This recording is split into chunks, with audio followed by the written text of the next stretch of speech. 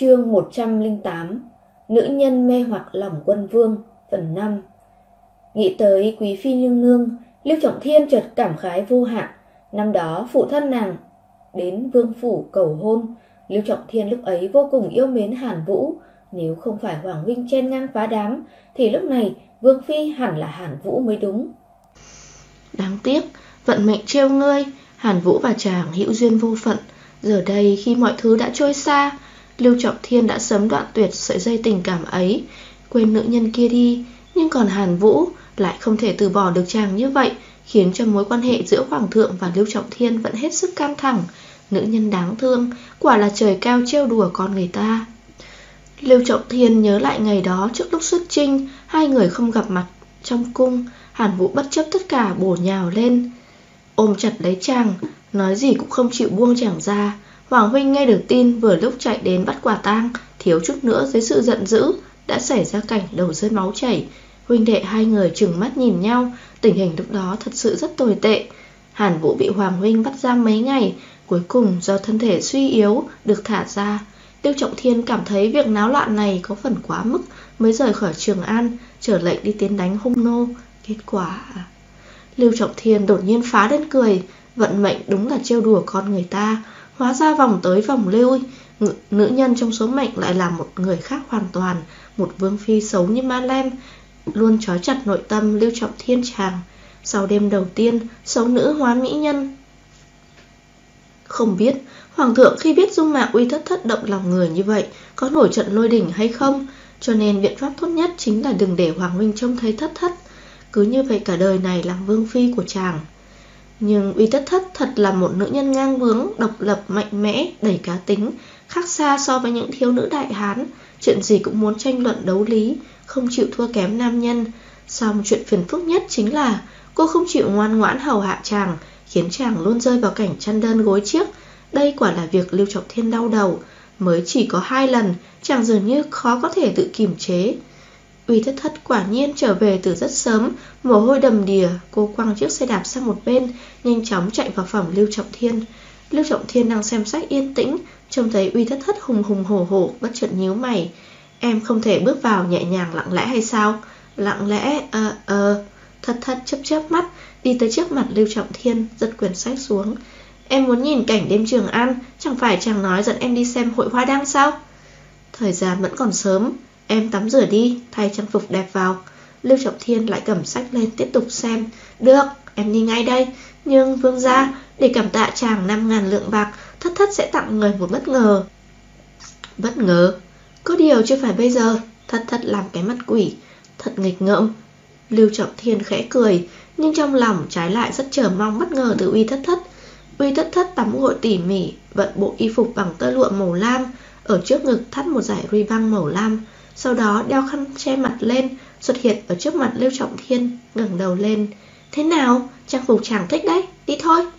Lưu Trọng Thiên hài lòng gật đầu một cái, dáng vẻ này thoạt nhìn càng thêm mê người, y như nữ nhân thủy mỹ yểu điệu, tả váy đẹp làm tôn lên vòng eo thon của cô. Nhưng xem dáng vẻ cô cố ý học cách đi đứng, trái lại có chút khiến Lưu Trọng Thiên không quen. Lưu Trọng Thiên cùng uy tất thất đi ra cửa chính vương phủ, Ninh Vân Nhi đứng ở trước cửa, Ngắm nhìn từ đằng xa, Lòng tràn đầy sầu não.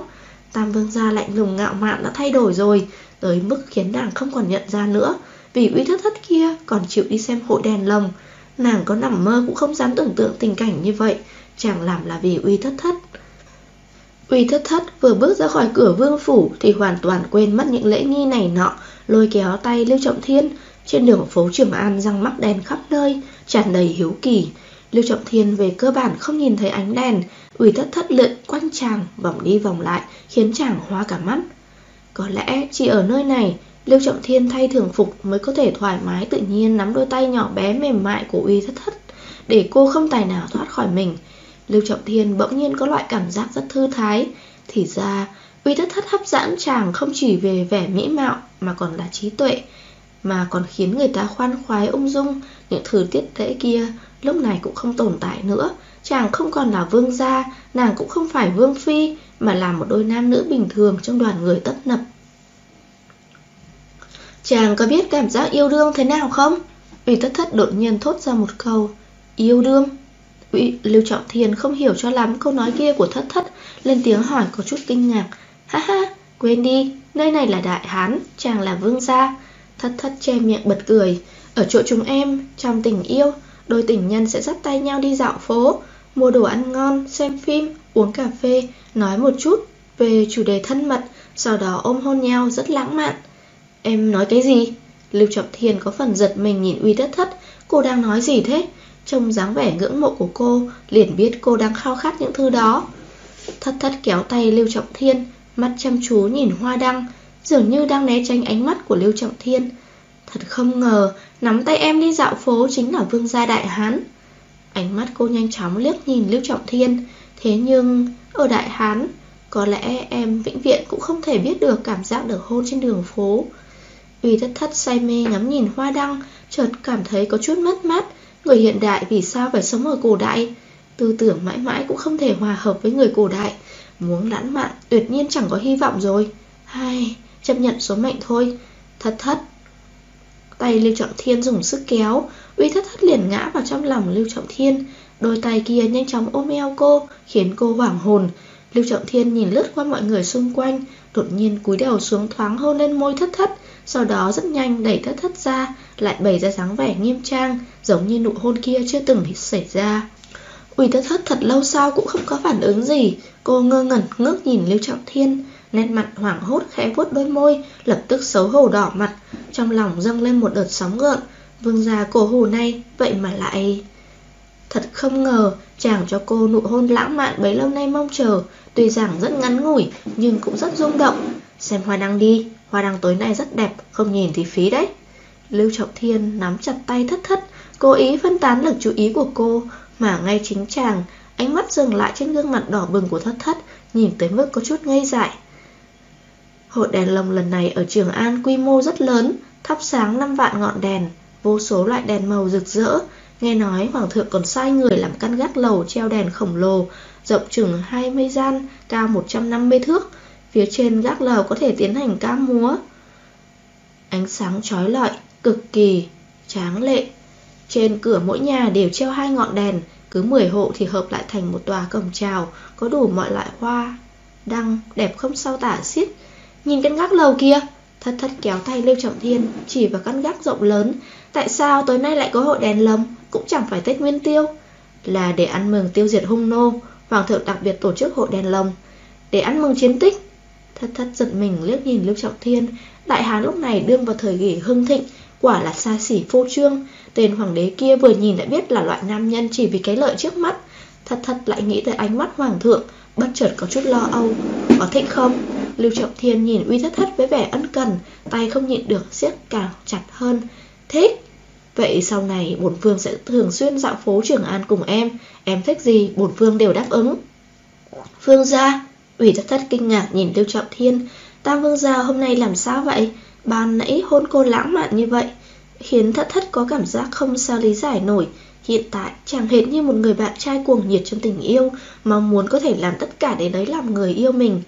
Điều này khiến thất thất có loại cảm giác vui mừng xen lẫn lo âu. Đừng nhìn bổn vương như vậy. Ánh mắt Lưu Trọng Thiên rời khỏi khuôn mặt thất thất, có vẻ như mất tự nhiên. Vương gia, chàng ở chỗ này chờ em một chút, xem bất ngờ mà em dành cho chàng. Bây giờ ư? Đúng vậy, em đi một chút sẽ trở lại. Nhìn lên trên căn gác lầu treo đèn ý, thất thất sẽ xuất hiện ở nơi đó. Lưu Trọng Thiên chưa kịp nói gì, Uy thất thất liền nhanh chóng bỏ chạy. Thật là một nữ nhân lanh lẹ, cơ trí, chàng chợt bật cười. Đột nhiên đám người trở nên lặng ngắt như tờ. Lưu Trọng Thiên nhìn theo ánh mắt mọi người. Trên gác lầu xuất hiện hơn chục nữ tử y phục hồng phấn Dẫn đầu là một nữ nhân đeo khăn che mặt Vận bộ y phục màu lam. Đó chẳng phải là thất thất sao? Lưu Trọng Thiên có chút căng thẳng. Vì thất thất này lại định giở trò gì đây? Tiếng nhạc nổi lên trên gác lầu Khiến người ta hào hứng, vui sướng Vì thất thất dắt theo những nữ tử ca múa kia Điệu múa vui nhộn sống động khiến từng tế bào con người ta đều hưng phấn. Lưu Trọng Thiên cảm thấy vô cùng ngạc nhiên thú vị. Đây chính là điều bất ngờ thất thất dành cho chàng sao? Quả thực đã đạt được hiệu quả. Tuy rất vui thích, song lại có chút không thoải mái. Nữ nhân của chàng vậy mà lại ở chỗ đông người nhảy múa cho chàng xem. Nếu người xem chỉ một mình chàng thôi thì chẳng sao. Hiện tại tất cả mọi người trên đường phố Trường An đang nhìn. Đường phố Trường An đám đông tụ hội, tiếng giao hò không ngớt, Đối với màn ca múa xuất sắc như vậy, người Trường An lần đầu tiên được thưởng thức đều bị thu hút bởi kỹ thuật múa uyển chuyển của nữ nhân trên gác lầu. Đèn lồng rực rỡ trên căn gác lầu vừa xoay, trên hai bên cột lập tức mở ra hai tranh thư rất dài, bên trái đề thẩm mỹ viện thất sắc giai nhân, bên phải ghi nữ nhân mỹ lệ tuyệt lắm thay. Một là quả là một mũi tên trúng hai đích, trước tiên là lấy lòng Lưu Trọng Thiên, sau là để quảng cáo cho thẩm mỹ viện của mình. Có ai như y thất thất nhanh trí nghĩ ra cách này? Đương nhiên gây ra sự náo động cũng không phải là nhỏ. Lưu Trọng Thiên kinh ngạc nhìn những tranh thư kia, xong chàng cũng đoán không ra Uy thất thất đang làm cho quỷ gì. Cảnh náo nhiệt trên đường phố Trường An vẫn không sao yên tĩnh trở lại, nhưng náo nhiệt thực sự còn chưa bắt đầu, mãi tới khi xuất hiện một đại nhân vật quan trọng. Đại hán thiên tử cải trang vi hành, y buồn bã muốn xuất cung, thay đổi tâm tình để giải sầu trong lòng. Ngẫm nghĩ, vì vậy mang theo tiểu vũ tử và hơn chục hộ vệ rời hoàng cung, quẩn quanh trong trí não đại hán thiên tử, toàn là hình bóng thiếu nữ áo lam xinh đẹp, đôi mắt đẹp mê hoặc lòng người. Ngang nhiên dám bỏ chạy, còn hung hăng đánh y một quyền. Nếu như bắt được nàng, nhất định phải trừng phạt tiểu mỹ nhân này.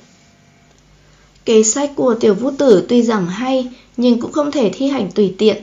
Ngộ nhỡ nàng không phải vương phi của Lưu Trọng Thiên, vậy chẳng phải sẽ chọc giận tam đệ ư. Dù sao, Lưu Trọng Thiên vẫn còn quyền thế, lực nhất định trong tay, thế lực ủng hộ trong triều không thể xem nhẹ. Hoàng thượng có phần tự nhiên không vui, đứng ở dưới hoang, đang ngũ sắc, ngắm nhìn đoàn người hối hả. Đây đều là con dân đại hán của y, cuộc sống vui vẻ sung túc, cũng khiến y cảm thấy được an ủi phần nào. Nhưng tiếng nhạc vui nhộn ở đâu đó nhanh chóng thu hút y không ngờ dân gian cũng có thứ nhạc vui tai như thế Và cả điệu múa uyển chuyển động lòng người. Đại hán thiên tử đưa mắt nhìn lên gác lầu Ngay tại khoảnh khắc đó Y hầu như ngây dại nhìn không chớp mắt Nét mặt gần như căng cứng lại Kỹ thuật múa của cô nương dẫn đầu thật tuyệt vời. Nhưng sao người đó lại giống thiếu nữ áo lam trong ngựa hoa viên tới vậy? Thân hình, y phục, giống y như đúc Chỉ có điều nữ tử kia che một tấm khăn che mặt. Tại sao lại là khăn che mặt? Chính là nàng, tiểu mỹ nhân kia. Đại hán thiên tử tin chắc mình tuyệt đối sẽ không nhận lầm người. Ấn tượng của ghi y về thiếu nữ kia quá sâu sắc. Chốc nữa chỉ cần tháo khăn che mặt của nàng xuống Là có thể biết được nàng có phải là thiếu nữ kia hay không. Vừa trông thấy mỹ nhân Tương tư yêu sầu trong lòng y đã tan biến hết. Đại hán thiên tử bật cười ha hả Chuyện này đúng là đạp phá thiết hài vô mịch sử đặc lai toàn bất phí công phu. Bất luận nàng có chạy nữa cũng đừng hòng chạy thoát khỏi lòng bàn tay hoàng thượng và lãnh thổ đại hán. Lớp này chẳng phải lại ngoan ngoãn xuất hiện rồi ư? Đại hán thiên tử hướng về phía cấm quân hộ vệ, Thét lớn một tiếng. Mang thiếu nữ áo lam trên gác lầu tới đây cho chậm, Nhất định phải bắt được. Vâng. Hơn chục cấm hộ vệ, Nhận lệnh, Phi thân băng qua đám người tiến thẳng tới các ngát lầu.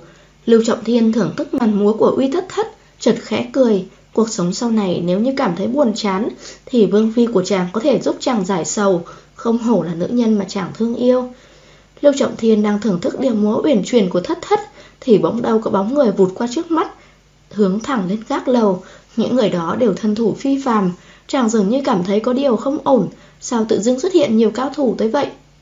Dưới gác lầu, trong chớp mắt nảy sinh náo loạn, Hơn chục người vạm vỡ xông lên. Mục tiêu rất rõ ràng, Chính là vương phi uy thất thất của chàng. Rốt cuộc đã xảy ra chuyện gì?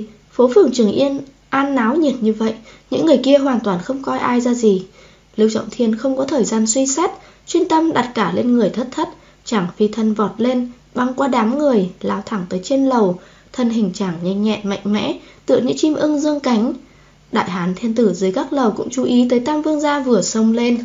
Y dường như hiểu được hết thảy, khỏi phải nói, sự thật đã bày ngay trước mắt, Nữ nhân vận bộ y phục màu lam trên lầu kia chính là uy thất thất, Tam Vương Phi được ban hôn, cho nên Lưu Trọng Thiên mới khẩn trương như thế, lao lên cứu. Lưu Trọng Thiên dám cả gan làm loạn, ngang nhiên lừa gạt hoàng thượng, mà thiếu nữ tuyệt sắc kia chính là sâu nữ uy thất thất sao? Phụng chỉ thành hôn, vốn định gây khó dễ với chàng ta, hiện giờ xem ra lại thành tác dụng, tác thành cho chàng ta. Dưới gác lầu loạn hết cả lên, mọi người không biết đã xảy ra chuyện gì, trên lầu ca múa đột nhiên ngừng lại. Nhóm nữ tử múa hát đều hốt hoảng, lo sợ, Bỏ chạy tán loạn. Ủy thất thất tuy kinh ngạc, Nhìn hơn chục người cao to vạm vỡ trước mặt, Chỉ biết bọn họ đang đi về phía mình. Dù cho công phu thất thất tài giỏi tới đâu, Cũng không thể đồng thời đối phó với hơn chục cao thủ. Làm sao có thể chống đỡ nổi đây? Rất nhanh đã bị hai tên trói buộc tay chân. Cô có chút mông lung, Rốt cuộc đã xảy ra chuyện gì vậy? Đang không rõ tình hình thế nào, Thân hình cao lớn của Lưu Trọng Thiên đã xông lên, Bực tức tung một cước, Đá văng một tên cấm vệ hộ vệ trong đó, Trở tay kẹp chặt một tên khác cách xa khỏi uy thất thất. Thất thất, chạy mau. Lưu Trọng Thiên ôm lấy eo thất thất, nhấc bổng lên, định bỏ chạy xuống dưới lầu. Phát hiện đường đi bị một người chặn lại, Người đó tay chắp sau lưng, Lạnh lùng nhìn thẳng Lưu Trọng Thiên. Lưu Trọng Thiên tập trung nhìn kỹ, Lập tức sợ ngây người. Đây chẳng phải đương kim hoàng thượng sao? Lẽ nào những tên vạm vỡ kia là cấm quân hộ vệ? Nhưng vì sao hoàng thượng lại xuất hiện ở nơi này? Hơn nữa còn muốn bắt uy thất thất chứ? Hai huynh đệ lạnh lùng đối diện nhau, Đại hán thiên tử đột nhiên đưa mắt về phía uy thất thất. Đôi mắt kia lộ ra ngoài khăn che mặt, Y muốn xác nhận một chuyện, Đó là vương phi của Lưu Trọng Thiên Rốt cuộc có phải là vị gia nhân tuyển sắc kia hay không? Uy thất thất cũng nhận ra đại hán thiên tử, Lập tức hốt hoảng, Nhanh chóng cúi đầu xuống núp ở sau lưng Lưu Trọng Thiên. Hy vọng chưa bị hoàng thượng nhận ra. Sao lại đúng lúc như thế? Chạm mặt y. Lưu Trọng Thiên, Hôm nay ta nhất định phải mang những nhân này đi. Đại hán thiên tử không dám để lộ thân phận của mình, Nén giọng trừng mắt nhìn Lưu Trọng Thiên. Không được, Nàng là vương phi của Trọng Thiên, Hoàng thượng đã ban hôn cho Lưu Trọng Thiên ta, Há có thể đổi ý? Lưu Trọng Thiên trong lòng đang rất hoài nghi, Tay siết càng chặt hơn. Hoàng thượng dường như cũng không ngạc nhiên lắm, Cười khẩy. Tháo khăn che mặt của nàng ta xuống Ta muốn xác nhận bán hôn cho đệ có phải là một xấu nữ hay không? Xấu nữ? Thất thất, đương nhiên không phải xấu nữ. Nhưng phải giải thích thế nào với Hoàng thượng đây? Thời khắc này, mục đích của Hoàng thượng Hóa ra lại đơn giản như vậy. Lưu Trọng Thiên có đôi chút lo lắng, Đành nói dối. Thật thật nổi mần đỏ trên mặt, Không được tiếp xúc với gió. Thứ cho Trọng Thiên không thể tuân mệnh. Chẳng lẽ đệ muốn kháng lệnh ta? Bây giờ không phải là Hoàng Cung, Đây là việc trong nhà họ Lưu chúng ta. Hoàng Huynh nếu như không còn chuyện gì, Trọng Thiên muốn mang thất thất hồi phủ. Lưu Trọng Thiên kéo tay uy thất thất, Xoay người rời đi. Uy thất thất cúi thấp đầu, bước theo sau, Tháo khăn che mặt của uy thất thất xuống. Hoàng thượng lớn tiếng ra lệnh Hơn chục tên hậu vệ đều vây quanh Lưu Trọng Thiên và uy thất thất. Tay uy thất thất giữ chặt lấy khăn che mặt, Liên tục né tránh. Trong lòng uy thất thất vô cùng căng thẳng. Hoàng thượng chết tiệt. Nếu phát hiện thất thất không phải là xấu nữ, Phải chăng sẽ làm khó tam vương gia? Sẽ không gán cho thất thất tội khi quân chứ? Lẽ nào còn muốn chém đầu nàng? Quan trọng nhất Cũng là điều thất thất lo lắng nhất. Ở trong ngự hoa viên, Cô còn cho hoàng thượng một quyền, Đó là kiểu ngũ trí tôn. Há có thể tùy tiện để người khác đánh? Thật suối quẩy mà. Tại sao lúc đó lại kích động như vậy? Hiện tại phiền toái này làm cách nào tháo gỡ đây? Hoàng huynh, Không nên ép người quá đáng. Hôm nay một mình Lưu Trọng Thiên có thể đối phó với tất cả đám người kia.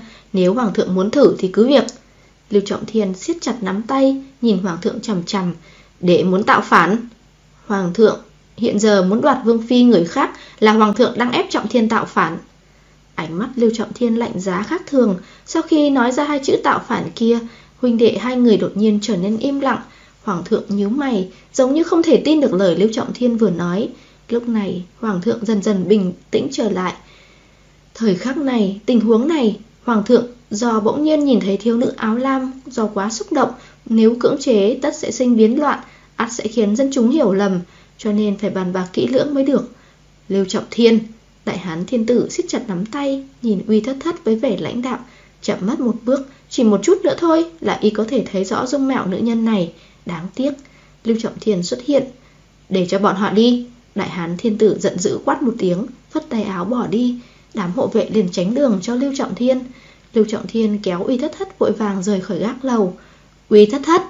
Đại hán thiên tử ngước nhìn Hình bóng thiếu nữ áo lam rời đi. Dáng người nàng thướt tha yểu điệu, Làn da trắng mịn, Gần như chính là thiếu nữ trông thấy ngày hôm đó, Ngoại trừ tấm khăn che mặt kia. Đại hán thiên tử không dám khẳng định uy thất thất chính là nữ nhân kia, Xấu nữ sao biến thành mỹ nhân được? Lẽ nào do y đã suy nghĩ quá nhiều về nữ nhân kia, Nên mới có ý nghĩ không an phận đối với vương phi của Lưu Trọng Thiên? Giả sử đằng sau khăn che mặt quả thật là một nữ nhân xấu xí vô cùng, Đại hán thiên tử có chăng sẽ thất vọng hoàn toàn? Xong đại hán thiên tử dám khẳng định một chuyện, Lưu Trọng Thiên đặc biệt che chở nữ nhân này, Cho nên nếu muốn thấy được khuôn mặt của uy thất thất, Nhất định sẽ phải nghĩ ra biện pháp khác, Tựa như lời của tiểu vũ tử nói vậy. Uy thất thất bị kéo trở về vương phủ Lưu Trọng Thiên đá cửa phòng ra, Đẩy thất thất vào trong, Dầm một tiếng đóng cửa phòng lại. Chả nghĩ nát óc cũng không ra, Tại sao Hoàng Huynh lại xuất hiện ở hội đèn lồng Hơn nữa, cứ một mực đòi bắt thất thất, Có vẻ như y đã từng gặp qua thất thất. Rốt cuộc đã xảy ra chuyện gì? Tới đây, Lưu Trọng Thiên bước nhanh tới trước thư án ngồi xuống, Nhìn uy thất thất ngây người đứng ở một bên, Vẫn đeo khăn che mặt, Chưa định thần lại. Dường như cảnh tượng ban nãy đã hù dọa thất thất, Vốn không biết sợ là gì. Thật đúng là không dễ dàng Cô cũng có lúc sợ hãi. Đứng ở đây nói được rồi Thất thất cất giọng trầm thấp Đầu cúi xuống Chỉ có thể trông thấy mái tóc đen nhánh. Bổn vương kêu em tới. Lưu Trọng Thiên trở nên có phần không kiên nhẫn. Tới thì tới, hẳn học gì chứ? Thất thất ngẩng đầu lên Tức giận bước tới trước mặt Lưu Trọng Thiên. Nhưng nghĩ đến chuyện xảy ra vừa rồi dáng vẻ vinh váo ngang tàng trong chớp mắt liền biến mất Đã không còn nổi nóng nữa ủ rũ. Cô không biết nên giải thích thế nào Tại sao khôi phục dung mạo ban đầu Trái lại rước lấy nhiều phiền toái như vậy? Lưu Trọng Thiên vươn tay gỡ khăn che mặt thất thất xuống Lộ ra dung nhan tuyệt đẹp cùng ánh mắt u uẩn của cô. Trông thấy dáng vẻ tội nghiệp của thất thất Lưu Trọng Thiên có chút không đành lòng Thái độ dịu đi rất nhiều. Nói đi, hôm nay vì sao Hoàng thượng đột nhiên nhằm vào em? Có phải hắn đã từng gặp em đúng không? Em đã làm chuyện tốt gì? Vương gia! Huy thất thất mấp máy môi, Muốn phản kháng lại không dám, Đành phải gật đầu thừa nhận. Có gặp qua Gặp qua. Lưu Trọng Thiên nhíu mày, Sao có thể gặp qua? Ở đâu và lúc nào? Thất thất có hơi ấm ức, Nhỏ giọng thì thầm, Hoàng cung, buổi sáng hôm nay. Lúc này thất thất có phần không rõ, Cô chẳng qua chỉ đi một vòng hoàng cung mà thôi. Mọi chuyện xảy ra sao có thể đều tại cô chứ? Cô cũng không phải nô lệ của Lưu Trọng Thiên Dựa vào đâu cứ bị la tới la lui, Y như phạm nhân bị chẳng ta thẩm vấn. Nghĩ tới đây, Uy thất thất tức giận chừng mắt nhìn Lưu Trọng Thiên, Chẳng giấu diếm nữa mà nói toạc ra. Cũng không thể trách em, Đều do tiểu cung nữ của quý phi nương nương đó. Biết rõ em không quen địa hình hoàng cung, Cô ta bước đi mau lẹ như thỏ. Em không chú ý lạc mất cô ta. Hoàng cung lớn như vậy, Em không biết phân biệt nổi phương hướng, Chỉ có thể lần mò khắp nơi. Kết quả đánh liều sông bừa và đình nghỉ mát, Sau đó hoàng thượng đến, Nhưng em bỏ chạy ngay. Chẳng phải em đeo khăn che mặt sao? Là vì sao hôm nay hoàng thượng muốn tháo khăn che mặt của em xuống? Hắn muốn xác nhận điều gì? Tiêu Trọng Thiên vội vã truy hỏi. Ở ngự hoa viên em tháo khăn che mặt xuống. Đó là bởi vì Giọng nói thất thất trầm thấp đến tội nghiệp. Nếu như không phải tham ăn Để gỡ khăn che mặt ra Thì đâu có gặp phiền phức vậy. Vậy hắn có biết em là uy thất thất Vương phi của bổn vương không? Uy thất thất vội vã xua tay. Không không, chuyện gì em cũng chưa nói. Bỏ chạy luôn. Có điều em mặc bộ y phục màu lam này Chắc là hôm nay bị nhận ra. Ngự hoa viên, sao em có thể sống bừa vào? Bây giờ ta hỏi em Hoàng thượng nhìn em với ánh mắt thế nào? Thật thất. Lưu Trọng Thiên đột nhiên ôm lấy cô Kéo tôi tới, tới trước người mình Nhìn cô thương tiếc. Giống y như chàng hiện giờ. Có điều hắn ta cho rằng em là phi tần của hắn Còn nói lâm hạnh gì đó nữa. Dù sao tên hoàng thượng kia cứ như bị điên ý. Thất thất nói bâng cua. Thất thất em gây họa rồi. Tiêu Trọng Thiên bực bội buông uy thất thất ra siết chặt nắm tay hung hăng đấm mạnh xuống bàn. Dựa vào tính cách hoàng thượng Hắn sẽ không chịu để yên như vậy đâu. Vậy phải làm sao bây giờ? Không thể. Uy thất thất ngẫm nghĩ Thật xui xẻo. Em phải rời khỏi đây Khó giữ được cái mạng nhỏ này. Không thể làm vương phi của chàng nữa rồi. Hẹn gặp lại Tam Vương gia. Xem ra chạy thoát thân quan trọng hơn. Uy thất thất vác váy toan, Xoay người toàn muốn chạy. Tiêu Trọng Thiên túm lấy cô, Tức giận kéo cô trở lại. Nhìn cô giờ khóc giờ cười, Vậy mà cũng nghĩ ra cách chạy trốn. Nhưng chẳng sao cam lòng để thất thất rời đi chứ. Rời đi? Vì thất thất, Em bây giờ là vương phi của bổn vương, Không phải thiếu nữ sơn dã, Không thể vừa gặp khó khăn đã muốn bỏ chạy. Không chạy sẽ mất đầu đó. Có biết trong 36 kế Chạy là thượng sách không? Chạy. Đi tới đâu chẳng phải đều là thiên hạ của đại hán sao? Xong em yên tâm, Hoàng thượng sẽ không giết em đâu. Làm sao chàng biết? Thất thất kinh ngạc nhìn Lưu Trọng Thiên, Không giết cô vậy trốn làm gì nữa? Vừa rồi vinh đệ hai người ở trên các lầu đối địch nhau, Hoàng thượng luôn miệng sai đám hộ vệ kia bắt cô đi. Lẽ nào hoàng thượng không phải muốn báo thù chuyện trong ngự hoa viên, Đã nếm một quyền của thất thất sao? Chàng không biết, Em ở ngự hoa viên còn đánh hắn một quyền. Thất thất biết mình lần này đã gây họa thật rồi, Nhưng tình huống khi đó vô cùng cấp bách, Nếu không làm vậy thì sao có thể thoát thân chứ? Nếu đổi lại những người khác Đối đãi với hoàng thượng như thế E rằng đã sớm mất đầu từ lâu Nhưng Lưu Trọng Thiên biết Vấn đề không nằm ở chỗ uy thất thất đánh hoàng thượng Mà có lẽ hoàng thượng đã động lòng với vương phi của chàng có ai hội ngộ tiểu mỹ nhân như vậy mà lại thờ ơ cơ chứ? Cho dù chàng tự cho mình là lòng không một gợn dục vọng, chẳng phải cũng có khối lần loạn nhịp đó ư? Hôm nay trên gác lầu, Hoàng thượng một mực đòi tháo khăn che mặt của thất thất xuống, chẳng phải là muốn biết Uy thất thất có đúng là nữ nhân mà Hoàng thượng đã gặp ở ngự hoa viên hay không ư? Xem ra, Hoàng thượng không gỡ khăn che mặt không được, Lưu Trọng Thiên cảm thấy đau đầu khôn nguôi, chẳng có năng lực ngăn cản Hoàng thượng sao?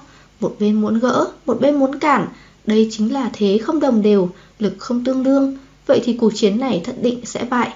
Thất thất, nếu có một ngày em được ăn sung mặc sướng, sống trong hoàng cung hoa lệ, làm sủng phi của đương kim đại hán thiên tử, liệu em có lập tức rời bỏ bổn vương mà đi không? Lưu Trọng Thiên không vững tin nhìn uy thất thất, khẽ vuốt ve mái tóc hai bên má cô, giọng trầm thấp. Đôi môi gần như chạm vào hai má trắng miệng của thất thất, chẳng có chút lo âu.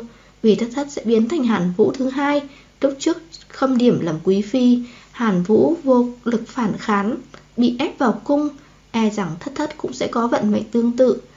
Uy thất thất theo bản năng né tránh, không rõ Lưu Trọng Thiên nói vậy là có ý gì, tiến hoàng cung gì chứ, làm sủng phi gì chứ, đây hoàn toàn là chuyện không thể. Em đều có thích tên hoàng thượng kia, tại sao phải vào cung làm sủng phi gì đó, ăn mặc sung sướng.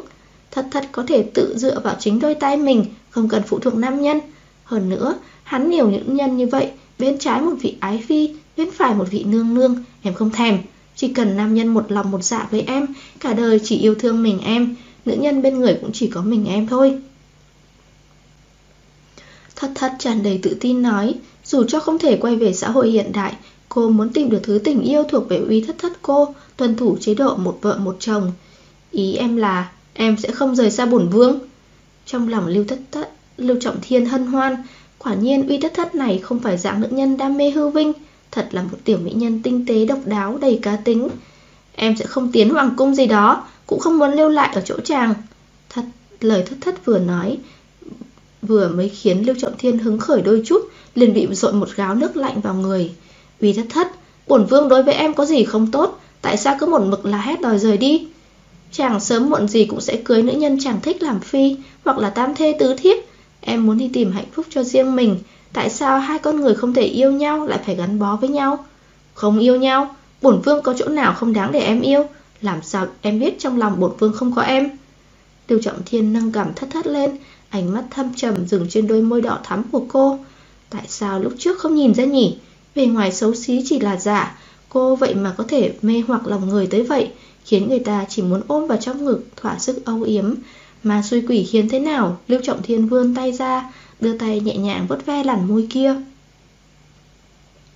Lưu Trọng Thiên cúi đầu xuống, khẽ áp môi lên hai má nữ nhân trước mặt, ngón tay lướt qua hai bên má, môi không kìm lòng nổi di chuyển tới cánh môi mềm mại của thất thất. Trong chốc lát liền cảm thấy đắm say ngây ngất, chỉ mới khe khẽ chạm vào, lập tức trở nên khó có thể chế ngự. Thất thất cảm thấy cả người đã bị ôm gọn trong lòng Lưu Trọng Thiên, cánh tay rắn chắc ghi chặt lấy eo cô, mạnh mẽ giữ chặt đầu cô, khiến cô muốn né tránh cũng không thoát được. Nụ hôn dừng lại ở trên môi cô, trên má, trên cổ.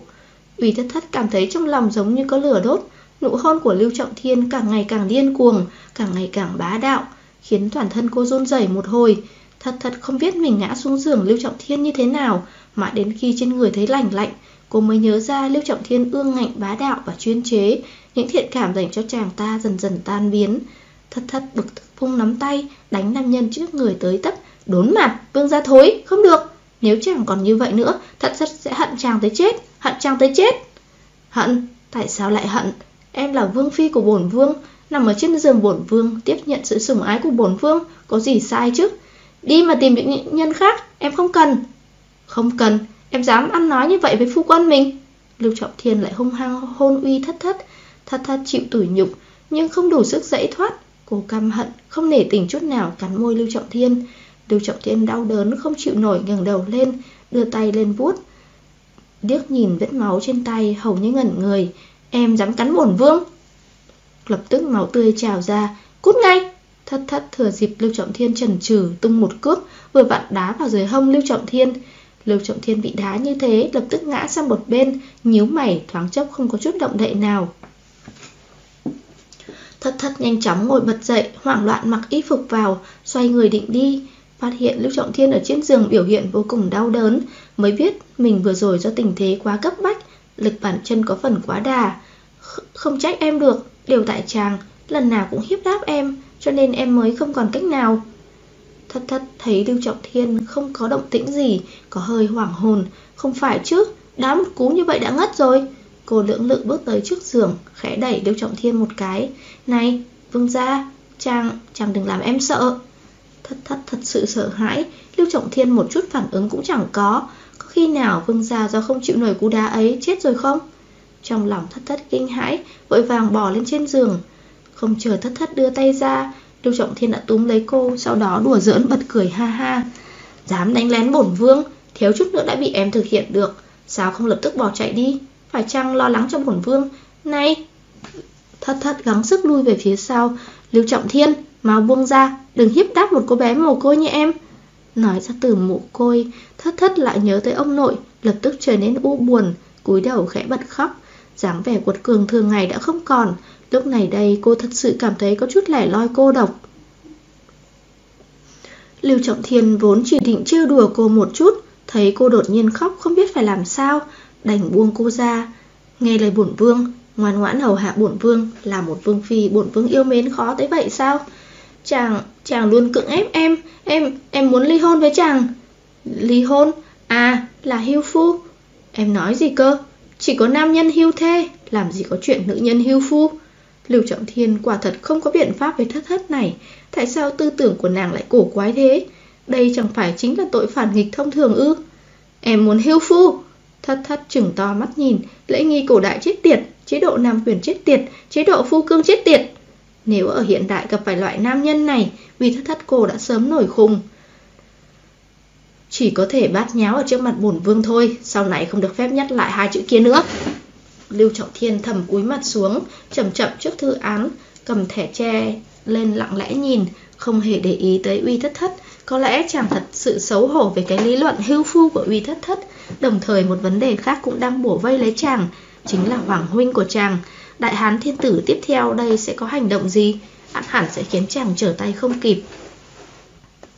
Uy thất thất lén chuẩn ra khỏi phòng.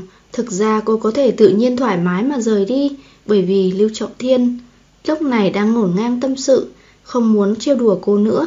Lưu Trọng Thiên quét mắt thấy Uy Thất Thất đang chuồn ra ngoài, Bất giác lắc đầu. Nữ nhân ngang ngạnh, tùy hứng, Cổ quái gian xảo, Nhưng luôn khiến chàng phải suy nghĩ miên man, Nhung nhớ, khôn nguôi. Uy Thất Thất quay về phòng mình Tự người vào trước cửa sổ.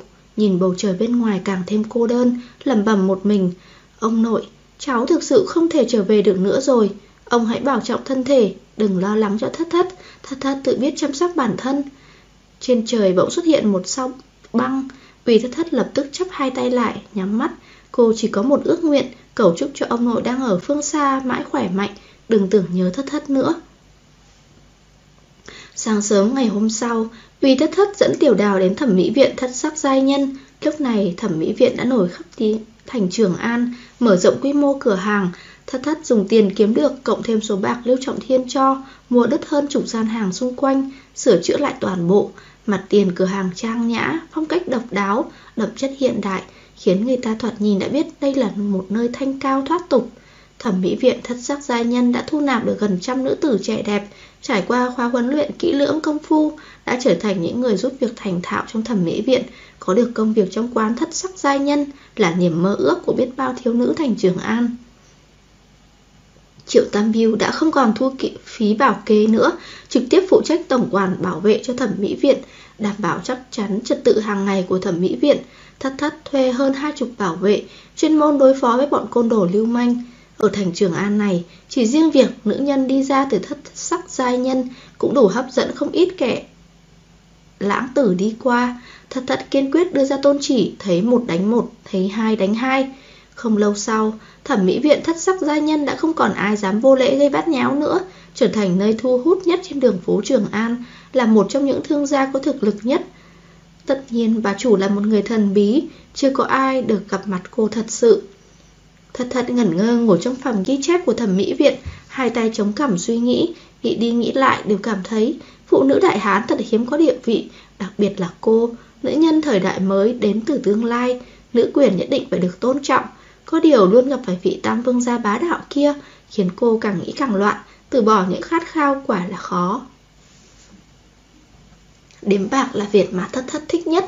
Cô không nghĩ đến tam vương gia phiền phức kia nữa Cách lớp khăn che mặt lén lén cười. Oa oa, nhiều thật đấy. Trong mắt uy thất thất lấp lánh ánh bạc Bạc trong tay chất một đống cao. Bà chủ thất đắc ý ghê. Lưu huyền cát vận bộ y phục trắng toát bước vào Mắt nhìn chầm chầm vào tấm khăn che mặt của thất thất. Trong ánh mắt toát lên vẻ nghi hoặc Hắn rất muốn vén tấm mạng kia lên Để xem nữ nhân xấu xí kia trông như thế nào. Tại sao xấu nữ lại có dáng vẻ và đôi mắt mê hoặc người tới vậy? Thất sắc gia nhân là nơi chỉ dành cho nữ nhân. Sao ngài lại trở thành khách quen ở chỗ này rồi? Thất thất liếc nhìn hắn Lục vương gia này cũng không phải dạng trộm hương. Ngọc, cướp ngọc Ngày ngày ở ly trong thất sắc giai nhân Không biết hắn muốn làm gì đây? Bởi vì hắn là lục vương gia Cho nên chẳng có ai dám ngăn chặn hắn ngoài cửa. Lưu Hiền Cát đứng trước mặt thất thất khẽ cười Gương mặt tên này đường nét như tạc Tuấn tú khôi ngô Đẹp đến nỗi làm mất đi khí phách nam nhân. Hơn nữa Nụ cười kia của hắn thật đáng ghét. Gian tà, Vừa nhìn đã biết hắn là một tên mưu mô bất chính. Chỗ nàng toàn là nữ nhân, Mà tiểu vương ta lại chuyên môn thu nạp mỹ nữ. Đến nơi này chẳng phải vô cùng thích hợp sao? Thật thật liếc nhìn hắn, Đúng là lý luận của tên sắc lang, Có gì đặc biệt cơ chứ? Hay không chấp trẻ danh? Thật thật lắc đầu tiếp tục ngồi đếm bạc, Tại sao phải đeo khăn che mặt? Bởi vì xấu. Thật thật giọng dạc đáp Nàng biết không, Khăn che mặt của nàng khiến trong lòng tiểu vương ta khó chịu biết bao. Lưu huyền cát vòng tới bên người thất thất, Cây quạt trong tay nhẹ nhàng gạt khăn che mặt thất thất lên. Để ta xem xem, Khuôn mặt thật sự của nàng rốt cuộc xấu đến cỡ nào. Này, Thất thất nắm lấy cây quạt của Lưu huyền cát, Tiện thể đẩy ra. Có chừng tôi gọi người đánh ngài. Nàng cam lòng sao? Lưu huyền cát bật cười hà hà Hắn thu quạt lại, ghé mặt lại gần. Bạch diện tu la không phải là hư danh. Ta đối với nữ nhân từ trước tới nay đều dịu dàng như nước, Có lẽ nàng lên nên lĩnh giáo một chút. Sắc ma Uy thất thất vung tay đánh hắn một quyền mạnh mẽ, Thiếu chút nữa là quét qua cằm Lưu Huyền Cát. Lưu Huyền Cát vội vàng tránh được, Lúc đầu có chút giật mình, Nhưng lại cười phá lên.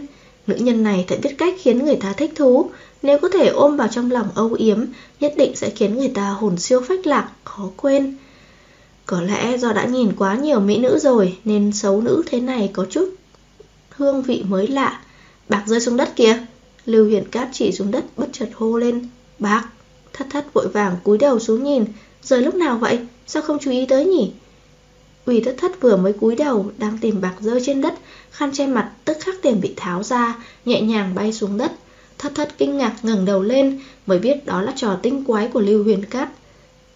Hắn phân tán sự chú ý của cô, Mục đích chính là cái khăn che mặt kia. Lưu Huyền Cát chỉ muốn xem tận mắt khuôn mặt xấu xí kia, Lúc thất thất ngẩng đầu lên, Nụ cười trên môi hắn đã cứng ngắt. Đây vốn không phải là tam hoàng tẩu xấu xí của hắn, Nàng là ai? Diễm lệ tuyệt trần, Mỹ nhân thuần khiết, Tuyệt sắc khuynh thành. Trạng thái đông cứng của Lưu Huyền Cát chỉ duy trì đúng 3 giây, Rất nhanh khôi phục lại vẻ bình thường. Lưu Huyền Cát cúi người nhặt khăn che mặt lên ra vẻ muốn đeo lại cho cô. Điệu bộ đó vô cùng ám muội Thất thất xấu hổ bực mình liên tục né tránh. Uy thất thất vươn tay giật lại khăn Trốn sang một bên Nghiêm nghị quát mắng Lưu huyền cát, ngài thật quá đáng. Cô vừa nói vừa đeo lại khăn Chỉ để lộ ra đôi mắt đậm to tròn đẹp mê người Chứa đầy sự xấu hổ và tức giận. Nàng là ai? Ta nghĩ nhất định là tiên nữ thiên đỉnh hạ phàm Khiến tiểu vương ta động lòng thực sự. Lưu huyền cát nhẹ giọng nói Tại sao một khuôn mặt xinh đẹp rừng này Phải giấu dưới lớp khăn che mặt chứ? Chẳng liên quan gì tới ngài. Thất thất đứng dậy, xoay người rời đi. Đợi đã, Lưu huyền cát kéo ống tay áo của thất thất. Sao lại bỏ đi như thế? Thật là một mỹ nhân ngỗ nghịch, Khiến người ta yêu thích. Lưu huyền cát, Nếu không buông tay tôi sẽ đánh ngài đấy. Lưu huyền cát ta đối với mỹ nhân từ trước tới nay Luôn yêu chiều dung túng, Càng khó yêu càng thích. Lưu huyền cát dứt lời, cười bí hiểm, Vung quạt Thất thất lập tức đứng yên tại chỗ Không sao cử động được. Thất thất đã đánh giá thấp tên Lưu huyền cát này rồi. Cứ tưởng hắn ta chỉ là một tên bất tài hám gái Không ngờ võ công của hắn cũng chẳng hề thua kém Lưu Trọng Thiên. Hiện giờ lại bị hắn đánh lén Người không thể động đậy được Không biết hắn muốn làm gì. Lưu Huyền Cát, ngài đừng quá đáng. Tôi đúng là vương phi uy thất thất của Tam Vương huynh ngài Đừng hòng gạt Huyền Cát. Ai chẳng biết Tam Vương Huynh ta cưới xấu nữ Mà nàng tuyệt đối không thể là nữ nhân đó. Hắn khẽ dùng cây quạt nâng cằm thất thất lên, Tiện tay tháo bỏ khăn che mặt của cô xuống. Tham lam ngắm nghía mỹ nhân trước mặt. Thật mê người, Sao không phát hiện ra từ sớm chứ? Tiểu vương ta chưa bao giờ ép buộc Mạo phạm nữ nhân, Đặc biệt là mỹ nhân. Nếu đều là nữ nhân chủ động trèo lên giường của ta, Nàng cũng đã sớm biết Bạch Diện Tu La không phải hư danh. Ngài chưa có làm can Mau giải huyệt đạo cho tôi. Ta nói rồi, Ta không cưỡng ép nữ nhân, Thế nhưng ta rất thích nàng. Tuy ta không muốn nữ nhân khác phải phiền lòng, Song hiện tại ta đành khiến nữ nhân trong phủ đệ của ta đau lòng đôi chút, Bởi vì ta sẽ chuyên sủng một mình nàng. Đây là thất sắc gia nhân, Không phải vương phủ của ngài. Ngài muốn thế nào? Ngài không bước ra khỏi cánh cửa này được đâu. Nếu thất thất có thể cử động, Nhất định cô sẽ xông lên, Đánh cho hắn một trận tơi bời. Ai nói là ta phải đi qua cửa? Bây giờ ta đưa nàng hồi phủ.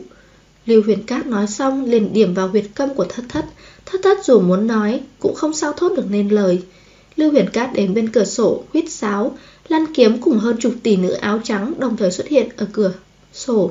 Lưu huyền cát bật cười đắc ý, Ôm thất thất ngang lưng ném qua cửa sổ. Lăn kiếm cùng hơn chục tỷ nữ áo trắng Ở phía dưới đón được uy thất thất. Nhanh chóng đặt vào trong kiệu, rèm che được buông xuống. Đám tỷ nữ đi như bay, Rất nhanh đã mất hút trên đường phố Trường An. Lưu huyền cát phe phẩy cây quạt Nhanh ngang rời khỏi thất sắc giai nhân. Quỳ thất thất được đưa tới một nơi xa hoa của Trường An. Tuy không bằng phủ đệ rộng lớn của Tam Vương gia, Nhưng lại có nét đặc sắc riêng, Đó chính là nữ nhân. Thất thất phóng tầm mắt nhìn, Thấy đâu đâu cũng là nữ nhân mặc y phục trắng toát, Ai ai cũng thẹn thùng đáng yêu, Dường như rất hài lòng với cuộc sống trước mắt. Vương gia của lục vương phủ Vương phủ của lục vương gia Cơ bản là một nơi cất giữ người đẹp. Hắn đưa cô tới nơi này không phải là muốn biến cô thành một trong số những nữ nhân kia chứ? Hiện giờ đã bị điểm huyệt đạo, Rõ là kêu trời trời không thấu Gọi đất đất chẳng hay Ủy đã thất cao mày, Bỗng hy vọng Lưu Trọng Thiên đến kịp. Liệu chàng có biết cô bị đưa đến chỗ này không? Mau mau đến cứu cô. Cô không muốn ở cùng tên sắc lang kia đâu. Quỷ thất thất vừa không thể cử động, Lại không nói năng được Bật đắc dĩ để mấy tỷ nữ xinh đẹp đưa vào một căn phòng. Trong phòng có một thùng nước tắm Bốc hơi nghi ngút. Thoát cái thất thất đã bị lột sạch y phục, Lộ ra vóc dáng yểu điệu. Thất thất căm tức nhìn hai tỷ nữ, Nhưng vô lực phản kháng, Giận xối máu. Tốt nhất đừng giải huyệt đạo cho cô, Nếu không, cô nhất định sẽ trừng trị phủ đệ của lục vương gia xuống đáy tầng địa ngục. Một tỷ nữ há hốc miệng nói, Ta rất ghen tị với nữ nhân này, Có thể trải qua ba đêm xuân cùng vương gia, Tiểu Lan ta đã mãn nguyện rồi. Cô đó, đừng có mơ nữa. Vương gia chỉ qua đêm với nữ nhân mình thích. Ta, cô có được một đêm cùng vương gia đã là không tệ rồi. Thất thất giết đỗi kinh ngạc Nữ nhân mà lục vương gia này mang về Đều ít nhất có một đêm xuân với hắn ta. Xem ra hắn đúng là một tên đại sắc lang Khổ cho cô rồi. Lưu Trọng Thiên có nằm mơ cũng không ngờ rằng cô đang ở nơi này. Chương 112 Xuân Dược. Hai tỷ nữ tìm một bộ y phục thật đẹp mặc lên người thất thất Quả là tiểu mỹ nhân. Có khi vương gia trông thấy sẽ trào máu mất. Không thấy nàng ta đã bị điểm huyệt sao? Nhất định là không cam tâm tình nguyện rồi. Ha ha, Loại nữ nhân này ta gặp nhiều rồi. Không quá một ngày sẽ đòi trèo lên giường với vương gia ngay. Nói cũng đúng, Vương gia đối với việc thu phục nữ nhân luôn có rất nhiều quỷ kế. Nếu quả thực không xong, Thì còn có mê dược. Vương gia đâu phải loại người đó. Giờ cũng không còn sớm nữa, Mau khiêng nàng ta đi thôi. Kẻo lát nữa vương gia về tới nơi lại mất hứng. Hai tỷ nữ sức vóc rất khỏe, nhấc bổng thất thất lên. Bước chậm lên Trên đường băng qua vườn hoa, Tiến vào gian phòng rộng lớn. Trong phòng, một bà thím vừa buông rèm che xuống vừa nói, Trời có nóng ruột, Vương gia sắp về đến nơi rồi.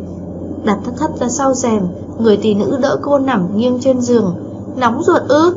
Thất thất chỉ muốn khóc, Bọn họ rõ ràng là bắt cóc cô, Là phạm pháp. Nhưng sau việc bắt cóc này Thất thất bắt đầu lo lắng. Lưu Trọng Thiên, chàng đang ở đâu vậy? Mau đến mà xem đệ đệ của chàng đang làm chuyện tốt gì. Giang Sơn Đại Hán toàn sinh ra một đám vương gia háo sắc Lũ sâu mọt bất tài kém cỏi. Thật thật vô cùng trông mong Lưu Trọng Thiên Loại cảm giác này gần như xâm chiếm toàn bộ tâm can cô. Trong phòng tĩnh lặng trở lại Uy thất thất, bất động Chỉ có thể ngó nhìn xung quanh. Bên ngoài, qua rèm tre Không biết tên lục vương gia này định giờ trò gì. Hắn ta chẳng phải đã từng nói Không cưỡng ép nữ nhân không thuận theo hắn hay sao? Thất thất đang suy nghĩ Thì cửa phòng mở Bạch diện tu la Lưu Huyền Cát mặc một chiếc áo dài mỏng tam bước vào, cái áo đó mỏng tới mức trong suốt. Thất thất cảm thấy có thể nhìn thấy thân hình hắn như ẩn như hiện, đúng là loại nam nhân nhơ bẩn, ghê tởm vô sỉ. Rèm tre được vén lên, Lưu Huyền Cát bước tới, trông thấy uy thất thất vừa tắm gội xong, mái tóc dài để xóa, trong mắt hắn tràn đầy sắc dục, hắn nâng cầm thất thất lên, giải trừ huyệt câm cho cô. Đánh chết ta cũng không tin, Tam Vương Huynh lại có số mệnh tốt như vậy, Hoàng thượng sao có thể để Tam Vương đắc Huynh đắc ý chứ? Khắp thiên hạ đều biết rằng Hoàng thượng ban hôn cho Tam Vương gia là một xấu nữ. Nàng rốt cuộc là ai vậy? Tiểu mỹ nhân của ta. Xong là ai thì cũng không quan trọng, nàng hiện nay chỉ thuộc về ta, sau này sẽ lưu lại trong vương phủ để hầu hạ tiểu vương ta. Thật thật chừng mắt nhìn Lưu Huyền Cát, lưu lại vương phủ hầu hạ hắn. Hắn đang nằm mộng chắc, cái tên háo sắc tham lam, tưởng rằng mọi nữ nhân đều sẽ bổ nhào vào trong lòng hắn hay sao? Tiểu vương ta đợi không nổi nữa rồi, tiểu mỹ nhân. Nhìn mỹ nhân tuyệt sắc, tay Lưu Huyền Cát không kìm được vương ra, ánh mắt thất thất chất chứa oán hận. Ngài từng nói sẽ không dùng cách ép buộc mà. Nói chung ta thường không làm thế, không có nói nhất định sẽ không. Hắn tiến sát lại gần, miệng cười quỷ dị, nhưng nàng thì khác, quả là một nữ nhân đặc biệt. Khi gặp nàng đeo khăn che mặt, khiến tiểu vương ta chẳng thiết gì đến nữ nhân khác, ngày ngày chỉ nhớ mong tới mỗi nàng. Ngày điên rồi, tôi là Tam Vương Phi. Tam Vương Phi, ha ha, nàng cho rằng Lưu Huyền Cát ta là con nít hay sao? Lưu Huyền Cát vỗ vỗ tay, trong nháy mắt một bà thím từ ngoài cửa bước vào, đưa cho Lục Vương gia một chiếc lọ nhỏ, sau đó Lưu Luyến si mê nhìn thất thất. Biết đây là cái gì không? Lưu Huyền Cát tiến lên, giơ cao chiếc lọ nhỏ lên, đây là xuân dược. Thất thất nghe xong liền hoảng sợ, tại sao Lục Vương gia của Đại Hán lại vô sỉ tới vậy? Loại thủ đoạn hạ lưu như thế mà cũng sử dụng. Này, ngày trời có làm can. Thất thất dứt lời vội ngậm chặt miệng lại, Lưu Huyền Cát mở nắp lọ, đột nhiên đưa tới sống mũi thất thất, một mùi hương nồng nặc lập tức xông vào mũi nàng. Ta quên nói với nàng rằng thuốc này dùng để ngửi, không phải uống. Ngày! Tay của thất thất không thể cử động, muốn ngừng hít thở cũng không kịp nữa rồi. Lưu Huyền Cát, tôi thực sự là vương phi của Lưu Trọng Thiên, lẽ nào ngài không sợ chàng ấy sẽ lấy mạng ngài sao? Vẫn còn xạo sao? Ta không tin đâu. Đừng tưởng rằng nói như thế ta sẽ buông tha cho nàng. Lưu Huyền Cát đặt chiếc lọ sang một bên, Ta vốn có thể chờ được Tuy nhiên nàng thật biết cách khiêu khích trái tim tiểu vương ta Ngón tay Lưu Huyền Cát nhẹ nhàng lướt qua mặt thất thất Nâng cằm cô lên tỉ mỉ ngắm nghía Quả là đẹp Chỉ chốc nữa thôi Nàng sẽ van xin tiểu vương Yêu nàng. Vì thất thất cảm thấy khuôn mặt mình nóng dần lên Toàn thân nóng rực. Lẽ nào mê dược đã phát tác rồi Phải làm sao bây giờ? Nếu như Lưu Trọng Thiên không đến kịp Cô hận bản thân không thể chết ngay lập tức. Lưu Huyền Cát biết rằng Xuân Dược đã bắt đầu phát tác trên người thất thất, hắn khẽ giải huyệt đạo cho thất thất. Lúc này, cho dù thất thất muốn chạy trốn cũng không còn bao sức lực mà nữa, toàn thân nóng bức khó chịu, một loại dục vọng trào dâng mãnh liệt trong người thất thất. Lục vương gia vô sỉ, lẽ nào thật sự sẽ cùng với tên lãng tử này? Gia nhân diễm lệ, ta bảo đảm với nàng, chỉ cần sau ngày này, ngày ngày ngoan ngoãn phục tùng ta, ta sẽ không dùng xuân dược nữa, cũng sẽ chỉ sủng ái một mình nàng. Tất cả nữ nhân trong phủ của ta đều không sánh bằng một góc của nàng. Lưu hiển Cát nhéo má thất thất, sau đó bắt đầu cởi bỏ y phục trên người cô. Cút ngay, ngày dám! Thất thất tuôn rơi hai hàng lệ, cô thực sự sợ cảnh tiếp theo, bản thân cũng không tài nào ngăn cản nổi nữa. Cảm giác tủi nhục bóp nghẹt lấy trái tim cô. Đúng lúc đó, một tỷ nữ vội vã chạy vào, thần sắc vô cùng hoảng hốt, chưa kịp bẩm báo đã bị một nam nhân thân hình cao lớn, nộ khí bốc ngùn ngụt đạp cửa xông vào. Là kẻ nào mà to gan như vậy? Đêm hôm dám xông vào phủ của lục vương gia, cũng không thèm báo trước một tiếng đã tự ý vào. Lưu huyền cắt vén rèm lên, nhìn kỹ, hóa ra là Lưu Trọng Thiên, tam vương huynh của hắn. Tại sao tam vương huynh lại lửa giận đùng đùng vậy? Sắc mặt kia... Tam vương huynh? Thật thật đâu, có phải ngươi mang uy thất thật đi đúng không? Lưu Trọng Thiên túm lấy cánh tay Lưu Huyền Cát, ánh mắt căm ghét nhìn y phục trên người hắn. Tên lục đệ này quả thực đã làm càn quá mức rồi, ngang nhiên thu nạp nữ nhân bên người Vương Huynh đi mà không cần ý kiến của thất thất thế nào. Huynh nói sao? Vương Huynh... Lưu Huyền Cát bắt đầu có chút sợ hãi, lẽ nào nữ nhân phía sau bức rèm kia đích thực là Tam Vương Phi? Nhưng không tài nào hiểu nổi mọi thứ, rõ ràng đây là một mỹ nhân, không phải xấu nữ mà. Vương phi của bổn vương mất tích. Nha hoàn tiểu đào nói rằng gần đây ngươi thường xuyên lẩn vẩn bên cạnh thất thất. Đừng nói ngay cả vương phi của bổn vương ngươi cũng muốn chiếm đoạt nhé. Lưu Trọng Thiên trừng mắt căm giận, sát khí đằng đằng khiến Lưu Huyền Cát cảm thấy có phần oan uổng. Không có, thực sự không có mà. Vậy nữ nhân trong kia là ai? Ánh mắt Lưu Trọng Thiên lùng tìm khắp nơi, bước vội tới trước rèm tre, phát hiện bên trong thấp thoáng có một nữ nhân.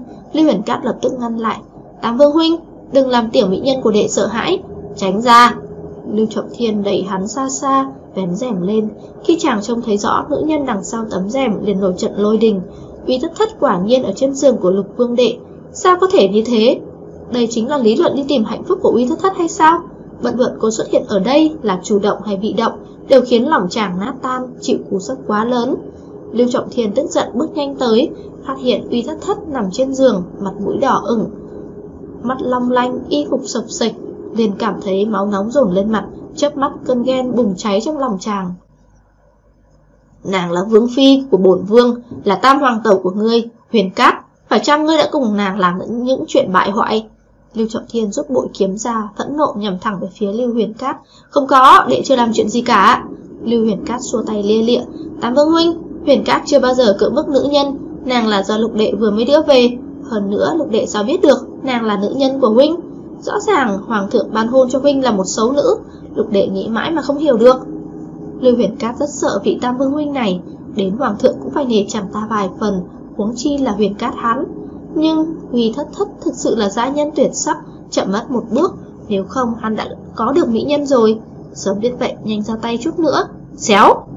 Lưu Trọng Thiên thu kiếm lại, căm giận nhìn Lưu Huyền Cát, quay ngửa lại phía trong rèm, phát hiện khuôn mặt Huy Thất Thất ngày một đỏ bừng. Chàng chẳng còn thời gian nghĩ ngợi nhiều nữa, lập tức bế Thất Thất lên, Thất thất trông thấy Lưu Trọng Thiên mừng rỡ như điên, lửa nhiệt trong lòng càng bùng lên dữ dội. Vương gia, thất thất khẽ tựa vào vai Lưu Trọng Thiên, hai mắt nhắm nghiền. Lưu Trọng Thiên bồng cô nhanh chóng rời khỏi phủ lục vương gia, quản gia đã chuẩn bị sẵn ngựa chờ bên ngoài. Lưu Trọng Thiên một tay ôm thất thất, một tay cầm cương ngựa, phi thẳng về Tam Vương Phủ. Lửa giận trong lòng Lưu Trọng Thiên vẫn chưa lắng xuống. Rốt cuộc, vì thất thất là nữ nhân thế nào? Tại sao lại xuất hiện trên giường của lục vương đệ? Nàng một bực la hét đòi rời khỏi vương phủ, rời xa chàng, kiếm tìm cuộc sống thuộc về nàng và một nam nhân tâm đầu ý hợp. Lẽ nào nàng thực sự là loại nữ nhân không chịu nổi sự cô đơn, hoặc bản tính đúng là loại nữ nhân có tính lẳng lơ? Trở về vương phủ, Lưu Trọng Thiên đặt thất thất lên giường, trong lòng vẫn bực bội không yên. Chàng muốn biết có phải thất thất thật lòng thích Lưu Huyền Cát không, lại còn cùng lục đệ hồi phủ nữa. Thậm chí Lưu Trọng Thiên càng nghĩ càng tức giận, càng nghĩ càng cảm thấy thất thất là dạng nữ nhân chuyên rủ rỗ nam nhân. Niềm tin của chàng đối với cô cũng càng ngày càng không chắc chắn. Lưu Trọng Thiên ngắm nhìn uy thất thất, cõi lòng tan nát. Chàng túm lấy cổ áo thất thất, giận dữ nhìn chằm chằm vào mắt cô. Em muốn hồng hạnh vượt tường, là một nữ nhân lẳng lơ có phải không? Là nam nhân, em trả đạp đến tôn nghiêm của bổn vương, có biết bổn vương có thể một kiếm kết liễu mạng sống của em hay không? Em không có, vương gia. Còn dám ngụy biện, Em nhìn y phục mình xem, cả bộ dáng của em nữa, em đã buông thả như thế. Lưu Trọng Thiên gần như không tài nào nói tiếp được nữa, thật thật vô lực nhìn Lưu Trọng Thiên, lửa nhiệt trong lòng khiến cô không sao mở miệng giải thích, cô không khống chế được dục vọng đang bốc lên trong người, choàng tay qua cổ Lưu Trọng Thiên, gương mặt hồng hào tự như hoa đào nở rộ, hơi thở gấp gáp theo mang theo mùi hương hoa lan mê hoặc lòng người, cánh môi mềm mại từ từ áp lên môi Lưu Trọng Thiên, "Quý thất thất, em đừng tưởng rằng làm như vậy thì có thể." Tiếng trách cứ của Lưu Trọng Thiên đã bị đôi môi thất thất ngăn lại, dục vọng trong cơ thể chàng cũng nhanh chóng được khêu gợi, không kìm lòng nổi, lập tức ôm chầm lấy thân thể thất thất. Nữ nhân trong lòng chàng toàn thân nóng gian, quyến rũ mị hoặc, đôi tay nhỏ bé khẽ lừa vào vạt áo Lưu Trọng Thiên, vuốt ve cuồng nhiệt, bộ ngực sữa mềm mại dán chặt lên người chàng. Vương gia, vương gia! Thất thất kéo Lưu Trọng Thiên ngã xuống chiếc giường lớn êm mịn, đôi tay thuận đà trượt một đường phía trước ngực chàng. Lưu Trọng Thiên không biết tại sao tối nay uy thất thất lại nhiệt tình như thế, thân thể yêu kiều đáng run rẩy khiến chàng bốc lên nhục dục. Lẽ nào đúng là nàng quyến rũ lục vương đệ sao? Nữ nhân đáng chết, nàng có còn biết hổ thẹn hay không? Chàng phẫn nộ hôn như cuồng phong vũ bão lên đôi môi đỏ thắm nóng bỏng của thất thất. Thất thất cảm thấy vui sướng, tiếng thở gấp gáp càng thêm dồn dập, dường như có chút phóng đãng, vặn vẹo thân thể mãnh liệt, khát vọng ngày một nhiều. Em làm sao vậy? Trong sự kích động, Lưu Trọng Thiên nhận thấy tình hình không ổn, cơ thể uy thất thất nóng bừng khác thường. Chàng quan sát tỉ mỉ hai gò má thất thất đỏ bừng, chàng nhanh chóng túm lấy cổ tay thất thất, ngón tay đặt ở trên mạch đập của cô, dường như mạch rất hỗn loạn, đập dữ dội liên hồi, cộng thêm biểu cảm si mê kia, chắc cô đã trúng phải mê dược, cho nên mới thành ra bộ dạng điên cuồng này. Đục vương đệ ngang nhiên sử dụng mê dược với cô, chẳng lẽ do thất thất không thuận theo, cho nên mới phải dùng thủ đoạn bỉ ổi như thế để ép bức thất thất. Lưu Trọng Thiên thương tiếc khẽ vỗ về nữ nhân trong lòng, nếu không phải cô cứ quấn quýt si mê như thế, khiêu khích dục vọng trong người Lưu Trọng Thiên, thì có lẽ dưới cơn thịnh nộ, chàng đã thực sự rơi kiếm thương tổn cô. Đôi môi đỏ thắm của thất thất hôn, mơn man, có vẻ như khó nổi lên kháng cự đối với Lưu Trọng Thiên, nhiệt độ thân thể cô không ngừng tăng cao, cô cảm thấy mình sắp bị thiêu đốt tới nơi, tay cô ma sát thân mật phía dưới bụng Lưu Trọng Thiên, đau đớn khó chịu khiến cô bật khóc. Lưu Trọng Thiên buông cổ tay thất thất ra, kể sát lên bộ ngực sữa của cô, vuốt ve cô, chàng sẽ cứu cô, giúp cô thoát khỏi sự tra tấn của mê dược. Lưu Trọng Thiên trực tiếp tiến vào thân thể mềm mại của uy thất thất, thất thất lớn tiếng rên rỉ, từng tầng sóng nhiệt tình thổi quét khắp người, cảm giác khô nóng từ từ biến mất, thay vào đó chỉ còn tác động không ngừng của khoái cảm. Một đêm trào dâng xúc cảm triền miên, cuối cùng toàn thân uy thất thất cũng đổ mồ hôi đầm đìa, mệt mỏi ngã vào trong lòng Lưu Trọng Thiên, dựa thật sát vào chàng. Khoảnh khắc thoải mái này khiến cô hoàn toàn nương tựa vào nam nhân cường tráng, tâm trạng thả lỏng, chìm dần vào giấc mộng ngọt ngào. Lưu Trọng Thiên thương tiếc ôm thất thất, vương phi của chàng từ xấu nữ biến thành mỹ nhân, thị phi rắc rối lũ lượt kéo tới.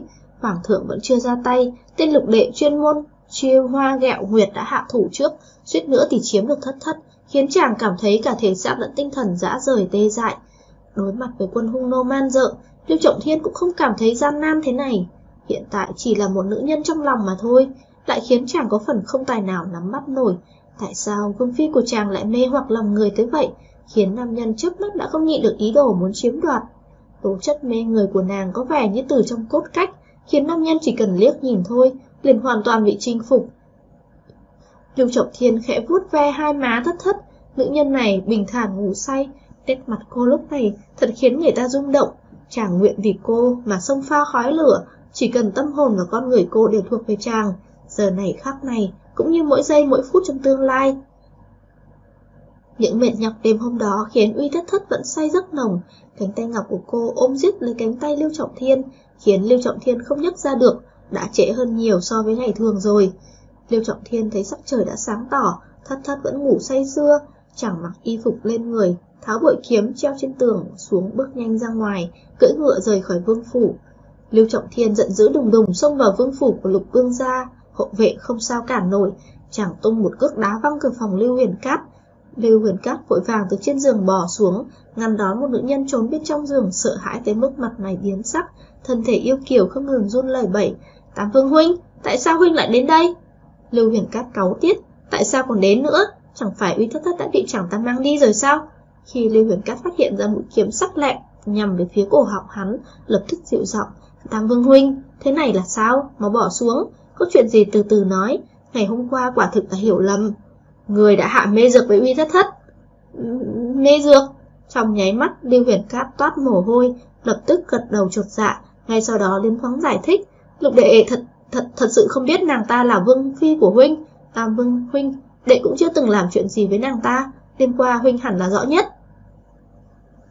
Lưu Trọng Thiên thấy dáng vẻ Lưu Huyền Cát sợ sệt, thanh kiếm trong tay cũng thu về, từ nay về sau, tránh ra thất thất ra, bằng không nhất kiếm này sẽ tuyệt đối không nể tình huynh đệ.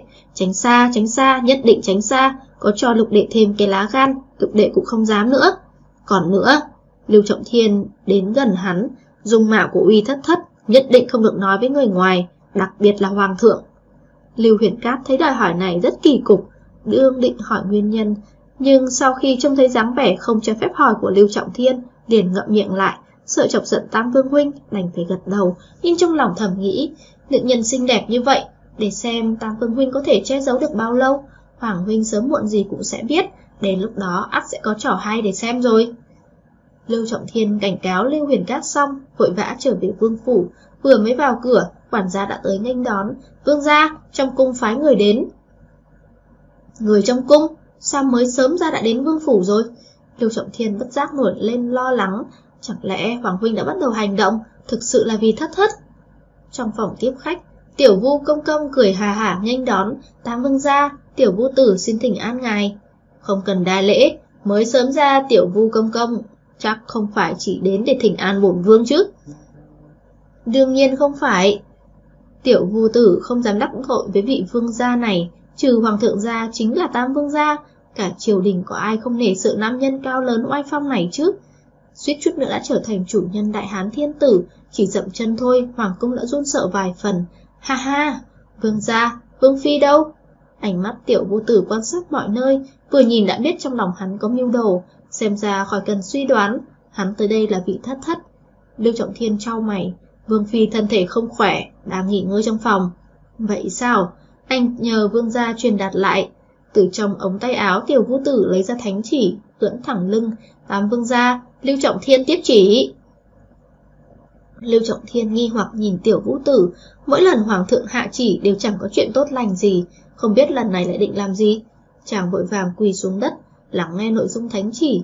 Phụng Thiên thừa vận, hoàng đế chiếu viết, Tam Vương gia có công tiêu diệt quân hung nô, đặc biệt ban thưởng một lượng một vạn lượng vàng, 500 tấm lụa gấm thượng đẳng, vạn mẫu ruộng phì nhiêu. Hoàng thượng làm vậy là sao? Diệt trừ quân hung nô khải hoàn đã lâu rồi mà, cần ban thưởng thì cũng đã ban rồi, tại sao còn tới nữa? Khóe mắt tiểu phu tử nhìn Đức Trọng Thiên chằm chằm, trong lòng ngầm đắc ý. Tam vương gia đừng nôn nóng, phía sau còn màn đấu với hoàng thượng đó, kịch hay mở màn rồi. Tam Vương Phi uy tất thất cũng nhiều lần lập công trong chiến dịch hung nô, đặc biệt sát phong làm nhị phẩm hộ quốc tướng quân, cho tu sửa lại phủ đệ hộ quốc công hiện đang để trống, để làm phủ tướng quân, ban tặng cho uy thất thất.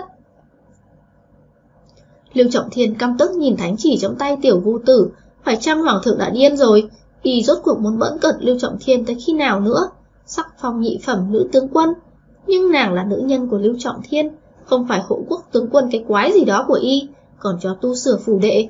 Vương phi của chàng chẳng lẽ phải dọn ra ngoài ở sao? Quả thực hoang đường, quá mức hoang đường. Tiếp chỉ đi, Tam Vương gia. Lưu Trọng Thiên tiếp nhận thánh chỉ, cơn thịnh nộ đã hiện rõ trên mặt. Chàng chỉ muốn nghiền nát tờ thánh chỉ này, quả là nhục nhã. Hoàng Huynh rốt cuộc muốn đối đầu với chàng tới khi nào? Ngay vàng đã thuộc về y rồi, lẽ nào y vẫn chưa thỏa mãn sao? Tiểu phu tử cúi đầu khẽ cười, cất giọng trầm thấp. Vương gia, Ngày mai, Hoàng thượng Thiết Yến ở ngự hoa viên, mở tiệc chiêu đãi vương gia và vương phi, trọng thần triều đình đều sẽ tham dự tiệc khánh công. Đến lúc đó, vương gia nhớ mang cả hộ quốc tướng quân uy thất thất theo đó. Tiệc khánh công, Lưu Trọng Thiên trừng mắt nhìn tiểu vũ tử, tiểu vũ tử bị hù dọa, lui về phía sau một bước, mồ hôi trên trán túa ra.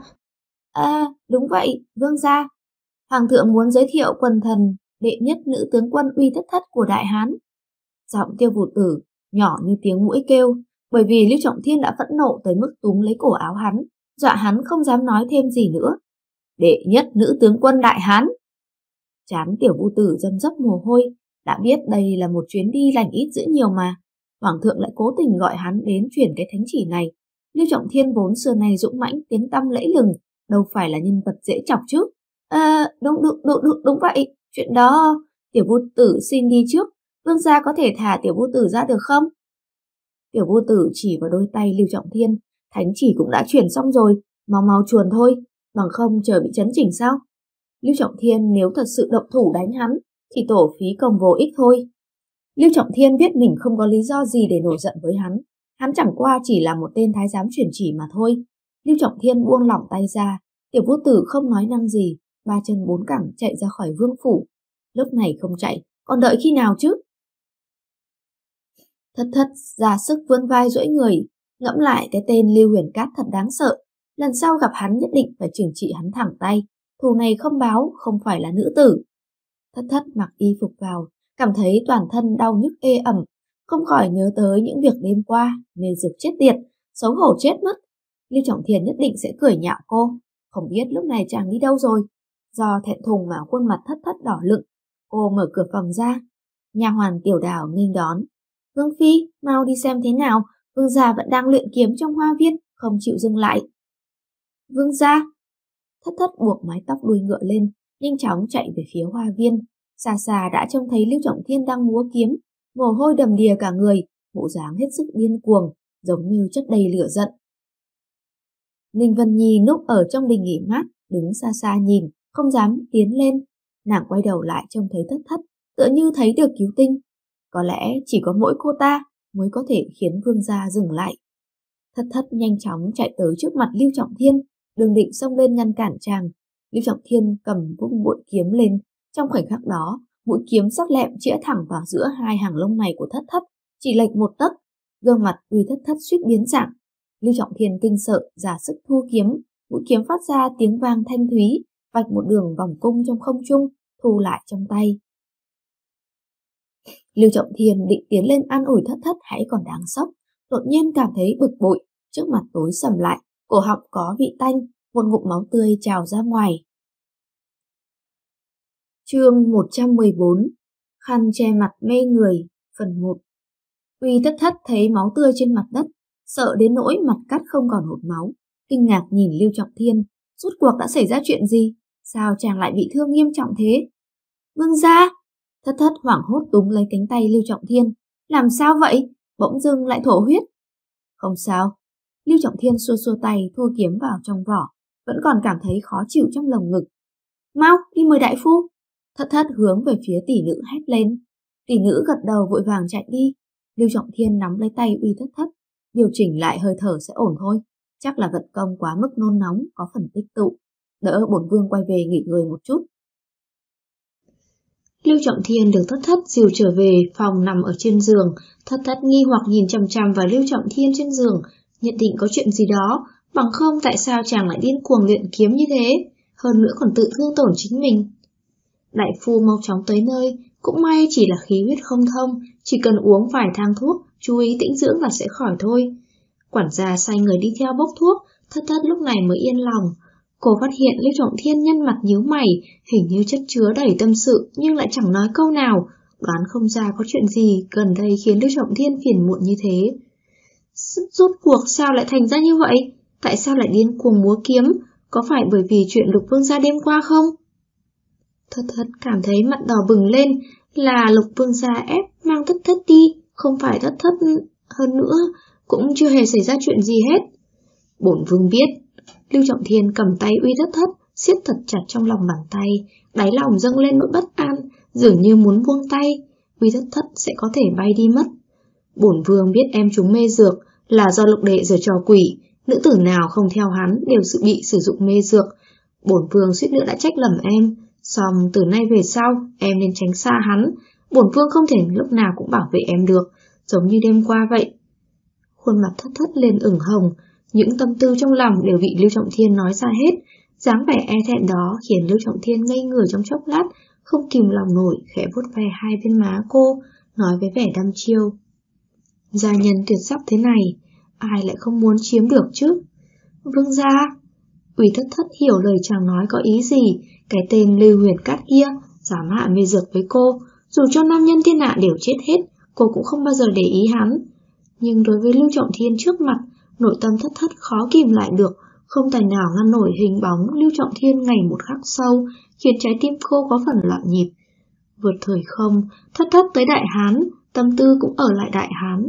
Tam vương gia anh Tuấn lạnh lùng bá đạo đã đoạn được trái tim cô, đó không phải là mẫu nam nhân mà cô thích, nhưng đã ăn sâu bám rễ trong trái tim cô mất rồi.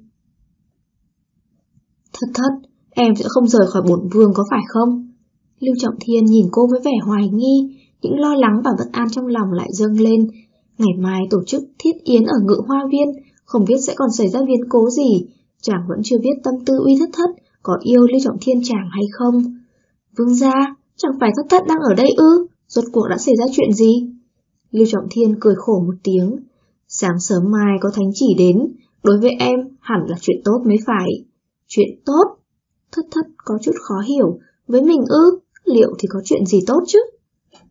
Đúng vậy, Hoàng thượng hạ chỉ sắc phong em là nhị phẩm hộ quốc nữ tướng quân, còn ban cho phủ tướng quân.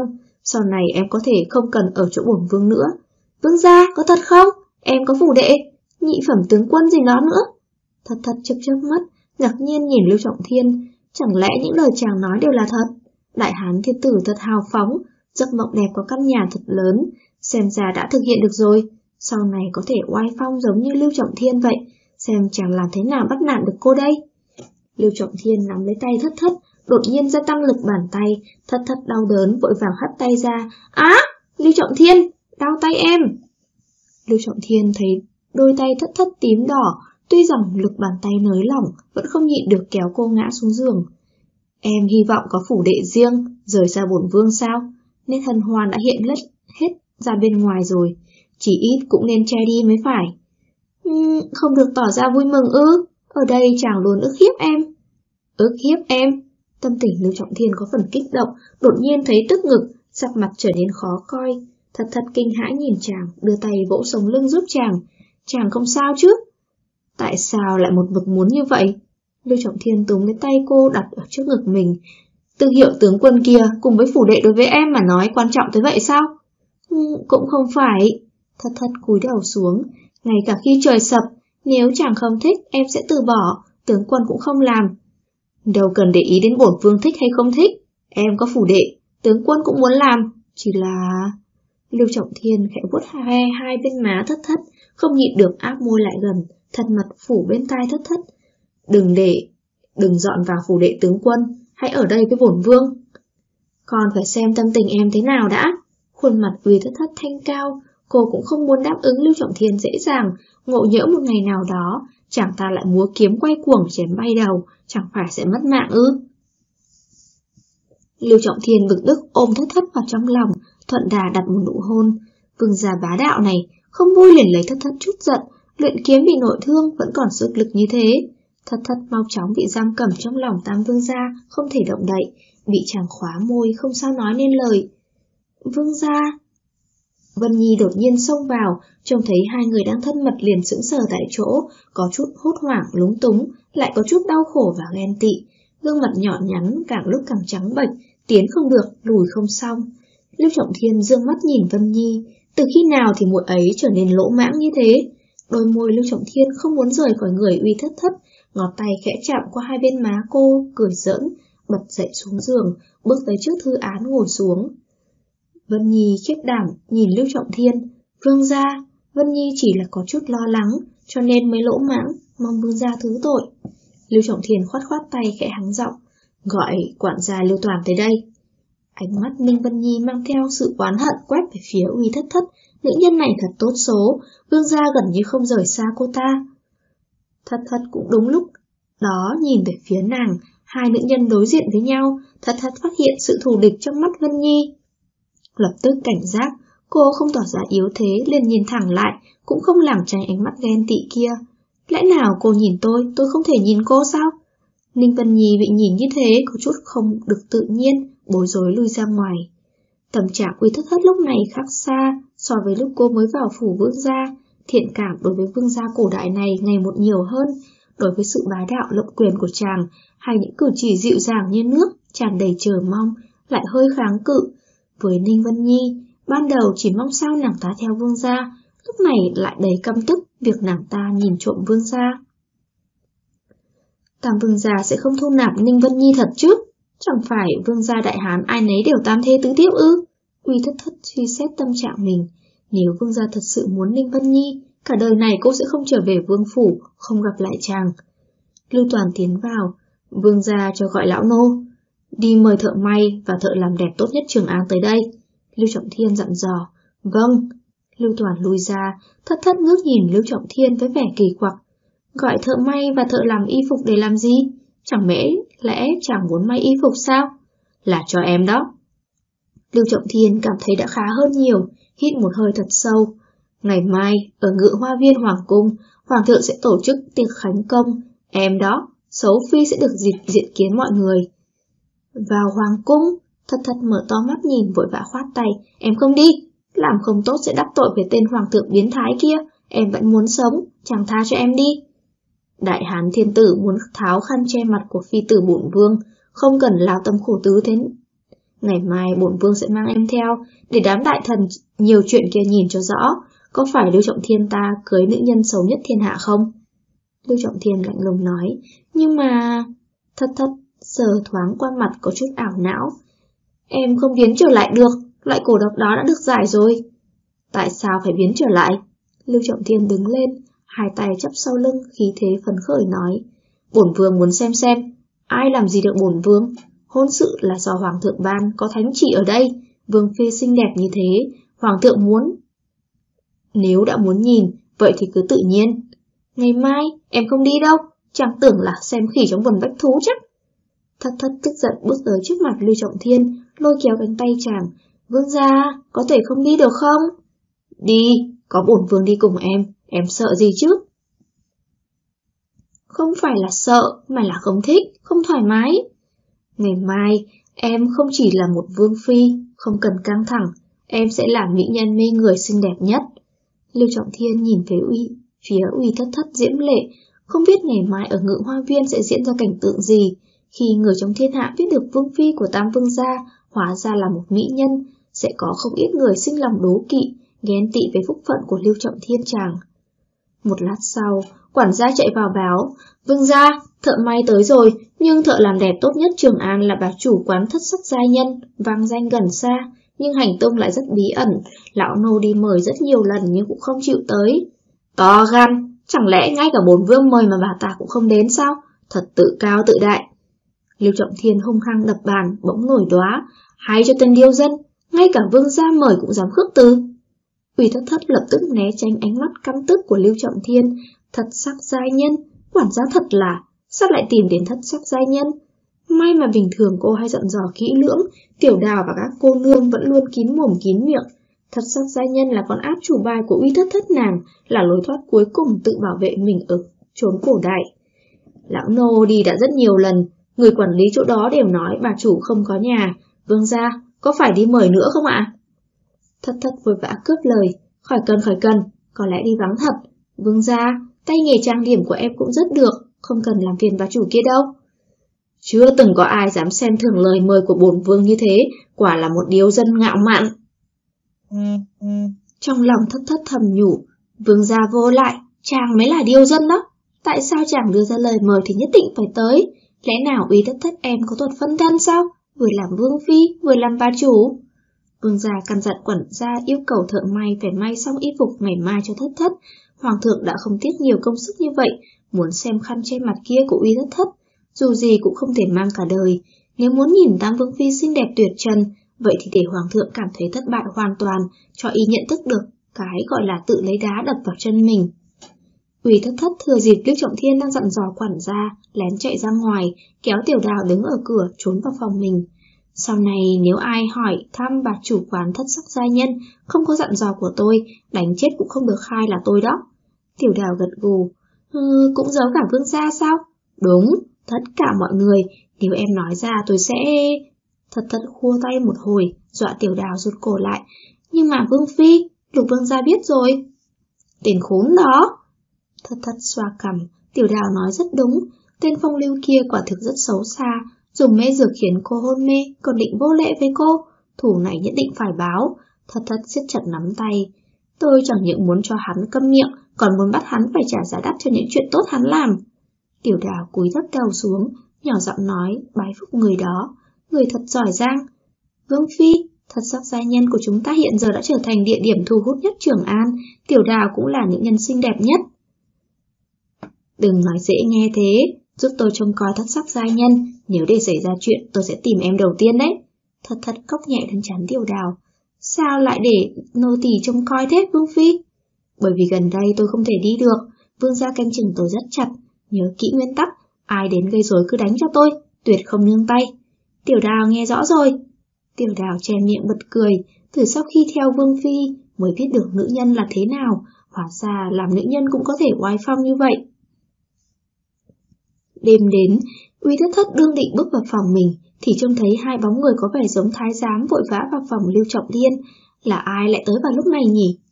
Tiến vào phòng Lưu Trọng Thiên chẳng phải ai khác, chính là tiểu vu tử, Hắn cười hà hả đứng trước mặt Lưu Trọng Thiên, căn dặn tiểu thái giám phía sau bưng một chiếc hộp gấm lên.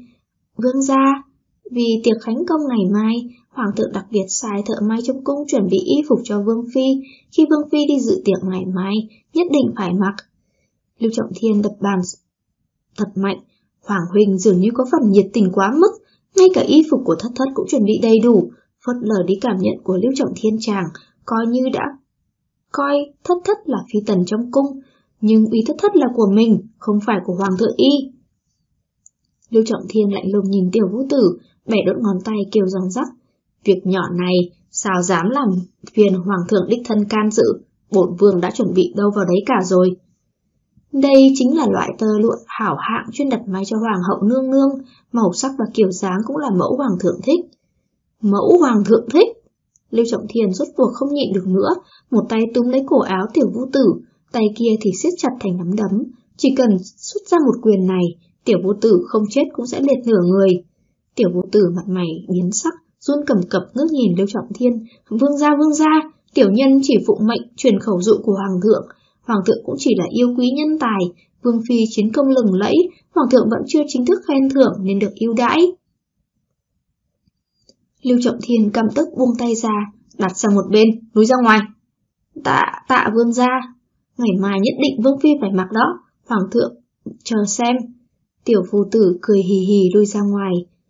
Uy thất thất thấy tiểu vũ tử đi ra, lặng lẽ núp ở một bên, tên hoàng thượng này, dám xen vào việc của người khác, cô mặc y phục gì y cũng muốn quản sao?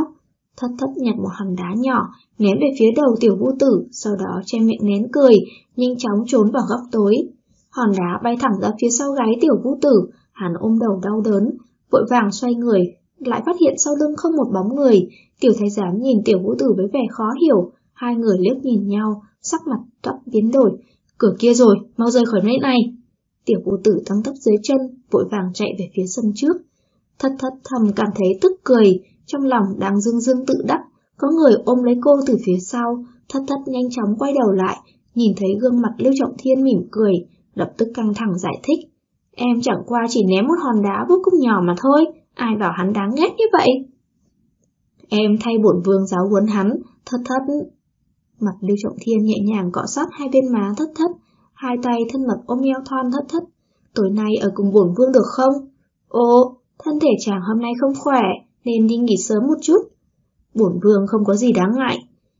Cứ nên tĩnh dưỡng vẫn hơn. Thất thất dãy thoát khỏi Lưu Trọng Thiên, gắng sức đẩy chàng trở về phòng, nhanh chóng đóng cửa lại, sau đó lê gót về phòng mình, tìm sắp nhảy vọt ra ngoài tới nơi. Thất thất về phòng, tim đập loạn nhịp thình thịch. Vương gia đáng ghét này, sao lúc nào cũng trêu đùa cô, hôm nay làm sao vậy nhỉ? Đối với ánh mắt lạnh lùng kia của Vân Nhi, cả việc vừa rồi, tim đập như chống trận, thật sự vô phương cứu chữa. Thất thất ngả mình xuống giường lớn, uy thất thất hiện đại, yêu vương gia cổ đại, thật hoang đường. Thất thất nằm ngủ một mạch thẳng tới khi trời sáng, mở mắt ngó nhìn, lén lén đẩy cửa ra, phát hiện quản gia cầm bộ y phục thợ may vừa làm xong vào phòng Lưu Trọng Thiên, ủy thất thất lặng lẽ đi theo tới ngoài cửa.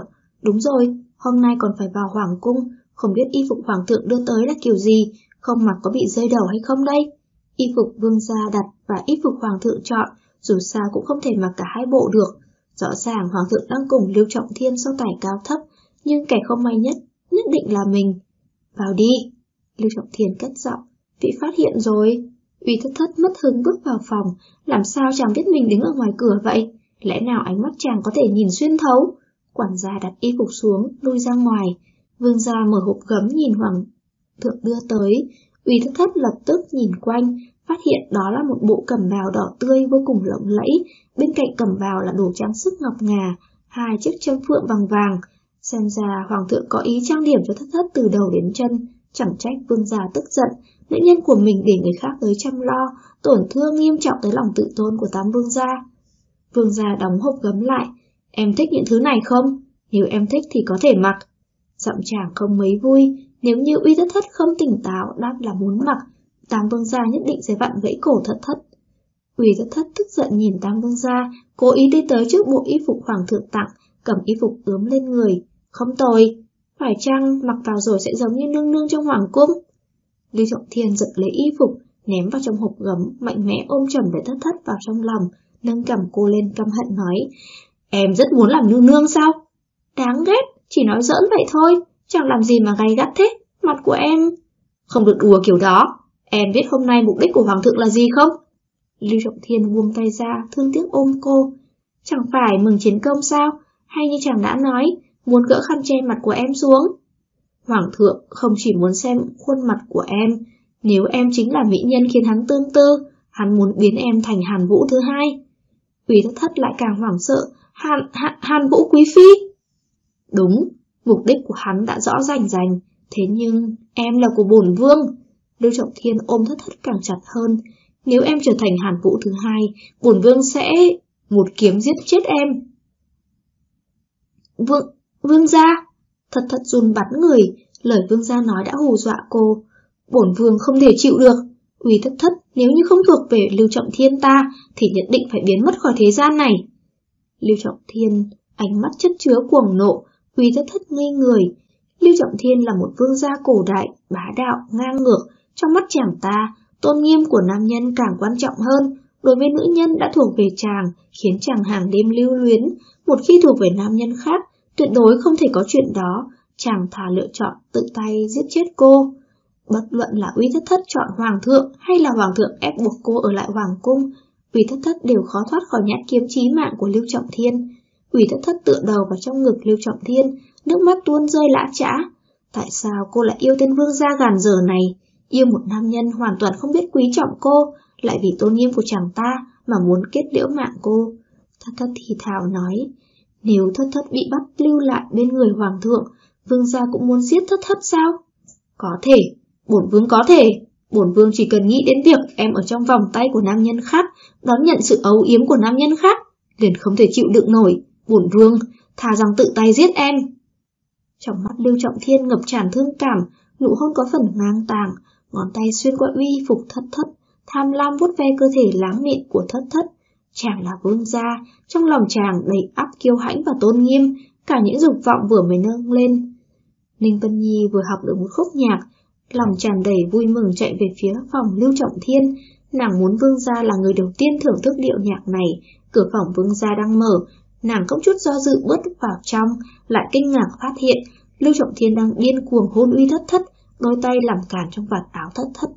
Ánh mắt Lưu Trọng Thiên thoáng nhìn thấy Ninh Vân Nhi, chẳng căm tức hét lớn, ra ngoài! Ninh Vân Nhi mặt mày biến sắc, liên tục lê bước về phía sau, hoảng hốt chạy ra ngoài. Nàng không biết chạy về hướng nào, lảo đảo chạy tới đỉnh nghỉ mát trong hoa viên, trước mắt lại hiện lên dáng vẻ phẫn nộ của Lưu Trọng Thiên. Vương gia của mắng nàng như vậy, hoàn toàn không đếm xỉa tới cảm nhận của nàng. Nàng yêu chàng ta, chàng ta lại ở trước mặt nàng âu yếm cuồng nhiệt một nữ nhân khác. Uy thất thất, nữ nhân đó đã mê hoặc vương gia, khiến vương gia mê mẩn điên dại. Cô ta chẳng những quyến rũ con người vương gia, mà còn quyến rũ cả trái tim của chàng, khiến dục vọng trong mắt chàng gần như đều dừng lại trên người nữ nhân kia. Đau thương trong lòng khiến Ninh Vân Nhi nghiến chặt răng, nàng nhìn cây đàn trong đình nghỉ mát, bực bội nhấc lên, hung hăng ném xuống phiến đá bên ngoài đình, trừ khi chiếm được trái tim vương gia, bằng không thà rằng Ninh Vân Nhi không chơi đàn cả đời này nữa. Lưu Trọng Thiên căm tức đóng cửa phòng lại, chàng bế uy thất thất lên đẩy ngã xuống giường. Vương gia! Lòng tự tôn của thất thất đã bị đả kích, cô nhận thấy mình ở trong mắt tam vương gia Lưu Trọng Thiên chỉ là một vật phụ thuộc mà thôi. Trong lòng vương gia ngạo mạn, rốt cuộc có tình yêu không? Chàng có hiểu được yêu là cần tôn trọng không? Khi chàng muốn thì nhất định phải chiếm được, khi trong lòng tích tụ phiền muộn thì cần phát tiết. Đây là cách thức bày tỏ tình yêu của vương gia sao? Quỷ thất thất đau đớn trong không chịu nổi, Tuy rằng cô cũng khát khao được vương gia âu yếm, nhưng điều khiến cô càng thêm thất vọng đó là Lưu Trọng Thiên là một lãnh chúa, chẳng có trái tim thô lỗ ngạo mạn. Có lẽ, Uy thất thất ở bên cạnh Lưu Trọng Thiên mãi mãi cũng không tìm được tình yêu lý tưởng của cô. Lưu Trọng Thiên nhẹ nhàng phát tiết trên thân thể mềm mại, y phục hoàng thượng ban tặng khiến chàng ghen ghét tột độ, chẳng không nắm chắc, một bên là hoàng thượng, một bên là vương gia, mà đối với uy thất thất, Cô là nữ nhân của chàng, chỉ có ôm cô vào trong lòng, vuốt ve thân thể cô mới là chân thật. Chàng đối với nữ nhân này không nắm chắc một chút nào, ngoại.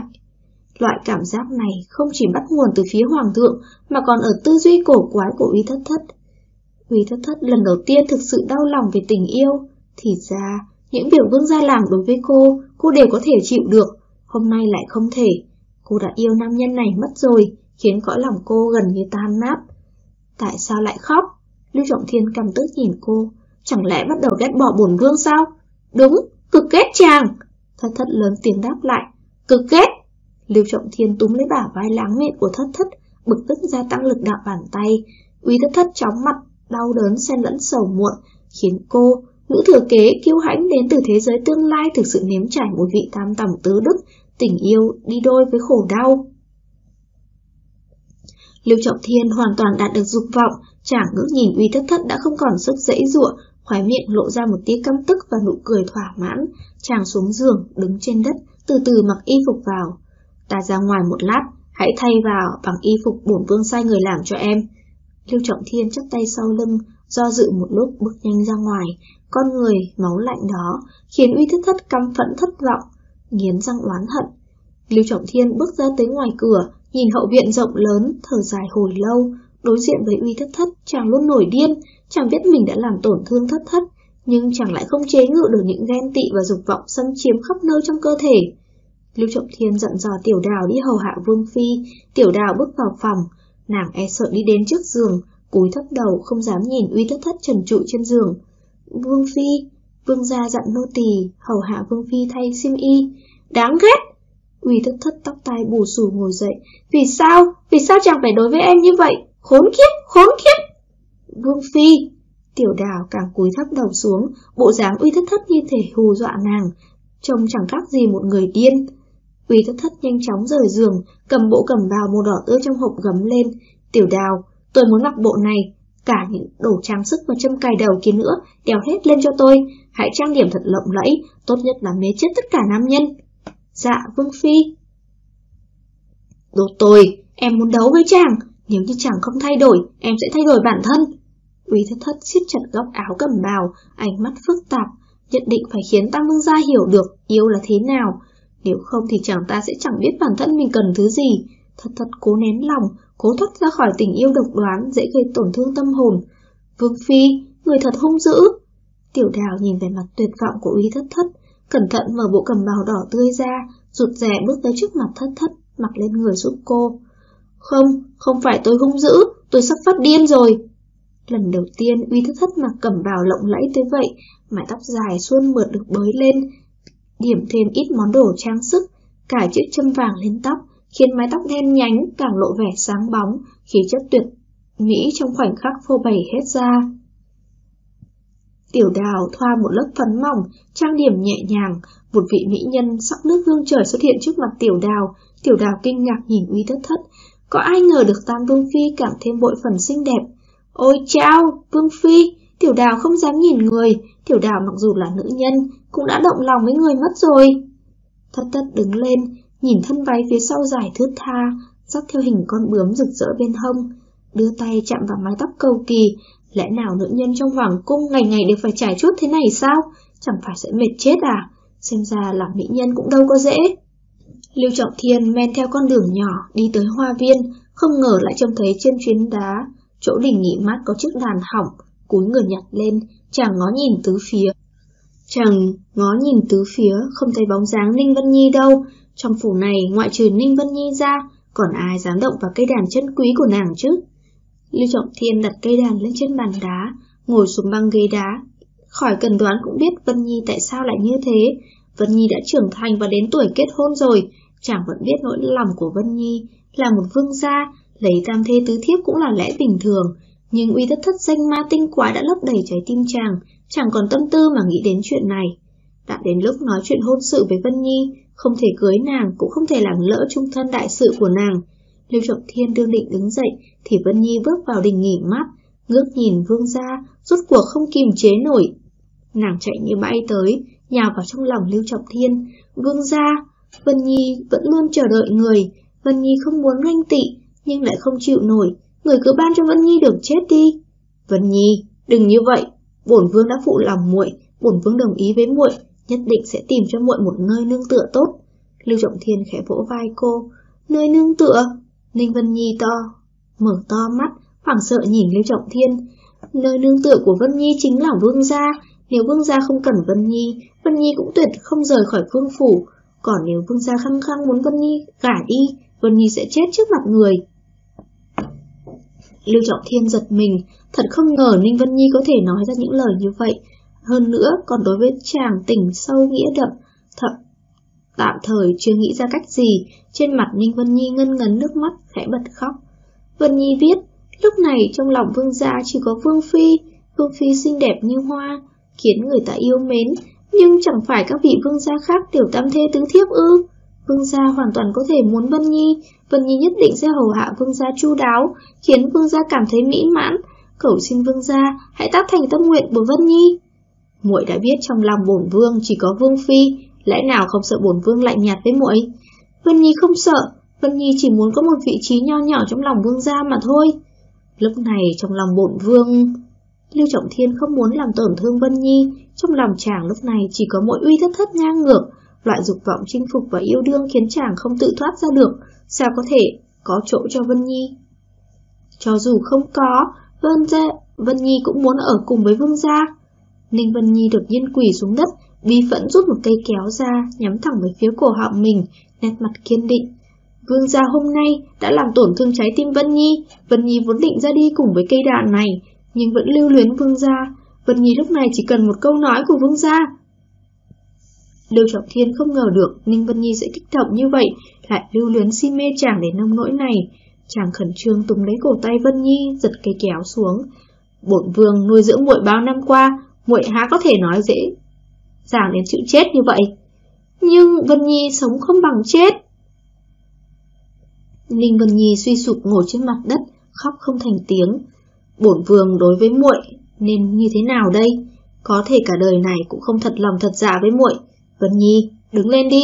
Bổn vương đáp ứng muội sẽ cho muội một nơi nương tựa như mong đợi. Lưu Trọng Thiên đỡ Ninh Vân Nhi dậy, đối mặt với một nữ tử si tình như thế, Lưu Trọng Thiên có chút không đành lòng, nhẹ nhàng ôm nàng vào trong lòng. Chàng đang lưỡng lự, đối diện với tấm chân tình của Vân Nhi, Lưu Trọng Thiên không thể giả vờ như không thấy được. Xong nếu như thực sự tiếp nhận rồi, thì phải đối mặt với uy thất thất thế nào đây? Lưu Trọng Thiên trấn an Ninh Vân Nhi, hy vọng nàng đừng làm chuyện dại dột nữa. Vân Nhi nghe xong câu nói hứa hẹn kia, tựa như có lòng tin. Nàng biết, vương gia sẽ không lạnh lùng như vậy, tam thế tứ thiếp là chuyện sớm hay muộn thôi. Nữ nhân kia muốn độc chiếm vương gia, muốn chuyên sủng vương gia ư, đừng hòng. Lưu Trọng Thiên đầy áp tâm sự bước về phòng mình, về chuyện thu nạp Ninh Vân Nhi, chàng vẫn muốn bàn bạc với thất thất một chút, dù sao cô cũng là vương phi của chàng. Xong khi chàng đẩy cửa phòng ra, gần như bị sốc, xuất hiện trước mặt chàng là một giai nhân tuyệt sắc đang mặt cẩm bào đỏ tươi, trên đầu cải châm phượng và trang sức châu báu ngọc ngà lộng lẫy, đôi môi đỏ mọng, thật thanh cao, thật kiều diễm, thật mê hoặc, là nữ nhân xinh đẹp nhất, quyến rũ nhất mà Lưu Trọng Thiên từng trông thấy. Bộ cẩm bào và đồ trang sức kia, chẳng phải Lưu Trọng Thiên đã thay cho chọn rồi sao? Ủy thất thất lại mặc y phục hoàng thượng ban, vừa khiến chàng say đắm, đồng thời cũng nổi trận lôi đình. Chàng sải bước tới đó túm lấy vạt áo thất thất, cởi ra. Tại sao phải cởi? Ánh mắt thất thất tràn trề sức sống nhìn Lưu Trọng Thiên, cười quyến rũ, ngón tay khẽ chạm vào hai gò má Lưu Trọng Thiên. Điều này khiến Lưu Trọng Thiên bỗng thấy rung động, có chút thất thần. Tiểu đào nhận thấy tình hình không ổn, nhanh chóng chạy ra khỏi phòng, đóng cửa lại, núp ở ngoài cửa, khuôn mặt nhỏ nhắn tái nhợt vì sợ hãi, bất giác nổi lên lo lắng thay cho Vương Phi.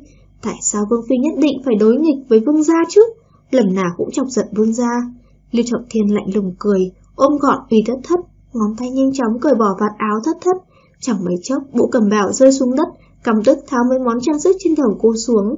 Không lâu sau, trên người uy thất thất chẳng còn một vật phẩm trang sức nào của hoàng thượng. Mặc y phục của bồn vương, Lưu Trọng Thiên!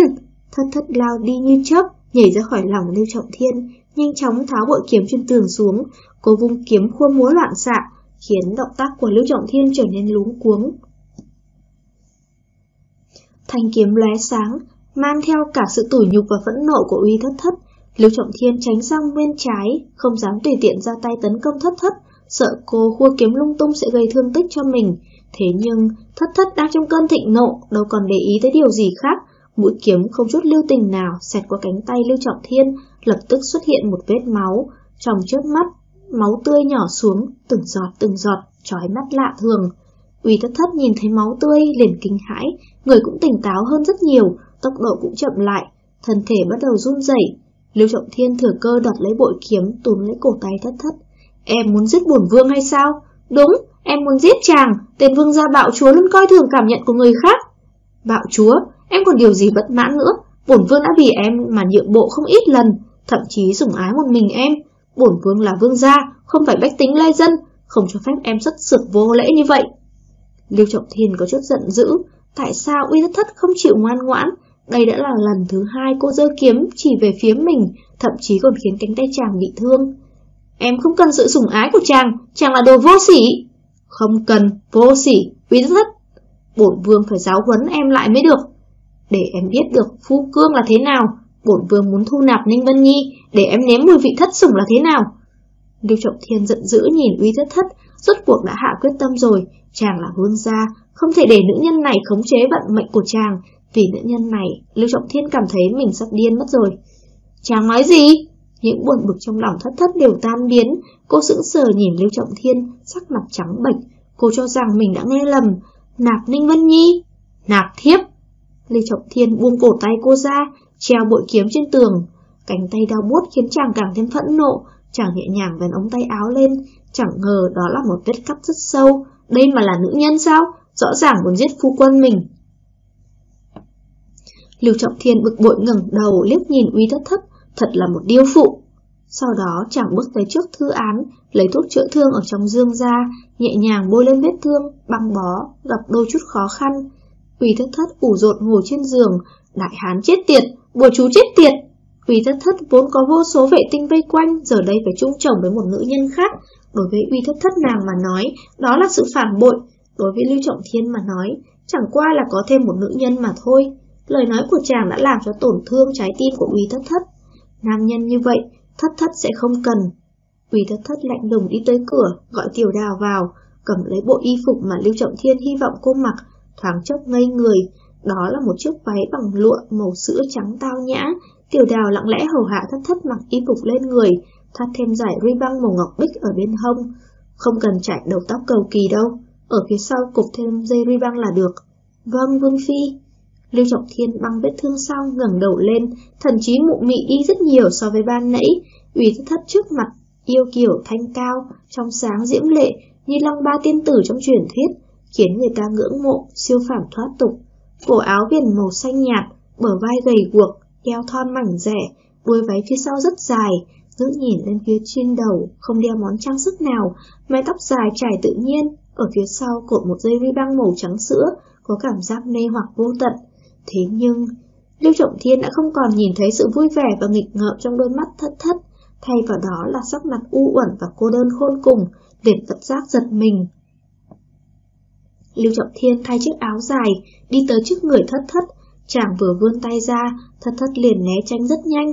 Điều này khiến Lưu Trọng Thiên hết sức khó chịu, chàng căm tức kéo uy thất thất lại, rằng co một lúc, hai người bốn mắt nhìn nhau, trong mắt thất thất tràn đầy khinh miệt, Ánh mắt đó khiến Lưu Trọng Thiên rất đỗi chán trường. Tại sao lại có nữ nhân khó thuần phục tới thế? Tiến cung. Lưu Trọng Thiên rời tầm mắt đi, phẫn nộ kéo uy thất thất đi ra ngoài. Lưu Trọng Thiên kéo uy thất thất tới trước cửa chính vương phủ, cỗ kiệu và hoàng cung đã chuẩn bị xong, thất thất rất không tình nguyện phất ống tay áo. Tại sao uy thất thất nhất định phải nghe lời chàng ta? Chẳng phải chàng ta muốn nạp thiếp ư? Chẳng phải nói thế không bằng thiếp sao? Cứ gọi thiếp của chàng ta là Ninh Vân Nhi vào cung thay cô là được rồi. Lưu Trọng Thiên gắng sức đẩy Uy Thất Thất không hợp tác vào kiệu, bởi vì cánh tay dùng lực quá sức, vết thương vừa mới băng bó đã lại rách toạc, máu thấm ra áo, cơn đau âm ỉ phát tác, chàng nổi nóng nhìn uy Thất Thất. Em khiến bổn vương thật không còn gì để nói. Dứt lời xoay người quay vào, bất luận thế nào cũng không thể để người ta nhìn ra việc chàng bị thương là do vương phi của chàng gây nên. Dưới sự trợ giúp của quản gia, rốt cuộc cũng băng bó xong vết thương, thay bộ y phục mới. Lưu Trọng Thiên lúc này ra khỏi vương phủ, cưỡi trên lưng ngựa bắt đầu xuất phát. Lưu Trọng Thiên thở dài, có phần hối hận ban nãy đã nhắc tới chuyện nạp nạp thiếp. Với thất thất, ánh mắt khinh miệt, buồn bã của thất thất khi đó cứ quẩn quanh trong đầu chàng. Có lẽ chàng nên lựa thời điểm thích hợp giải thích cho rõ ràng. Lưu Trọng Thiên nhớ tới lời uy thất thất từng nói trước đây. Em chỉ cần nam nhân một lòng một dạ với em, cả đời chỉ yêu mỗi em, nữ nhân bên người cũng chỉ có một mình em. Lưu Trọng Thiên cảm thấy vô cùng áy náy, phiền não không chịu nổi. Phải chăng lúc này thất thất đang đau lòng tuyệt vọng, có khi ngồi khóc trong kiệu, chàng kêu dừng kiệu, phi từ trên yên ngựa xuống. Trong lòng chàng khó kìm nén loại ý nghĩ phức tạp này, vì vậy dạo bước đi tới trước cỗ kiệu, nhẹ nhàng vén rèm kiệu lên, lập tức sợ ngây người. Nữ nhân trong kiệu không phải là uy thất thất, mà là một tỷ nữ bị trói chân tay, không thấy uy thất thất đâu. Lưu Trọng Thiền sẽ đỗi ngạc nhiên, túm lấy kiệu phu hỏi, Vương Phi đâu? Ừ, không biết. Vừa rồi Vương Phi và bọn nô tài hãy tránh đi chốc lát, bọn nô tài liền khốn kiếp, cổng nô tài. Lưu Trọng Thiên đẩy kiệu phu ra, phi thân nhảy trở lên lưng ngựa, lập tức quay trở về vương phủ, mang Vương Phi tiến hoàng cung cho bổn vương. Chàng nói xong, kéo mạnh dây cương, ngựa hí dài một tiếng, lao nhanh đi như tên bắn. Lưu Trọng Thiên tới trước phủ đệ liền xuống ngựa, bước nhanh vào trong. Vì thất thất sẽ không rời khỏi vương phủ chứ. Chàng có chút lo lắng, nữ nhân này chuyện gì cũng có thể làm được, lẽ nào là bởi vì chuyện nạp thiếp sao? Tại sao lại có nữ dân nhân lòng dạ hẹp hòi như vậy chứ? Không cho phép phu quân nạp thiếp. Lưu Trọng Thiên không thôi lo lắng, chân bước vào mau hơn, chàng nhanh chóng đi tới hậu viện, tìm khắp cả hai căn phòng cũng chẳng thấy bóng dáng uy thất thất đâu, trong lòng không khỏi nổi lên căng thẳng. Uy thất thất, ngàn vạn lần đừng rời khỏi vương phủ thật đó. Tiểu đào, tiểu đào! Lưu Trọng Thiên lớn tiếng gọi, nha hoàng tiểu đào vội vã chạy tới, cúi thấp đầu xuống. Vương gia, Vương Phi đâu, có thấy uy thất thất không? Vương gia, ở đằng kia kìa. Tiểu đào vươn tay chỉ về phía mái nhà, Lưu Trọng Thiên nhìn theo liền á khẩu không thốt nên lời. Có lẽ trong thiên hạ đại hán, chỉ có nữ nhân như Tam Vương Phi mới có thể làm ra chuyện thế này, tự nhiên leo lên nóc nhà. Ủy thất thất ngồi trên mái ngói, trong tay cầm một chén rượu, mặt tươi cười nhìn Lưu Trọng Thiên, bộ váy màu trắng sữa tung bay trong gió, tóc dài, phất phơ, tựa như một đóa sen giữa mây trời. Làm thế nào mà nàng ấy leo được lên đó? Lưu Trọng Thiên cau mày, ngẩng đầu nhìn Uy Thất Thất. Nô tỳ cũng không biết, khi phát hiện ra thì Vương Phi đã ở trên đó rồi, hơn nữa Vương Phi uống rượu không ngừng. Uống rượu? Lưu Trọng Thiên cảm giác ong ong trong đầu, vào lúc này nàng còn có tâm tình uống rượu. Lưu Trọng Thiên phi thân vọt lên nóc nhà, ánh mắt uy thất thất say rượu lờ đờ ngước nhìn Lưu Trọng Thiên, chỉ vào chén rượu trong tay. Vương ra, rượu này uống ngon hơn nhiều so với rượu trong quân doanh. Lưu Trọng Thiên đoạt được chén rượu trong tay thất thất, bực tức ném xuống dưới, sau đó nắm cổ tay cô. Em sao thế? Say tới mức này?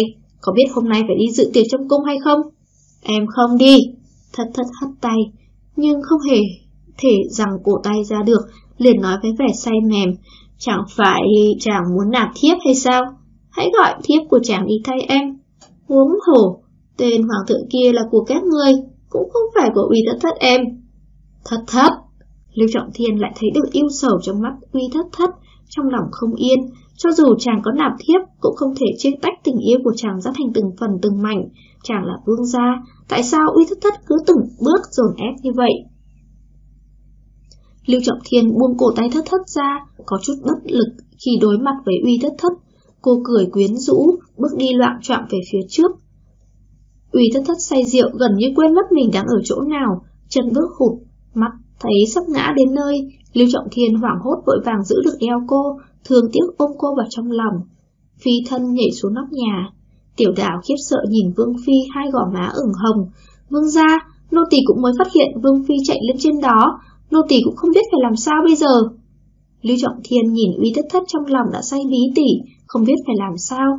Hoàng thượng và quân thần đều đương đợi trong hoàng cung. quỳ thất thất say thế này, nếu vào ngự hoa viên, chẳng phải sẽ gây bắt nháo làm trò cười ư. Ha ha, thất thất che mặt khẽ bật cười. Vương gia, nhìn chàng kìa, không vui à, sao vậy chứ?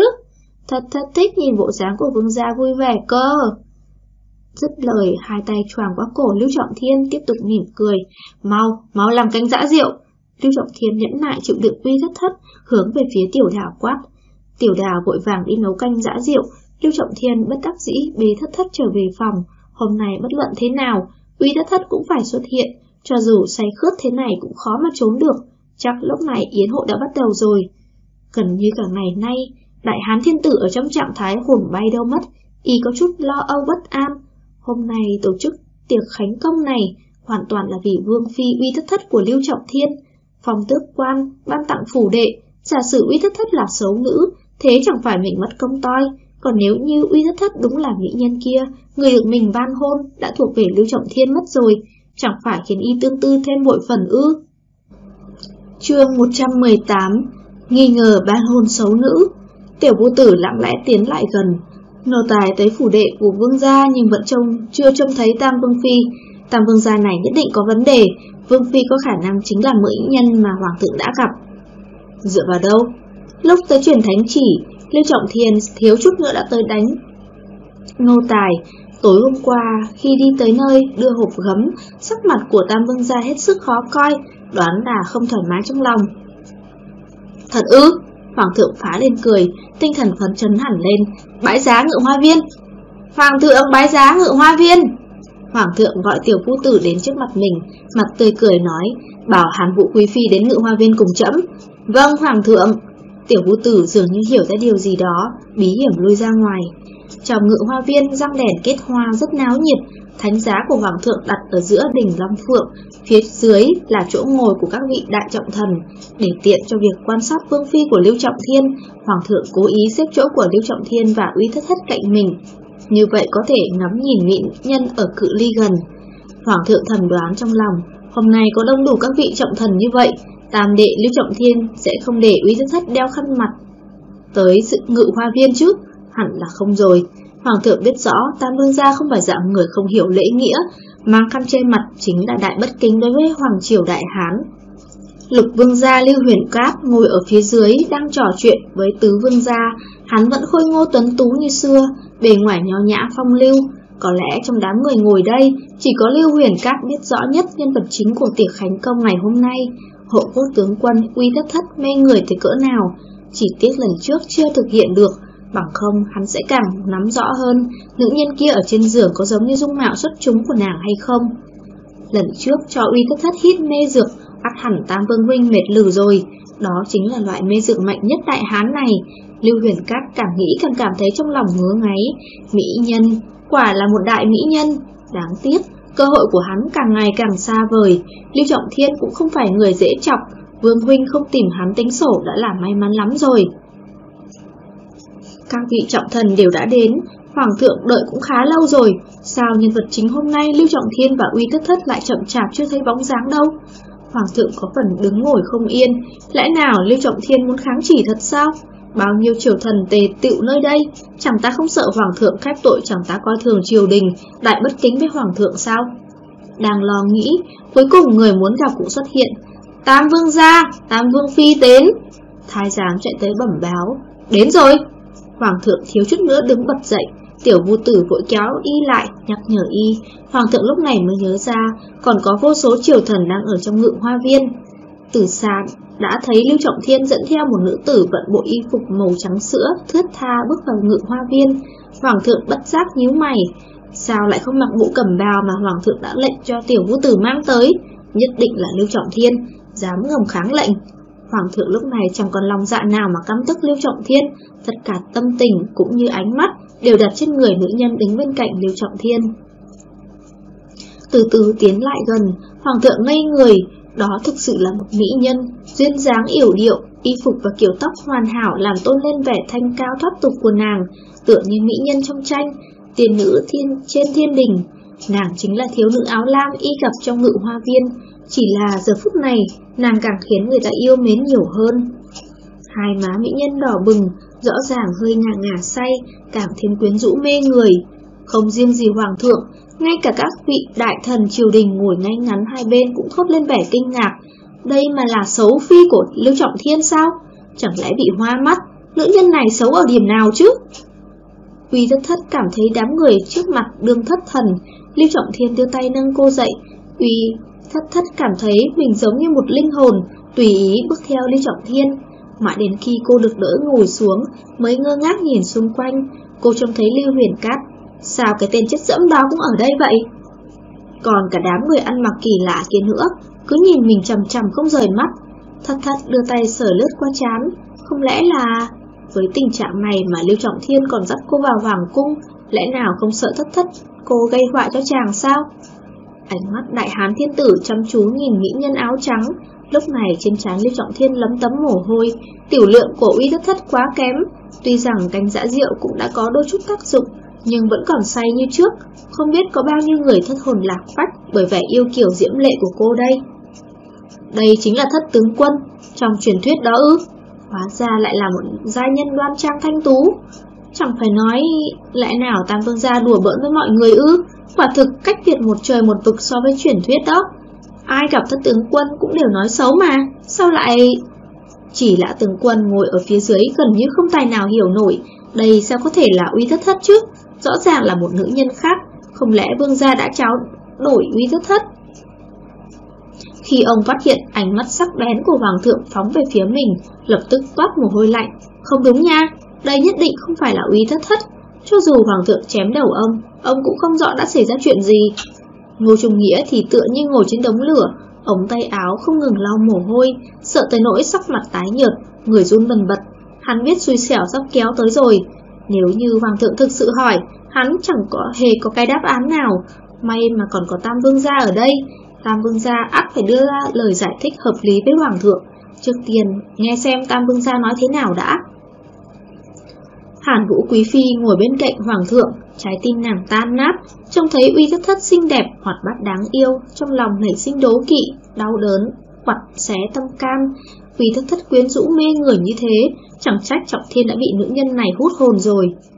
Tiểu vũ tử đứng dậy lớn tiếng tuyên bố, Hôm nay Hoàng thượng đặc biệt mở tiệc khánh công vì Tam Vương gia và Thất Tướng Quân. Phong uy thất thất là nhị phẩm hộ quốc nữ tướng quân, bán tặng phủ đệ tướng quân. Mọi người bây giờ có thể thoải mái, chè chén, ca múa bắt đầu. Tiểu vô tử vừa dứt lời, trong ngự hoa viên vang lên tiếng nhạc, nhóm ca vũ nữ vừa múa vừa hát sôi nổi. Hoàng thượng liếc mắt nhìn Lưu Trọng Thiên bên cạnh, nhẹ giọng nói, Tam Vương gia, đệ đã phạm tội khi quân, Lưu Trọng Thiên thừa hiểu ý của Hoàng thượng, lập tức đáp lễ. Hoàng thượng chỉ nói ban uy thất thất cho thần, chứ không nói ban hôn xấu nữ uy thất thất mà. Hoàng thượng tức giận nhíu mày, tâm trạng giống như bị Lưu Trọng Thiên đoạt đi mỹ nhân của y. Chẳng lẽ mắt Ngô Trung Nghĩa và chỉ lão tướng quân đều mì, bị mù? Nữ nhân này có khả năng không phải là uy thất thất, để dẫn thất tướng quân giả tới cho chậm, chẳng phải tội khi quân hay sao? Ha ha! Lưu Trọng Thiên cũng đoán được Hoàng thượng sẽ nói ra những lời này, có khi ngay cả trì lão tướng quân cũng sẽ cho rằng Lưu Trọng Thiên chàng đã đánh cháo uy thất thất. Để cười cái gì? Hoàng thượng cầm tức hỏi, xấu nữ hóa mỹ nhân, thần cũng cảm thấy kinh ngạc, nhưng trên thực tế thất thất phắc mắc phải căn bệnh lạ, dung nhan bị hủy, đến nay bệnh đã chữa khỏi rồi, còn phải cảm tạ tờ thánh chỉ kia của Hoàng thượng để thần có được một mỹ nhân như thế.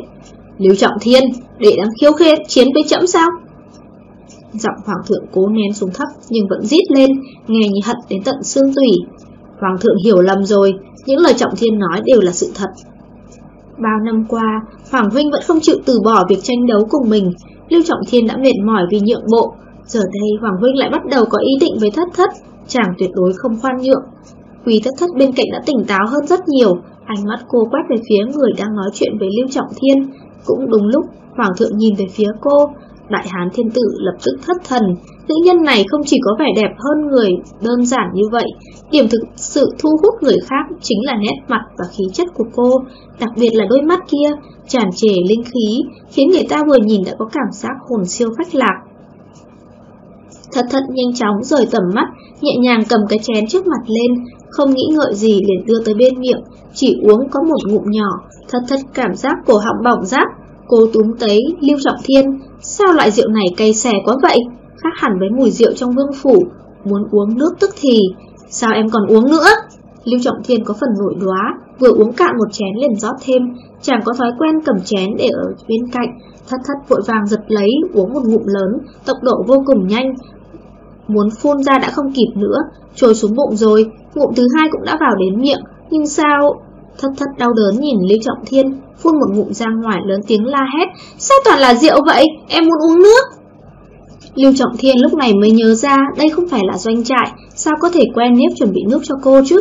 Vội vàng căn dặn tiểu thái giám bên cạnh mang nước tới, thất thất cay xé họng, cầm chùm nho lên ăn. Đến khi cô trông thấy tất cả mọi người đang kinh ngạc nhìn mình, lập tức ném chùm nho đi, hạ mi mắt xuống, thực sự cay quá mà. Cô siết chặt nắm tay, mũi cũng sắp bốc khói tới nơi rồi. Tiểu thái giám bưng nước tới, uy thất thất há miệng uống ửng ực, chờ khi cô uống xong, mới cảm thấy trong miệng khoan khoái hơn rất nhiều, nhưng những thứ trước mắt cũng dần trở nên mơ hồ, kiên trì, kiên trì. Thất thất cảm thấy trước mắt lại mông lung, lòng bất an nắm lấy tay Lưu Trọng Thiên, hy vọng mau chóng rời khỏi nơi này. Đại Hán Thiên Tử thấy bộ dáng của uy thất thất rất hài hước, bất giác phá lên cười, quả nhiên là một nữ tử đáng yêu, dáng vẻ say rượu lộ rõ, thực sự câu hồn đoạt phách. Hoàng thượng nhìn thoáng qua hòa hàn vũ quý phi bên cạnh, cách biệt một trời một vực. Hàn Vũ, hãy tới giúp thất tướng quân, chậm thấy nàng ấy cần người chăm sóc đó. Hàn Vũ hân hoan trong lòng, đây chẳng phải cho nàng cơ hội tiếp cận Lưu Trọng Thiên sao? Nàng đương nhiên cầu còn không được, gần một năm rồi Hàn Vũ chưa được gặp người trong lòng, có thể ngắm nhìn chàng ở cự ly gần thế này cũng đủ khiến nàng cảm thấy mãn nguyện. Nhưng nếu có thể, Hàn Vũ thẹn thùng đáp lời, nhấc váy đi tới chỗ bàn Lưu Trọng Thiên. Hoàng thượng khẽ cười, Hàn Vũ chẳng qua chỉ là một quân cờ Hoàng thượng dùng để đả kích Lưu Trọng Thiên mà thôi.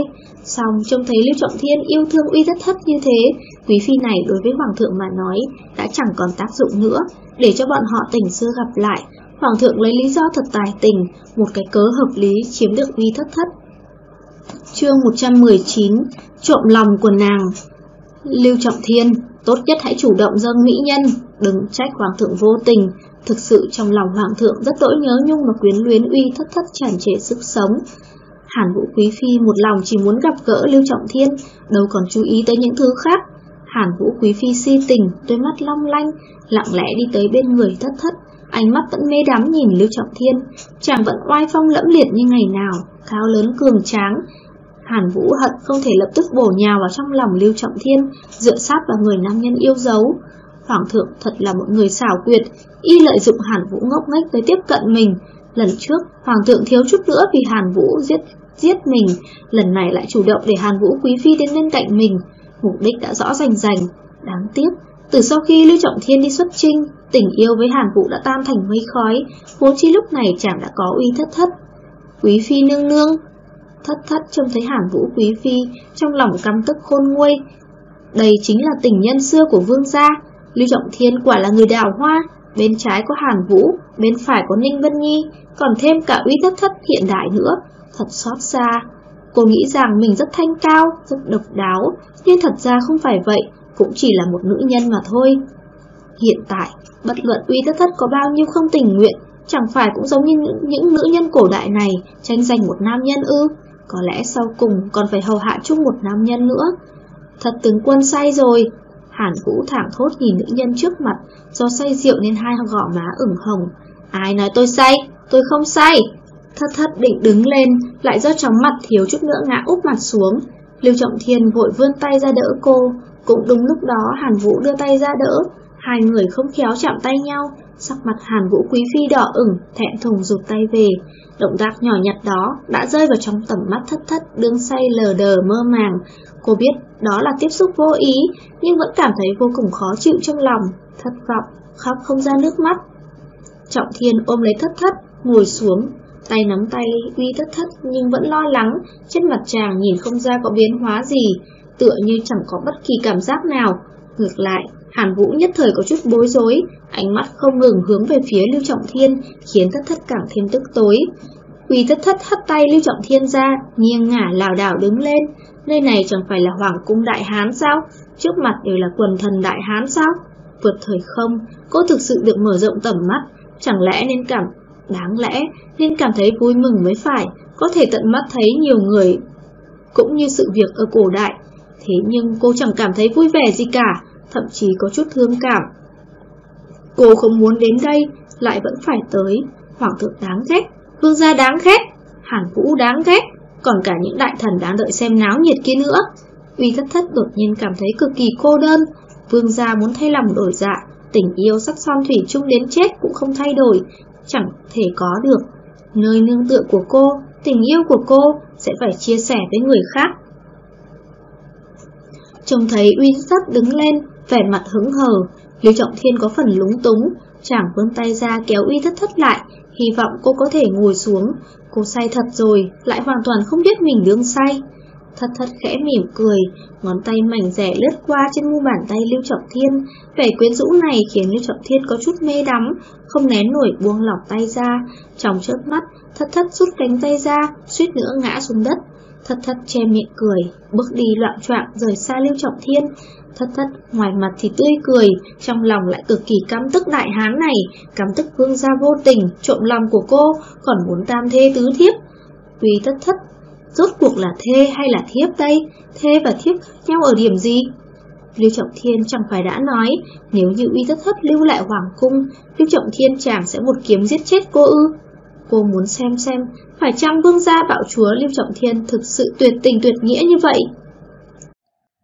Uy thất thất đụng phải đàn tỳ bà trên người một vũ nữ, bất giác quay đầu lại khẽ nở nụ cười, nhẹ nhàng đưa tay đoạt lấy. Đàn tỳ bà rơi vào trong tay thất thất, thất thất ôm đàn, bước đi lưỡng lự, dáng người yểu điệu cùng chiếc váy dài thướt tha, khiến cô toát lên vẻ phong thái mê người, ai nấy đều ngây dại. Ngón tay uy thất thất đặt trên đàn tỳ bà, nhẹ nhàng khẩy đàn, thất thất hát vang ca khúc Tiếu Hồng Trần, vui tươi sống động, tiếng đàn tỳ bà kết hợp với giọng ca trong trẻo của thất thất khiến tất cả mọi người kinh ngạc. Hồng Trần lắm điều nực cười, si tình buồn chán biết bao, tự cao tự đại hóa lại hay, cuộc đời này hãy còn giang dở, lòng cũng không vướng phiền muộn gì, chỉ mong đổi lấy nửa đời tiêu dao. Tỉnh giấc thì cười với người, trong mộng thì quên bằng hết, trách trời sao tối nhanh quá vậy, kiếp sau khó liệu, hãy xóa bỏ hết yêu hận, uống rượu hát ca, ta chỉ nguyện vui vẻ đến già. Gió lạnh mấy cũng không muốn trốn chạy, hoa đẹp mấy cũng không thích thú gì, mặc ta phiêu diêu, trời càng cao, tâm càng nhỏ, chẳng cần hỏi có bao nhiêu nhân quả, mình ta say thôi, hôm nay khóc, ngày mai cười, chẳng cần có người thấu hiểu, một thân kiêu ngạo, ca rồi hát, múa rồi nhảy, đêm dài đằng đẵng bất giác hừng đông, mang theo niềm vui đang tiếm tìm. Uy thất thất ca hát, hát ca, dường như cảm giác được mình quay trở về xã hội hiện đại, ông nội vẫn yêu thương cô như thuở nào, khẽ vuốt mái tóc cô.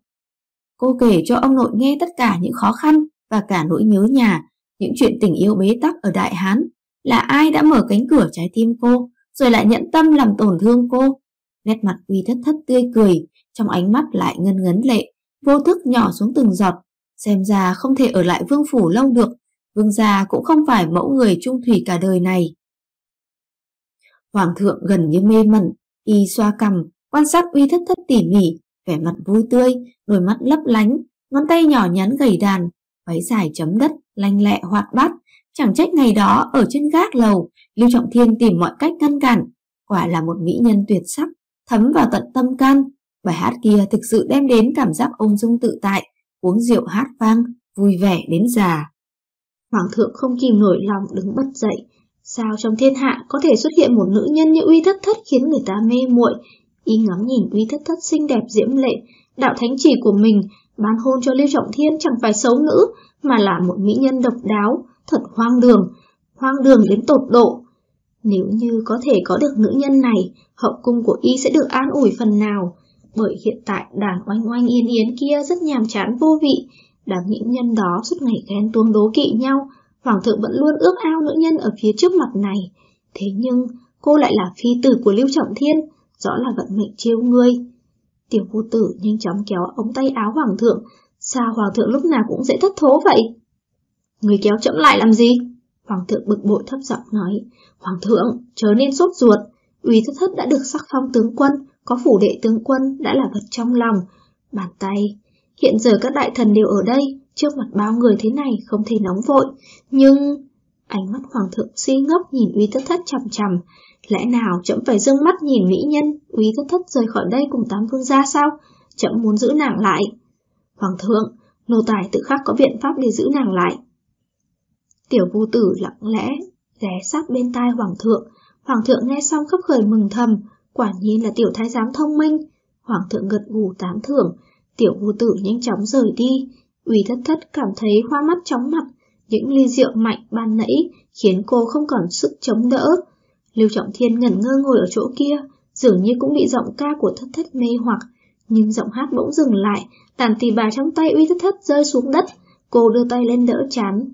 Lưu Trọng Thiên lao nhanh ra, vội vàng ôm lấy, lấy uy thất thất đường sắp ngã đến nơi, sau đó xoay người hướng về phía Hoàng thượng. Hoàng thượng, thất thất không hiểu phép tắc, có hơi say rượu, thần lập tức đưa thất thất quay về. Lưu Trọng Thiên nhìn Hoàng thượng, phát hiện hình như Hoàng thượng cũng đang dán mắt nhìn uy thất thất, bất giác ôm lấy thất thất càng chặt hơn. Hoàng thượng thấy uy thất thất hai má ửng hồng như hoa anh đào, đôi mắt trong veo như nước nguồn, nếp nép vào lòng Lưu Trọng Thiên, nhất thời chưa nghĩ ra biện pháp gì, chẳng lẽ cứ để Lưu Trọng Thiên dắt nữ nhân kia đi như vậy hay sao? Quần thần cũng nhìn Hoàng thượng với vẻ kỳ lạ, sao Hoàng thượng giống như chưa nghe thấy lời Tam Vương gia nói vậy nhỉ? Rơi vào trạng thái mất hồn. Việc này Hoàng thượng có phần sốt ruột, Tiểu vũ tử chết tiệt sao còn chưa tới? Lưu Trọng Thiên muốn mang uy thất thất đi, hắn làm gì mà lề mề thế? Hoàng thượng đương lo lắng, thì tiểu vũ tử hớn hở chạy tới, thở không ra hơi nói, Thái hậu có chỉ, Tam Vương Phi đa tải đa nghệ, rất được Thái hậu yêu thích, đặc biệt lệnh cho nô tài thông báo với Hoàng thượng, chuyển Tam Vương Phi lại đây, giúp Thái hậu giải sầu vài hôm. Gương mặt Hoàng thượng tươi cười viên mãn, thấy sắc mặt Lưu Trọng Thiên khó coi, trong lòng bất giác cười khẩy. Để xem, để mang uy tất tất đi bằng cách nào, đã đến đây rồi thì đừng hòng trở về được nữa. Nếu Thái hậu đã có lời, Tam Vương Phi tạm thời ở lại trong cung đi. Lưu Trọng Thiên nhìn uy thất thất trong lòng, xem ra việc đã đến nước này không thể cứu vãn được nữa rồi, hoàn toàn vượt quá phạm vi quả kiểm soát của Lưu Trọng Thiên. Vạn lần không ngờ tới, Hoàng thượng lại mượn tay Thái hậu. Thái hậu nhất định là nghe tên nô tài kia xui khiến mới giữ uy thất thất lại, bằng không, Thái hậu ở trong tầm cung làm sao biết được uy thất thất đa tài đa nghệ. Lần này ở lại Hoàng cung, Hoàng thượng tuyệt đối sẽ không dễ dàng buông tha nàng, mỹ nhân như thế có ai không yêu? Nàng không chỉ là Hàn Vũ Quý Phi thứ hai đơn giản như vậy, nàng đã khắc sâu trong tâm trí Lưu Trọng Thiên. Lưu Trọng Thiên khẽ vuốt ve hai bên má thất thất, uy thất thất, có lẽ vài ngày sau sẽ trở thành nữ nhân của Hoàng thượng, lẽ nào chàng muốn một kiếm giết chết nữ nhân này thật ư? Lưu Trọng Thiên phận uất ngước nhìn Hoàng thượng, Hoàng huynh, vì sao huynh luôn dồn ép Hoàng quá đáng? Uy thất thất và Hàn Vũ không giống nhau, một người đã xuất giá, người kia thì chưa, nhưng nữ nhân trong lòng đã là của Lưu Trọng Thiên chàng, nếu như lại bị Hoàng thượng chiếm đoạt, là nam nhân, chàng không thể chịu đựng nổi, hoặc là giết uy thất thất, hoặc là tạo phản. Tạo phản, trước đây Lưu Trọng Thiên từ bỏ ngôi vị hoàng đế, cho tới bây giờ chưa từng có ý nghĩ tạo phản trong đầu. Hoàng thượng chẳng qua chỉ đối nghịch với chàng, cũng không phải một tên hôn quân bỏ bê triều chính. Chàng sao có thể công khai tạo phản hoàng thượng? Chẳng lẽ chỉ vì một nữ nhân thôi ư? Thế nhưng, giết uy thất thất sao? Lưu Trọng Thiên hạ thủ thế nào đây? Dẫn Tam Vương Phi tới tẩm cung của Thái Hậu. Hoàng thượng nghe tranh ánh mắt giá lạnh của Lưu Trọng Thiên. Thật thật đã say, rất có thể hồ ngôn loạn ngữ. Hơn nữa nàng có võ công, ngộ nhỡ say rượu đả thương Thái Hậu, Trọng Thiên không tài nào gánh nổi trách nhiệm. Vậy nên hãy về bẩm với Thái Hậu, ngày mai sẽ để thất thất đến tẩm cung Thái Hậu thỉnh an. Ánh mắt Hoàng thượng sắc bén quét trở lại, giận dữ đối mặt với Lưu Trọng Thiên. Hai nam nhân dường như đã ngầm hiểu lòng nhau. Lưu Trọng Thiên ôm uy thất thất, trong lòng ngập tràn lửa giận. Thái hậu dù cho thực sự muốn gặp thất thất, cũng không để ý xem bây giờ đã tối rồi. Hoàng thượng không lẽ ở trước mặt các vị đại thần để thất thất say rượu tiến vào tầm cung Thái hậu ư? Hừ, muốn đưa đến tầm cung của Hoàng thượng thì có, sự trong chắn của thất thất chẳng phải sẽ không còn ư. Việc này tiểu vô tử không phản bác được, thực ra hắn chưa chơi, hắn chưa tới chỗ của Thái hậu, chẳng qua chỉ tìm đại một cái cớ, đưa uy thất thất đến chỗ hoàng thượng, giúp hoàng thượng giải sầu tương tư mà thôi. Chỉ tướng quân cho là thật, liền oai phong lẫm liệt đứng dậy, giải vây giúp Lưu Trọng Thiên. Đúng vậy, họa, lời Tam Vương gia nói không phải là không có lý, võ công của thất thất. Võ công của thất tướng quân rất cao cường, say rượu có thể đánh mất bản năng, nếu làm Thái hậu bị thương, vậy sẽ phiền hà, Hoàng thượng nên cân nhắc lại. Quần thần cũng cảm thấy hợp lý đều gật đầu ủng hộ, Hoàng thượng siết chặt nắm tay, trừng mắt nhìn đám đại thần, đúng là mấy bô lão thích xen vào việc của người khác, bọn họ làm sao biết được tâm tư của Hoàng thượng. Được rồi. Hoàng thượng rất đội tức giận phất ống tay áo, trong lòng cực kỳ không muốn, bất đắc dĩ đành phải tỏ ý bảo Lưu Trọng Thiên có thể rời đi. Hoàng thượng tự nhận mình không phải dạng háo sắc, y gần như cả ngày bận rộn triều chính, đôi khi ngồi uống trà một mình trong đình nghỉ mát ở ngự hoa viên. Trong hoàng cung này, y chẳng khát khao ham muốn vị phi tần nào, cũng chẳng có vị phi tần nào có thể khiến hoàng thượng nhớ nhung ra giết. Nhưng từ lúc trông thấy thiếu nữ áo lao trong ngựa hoa viên, ngày nào y cũng ăn không yên, không thể ngờ được đó lại là vương phi của Tam Vương gia, và còn là nữ nhân đích thân mình hạ thành chỉ ban hôn. Hoàng thượng đột nhiên vô cùng ghen tị với Lưu Trọng Thiên, mất đi Giang Sơn nhưng lại có được mỹ nhân, còn mình thì đoạt được Giang Sơn nhưng không có lấy một nữ nhân yêu dấu, bên cạnh cũng chỉ toàn những người ham vinh hoa phú quý, thường thường bậc trung, không cách nào xua tan đi ưu phiền trong lòng y. Lúc trước giành Hàn Vũ chỉ là vì muốn đả kích Lưu Trọng Thiên, hôm nay muốn đạt uy thất thất, nhưng trong lòng đầy nỗi niềm tương tư, y đường đường là đại hán thiên tử, Muốn một nữ nhân lẽ nào lại khó khăn tới vậy sao? Tại sao y không thể làm vừa có được Giang Sơn lại vừa ôm mỹ nhân trong lòng? Đại Hán Thiên Tử trơ mắt nhìn Lưu Trọng Thiên dẫn uy thất thất đi, xem ra muốn để uy thất thất tiến cung. Quả thực là danh bất chính, ngôn bất thuận, biện pháp duy nhất chính là cầu xin Thái Hậu giúp đỡ. Chi Vẳng trực tiếp nói rõ với Thái Hậu, y muốn nữ nhân kia, để Thái Hậu tạo cơ hội cho y, vĩnh viễn không để uy thất thất rời khỏi Hoàng cung Đại Hán. Y muốn giữ mỹ nhân trong tâm cung. Lưu Trọng Thiên vội vàng rời khỏi ngựa hoa viên, bóng đêm tĩnh lặng khác thường, nhưng lòng chàng lại không bình tĩnh nổi. Ánh mắt hoàng thượng cứ quanh quẩn trong đầu chàng, chàng không tài nào gạt đi được. Lưu Trọng Thiên mang uy thất thất về vương phủ, Ninh Vân Nhi nhanh chóng ra đến cửa chính nghênh đón. Từ sau khi Lưu Trọng Thiên đồng ý với nàng trong đình nghỉ mát, cả ngày nay, Ninh Vân Nhi rất vui, tưởng tượng tới cảnh mình xuất giá. Chỉ cần gả cho vương gia, bảo nàng làm gì nàng cũng sẵn lòng. Nét mặt Ninh Vân Nhi rạng rỡ đương định mở miệng, liền phát hiện uy thất thất ở trong lòng Lưu Trọng Thiên, bỗng cảm thấy xót xa. Sao nữ nhân này lại làm nũng như thế, không dính lấy người vương gia không chịu được ư? Lúc này, Lưu Trọng Thiên đã chẳng còn tâm trí để ý tới những người khác. Hôm nay vào Hoàng Cung, ủy thất thất thiếu chút nữa không trở về được. Ngày mai nên làm gì đây? Ngộ nhỡ, Thái Hậu thực sự đến mời, thất thất nhất định phải tiến cung. Lúc đó, chẳng bỏ tay bất lực thật rồi. Quản gia, tiểu đào và những nha hoàn khác phát hiện sắc mặt vương gia hết sức khó coi, không ai dám lên tiếng. Ninh Vân Nhi dường như có điều muốn nói, khi bắt gặp ánh mắt lạnh giá của Tam Vương Gia cũng lập tức ngậm miệng lại đứng ở một bên. Vẻ mặt Lưu Trọng Thiên tựa như muốn giết người, bước nhanh đi tới hậu viên. Tiến vào phòng mình, bực bộ đóng cửa phòng lại. Ủy thất thất thoải mái nằm ở trên giường, nóng bức do say rượu khiến cô có chút bồn chồn bất an, tay vô thức kéo vạt áo xuống. Lưu Trọng Thiên nhẹ nhàng giúp thất thất cởi bỏ vạt áo, lộ ra chiếc cổ, cao thon thả trắng ngần như tuyết, bộ ngực sữa phập phồng, khiến Lưu Trọng Thiên bỗng cảm thấy hô hấp dồn dập, nhanh chóng bùng lên ngọn lửa sắc dục. Đây là kiểu nữ nhân gì thế? Có mị lực mê hoặc lòng người, lẽ nào là yêu nghiệt đến giày vỏ Lưu Trọng Thiên chẳng sao? Mỗi một tấc da thịt trên người cô đều gợi cảm, khiến nội tâm chẳng sục sôi nhục dục. Thân phận cô như một ẩn số, không rõ lai lịch, bỗng nhiên xuất hiện thần kỳ ở trên chiến trường Đại Hán, khuôn mặt xấu xí, cử chỉ quái dị, chỉ qua đêm đầu tiên đã trở thành một mỹ nhân, giống như có ma pháp quyến rũ, khiến tất cả nam nhân gặp cô rồi đều nhất định sẽ phục phục dưới chân cô. Ngón tay Lưu Trọng Thiên chạm vào bộ ngực sữa của uy thất thất, liền trở nên khó kiềm chế. Chàng đứng dậy, liên tục lui về phía sau, dường như thấy được hoàng nữ huynh đương dò xét chàng, tưởng tượng khi ngày mai, hoặc trong tương lai không lâu nữa, uy thất thất cũng nằm ở trên giường của hoàng huynh, ngực trần, mê hoặc đại hán thiên tử kia. Lưu Trọng Thiên cặp tức rút bội kiếm ra, hướng mũi kiếm về phía trước ngực uy thất thất, chỉ cần đâm nhát kiếm này xuống sẽ kết liễu tính mạng nữ nhân kia, chấm hết cho hồng nhan họa thủy. Từ nay về sau không còn mê hoặc nam nhân được nữa. dáng vẻ uy thất thất hoạt bát đáng yêu bỗng bùa về trong tâm trí Lưu Trọng Thiên. Sau lúc bom dầu cá nổ tung tóe, khuôn mặt nhỏ nhắn đen sạm, ánh mắt quật cường, tính cách mạnh mẽ, nàng không thuộc dạng nữ nhân ngây thơ, dáng người thướt tha yểu điệu và gương mặt thanh tú đoan trang, chẳng lẽ vì thế mà đáng chết sao? Đôi tay Lưu Trọng Thiên run run, đột nhiên do dự.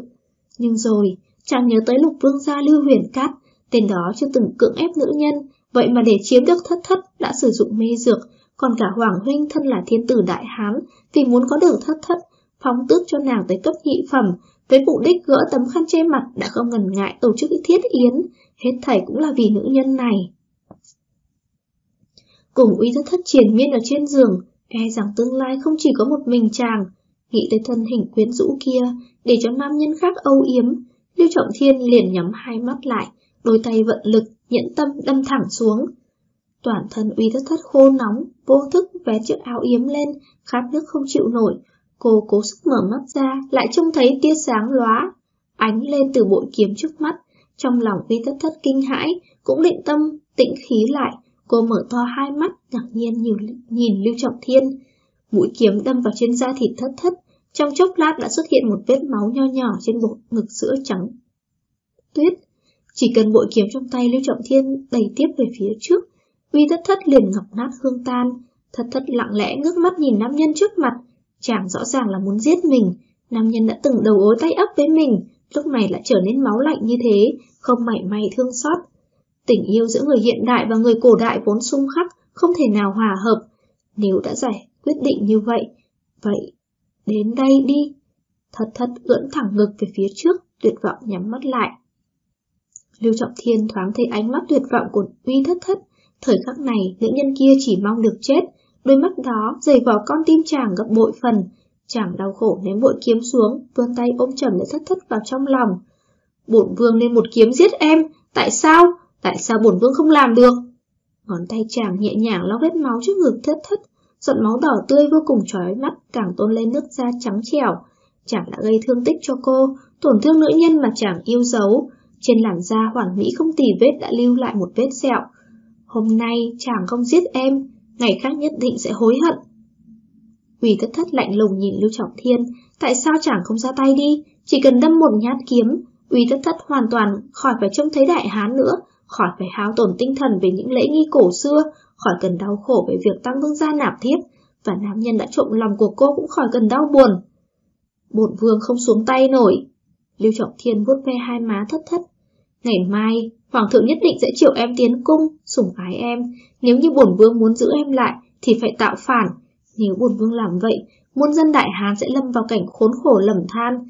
Vì em, một nữ nhân yêu kiều, bổn vương sẽ trở thành tội nhân thiên cổ của đại hán. Tạo phản, Uy thất thất chẳng qua chỉ là một nữ nhân. Vương gia hả tất phải bận lòng như thế. Thất thất vào cung rồi, chẳng phải tốt hơn sao? Vương gia có thể tùy ý nạp thiếp hoặc hãy hưu thê đi, lập Ninh Vân Nhi mà chẳng yêu quý làm vương phi. Em cũng có thể ở Hoàng cung Đại Hán, hưởng thụ vinh hoa phú quý mà bao người luôn ước ao thèm muốn. Uy thất thất khẽ mỉm cười, cô là uy thất thất, không phải đổ chơi trong tay nam nhân. Nếu muốn khiến thất thất cam tâm tình nguyện, thì phải có tình yêu làm nền tảng, tình yêu đó phải là duy nhất, phải tôn trọng lẫn nhau, bất kể chàng là hoàng thượng, vương gia hay là bất tính lê dân. Chương 121 Trộm lòng của nàng Lưu Trọng Thiên ngước nhìn về hướng đông, Bình Minh đã đến. Không thể ngăn cản sự thật sắp diễn ra, chàng dảo bước về phía phòng mình, băn khoăn đẩy cửa phòng ra, người trên giường hình như vẫn đang ngủ say, chẳng mang vẻ yêu sầu như Lưu Trọng Thiên. Thật là một nữ nhân thích ngủ nướng, Lưu Trọng Thiên treo bội kiếm lên, nhẹ nhàng đi tới trước người thất thất. Thất thất tuy là mỹ nhân, nhưng tư thế ngủ rất khiếm nhã, một chân đè lên chân, chân kia vắt ở bên giường, miệng đi ba vi bô, không biết có phải trong giấc mộng vẫn còn tức giận hay không. Lưu Trọng Thiên ngồi ở trước giường ủ rũ một hồi, chàng nằm xuống sát bên mép giường, mệt mỏi nhắm hai mắt lại. Chàng còn chưa kịp tiến vào mộng đẹp, tiếng gõ cửa đã vang lên phía ngoài. Vương gia, người trong cung đến rồi, người trong cung. Lưu Trọng Thiên ngồi bật dậy, Uy Thất Thất nằm bên cạnh trong lúc mơ ngủ ôm eo chàng, mấp máy môi sau đó lại ngủ tiếp. Lưu Trọng Thiên kéo tay Thất Thất ra, phiền não nhìn cô, là vương gia đại hán, lại không có cách gì ngăn cản nam nhân khác giòm ngó nữ nhân của mình. Chẳng lẽ thực sự dương mắt nhìn người khác cướp đoạt Thất Thất đi sao? Lưu Trọng Thiên đẩy cửa đi ra ngoài, phát hiện ở trong sân bốn cung nữ đoan trang đứng đó, đích thực là từ tẩm cung của Thái Hậu phái tới, xem ra Thái Hậu đã đứng về phía Hoàng thượng thật rồi. Đám cung nữ cúi đầu xuống, một người trong số đó khẽ nói, Vương gia, Thái Hậu sai bọn nô tỳ tới đón Vương Phi vào cung, có lẽ sẽ ở đó lâu một chút. Lưu Trọng Thiên lập tức hiểu ngay, chuyện gì đến cũng phải đến, chàng chẳng nói được câu nào mà chỉ lặng lẽ trở về phòng, bực tức đóng cửa lại. Hoàng thượng đã bắt đầu khai chiến rồi, y muốn mang thất thất rời xa, phạm vi thế lực của Lưu Trọng Thiên chàng, chỉ cần vào Hoàng cung, việc chiếm đoạt thất thất cũng trở nên dễ dàng hơn. Lưu Trọng Thiên đi tới trước giường, thất thất hình như cũng tỉnh ngủ. Lãnh đạo liếc nhìn Lưu Trọng Thiên, khi phát hiện trong mắt vương gia ẩn chứa sự thương tiếc lẫn không đành lòng, lập tức quay mặt đi. Rõ ràng là một vương gia hỉ nộ vô thường, đêm qua còn cầm kiếm muốn giết cô, hôm nay lại vô cùng dịu dàng, rốt cuộc người nào mới là Lưu Trọng Thiên thực sự đây? Đừng lên đi, Thái hậu chuyển em tiến cung. Thái hậu? Thất thất nhanh chóng ngồi dậy, sao không nhớ ra là có chuyện này nhỉ? Ngày hôm qua, ngày hôm qua cô uống rượu say, sau đó tới ngự hoa viên, cô làm những gì nhỉ? Ca hát. Thật thật bụng miệng, thoáng chốc sững sờ nhìn Lưu Trọng Thiên. Tại sao Thái hậu lại truyền em tiến cung? Hôm qua em vừa hát vừa gầy đàn tỳ bà, càng thêm mê hoặc hoàng thượng, chắc lúc này mượn danh nghĩa Thái hậu chiều em tiến cung đó. Hoàng thượng, đây Thất thất cắn móng tay, nhảy xuống giường, hốt hoảng kéo vạt áo lên, em không đi. Bây giờ em mới nói không đi, hôm qua không nên say rượu đại náo ngự hoa viên, bao nhiêu nam nhân đã vì một khúc tiếu hồng trần của em, hồn siêu phách lạc, nếu không phải bổn phương đêm qua kiên trì, thì em đã bị nhốt lại trong hoàng cung rồi. Em không nhớ rõ mà. Thật thật quả thực chẳng nhớ ra chút gì. Đại hán thiên tử hiện tại mượn danh Thái Hậu, bổn vương muốn che chở em cũng đành chịu. Em chỉ có thể đi tìm vinh hoa phú quý rồi. Xong tốt nhất đừng để bổn vương trông thấy em và hoàng thượng vui đùa tán tỉnh trong cung. Bằng không, bổn vương nhất định sẽ không kiềm chế được, sẽ một kiếm giết em thực sự. Vương gia, Uy thất thất cáu tiết nhìn Lưu Trọng Thiên, tán tỉnh gì chứ? Đối với tên đại hán thiên tử kia sao? Sao chàng lại coi thường uy thất thất cô như vậy? Hàn vũ kia của chàng có thể ép dạ cầu toàn trở thành quý phi, quý rất thấp thì không thể. Lưu Trọng Thiên, vương ra ngang ngược này, trừ việc chỉ biết đến tôn nghiêm của bản thân ra, trong lòng chàng ta thực sự có uy thất thất hay không? Thất thất. Lưu Trọng Thiên mặc dù nói như vậy, nhưng vẫn không nhịn được ôm thất thất vào lòng, hôn lướt qua hai má cô. Hoàng thượng đang bức ép bổn cục vương, không biết ta có thể nhẫn nhịn đến khi nào. Nhớ kỹ lời bổn vương nói, em là nữ nhân của bổn vương, nếu quả thật đi theo hoàng thượng, chính là dồn ép bổn vương đi vào khuôn khổ. Chàng còn có Ninh Vân Nhi, có người mới rồi hà tất phải nhớ mong tới tỉnh xưa, vương gia đâu thuộc dạng nam nhân cô đơn, quen thói trái ôm phải ấp, tám thê tứ thiếp, thật thật được xem là gì chứ, chẳng qua chỉ là một nữ nhân từng ngủ cùng vương gia mà thôi. Thật thật đẩy Lưu Trọng Thiên ra, sắc mặt nhợt nhạt, chậm chậm đi tới trước cửa, đẩy cửa phòng ra rồi bước ra ngoài. Lưu Trọng Thiên nhất thời im lặng, những lời thất thất nói buồn thương ra giết, tựa như mũi tên đâm thẳng vào trái tim chàng. Nếu Lưu Trọng Thiên thật sự là loại người có mới nới cũ, thì có lẽ còn được giải thoát. Nhưng giờ này khắc này, tâm trạng chàng quả thực muôn phần đau đớn, cho nên bất luận thế nào, Lưu Trọng Thiên muốn vào cung diện kiến Thái Hậu, Hoàng thượng cố ý chiếm đoạt uy thất thất, nhất định phải trả giá đắt.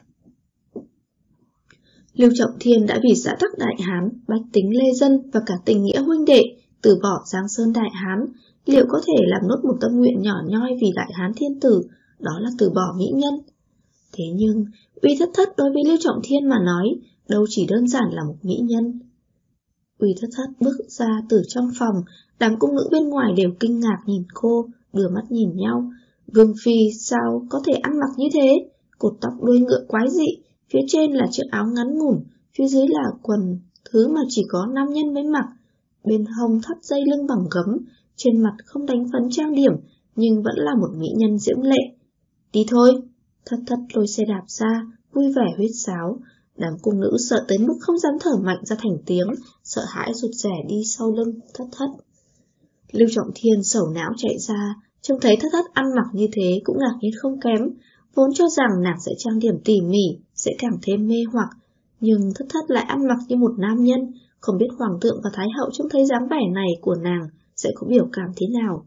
Chàng đương buồn giàu cũng phải không nhịn được mà bật cười.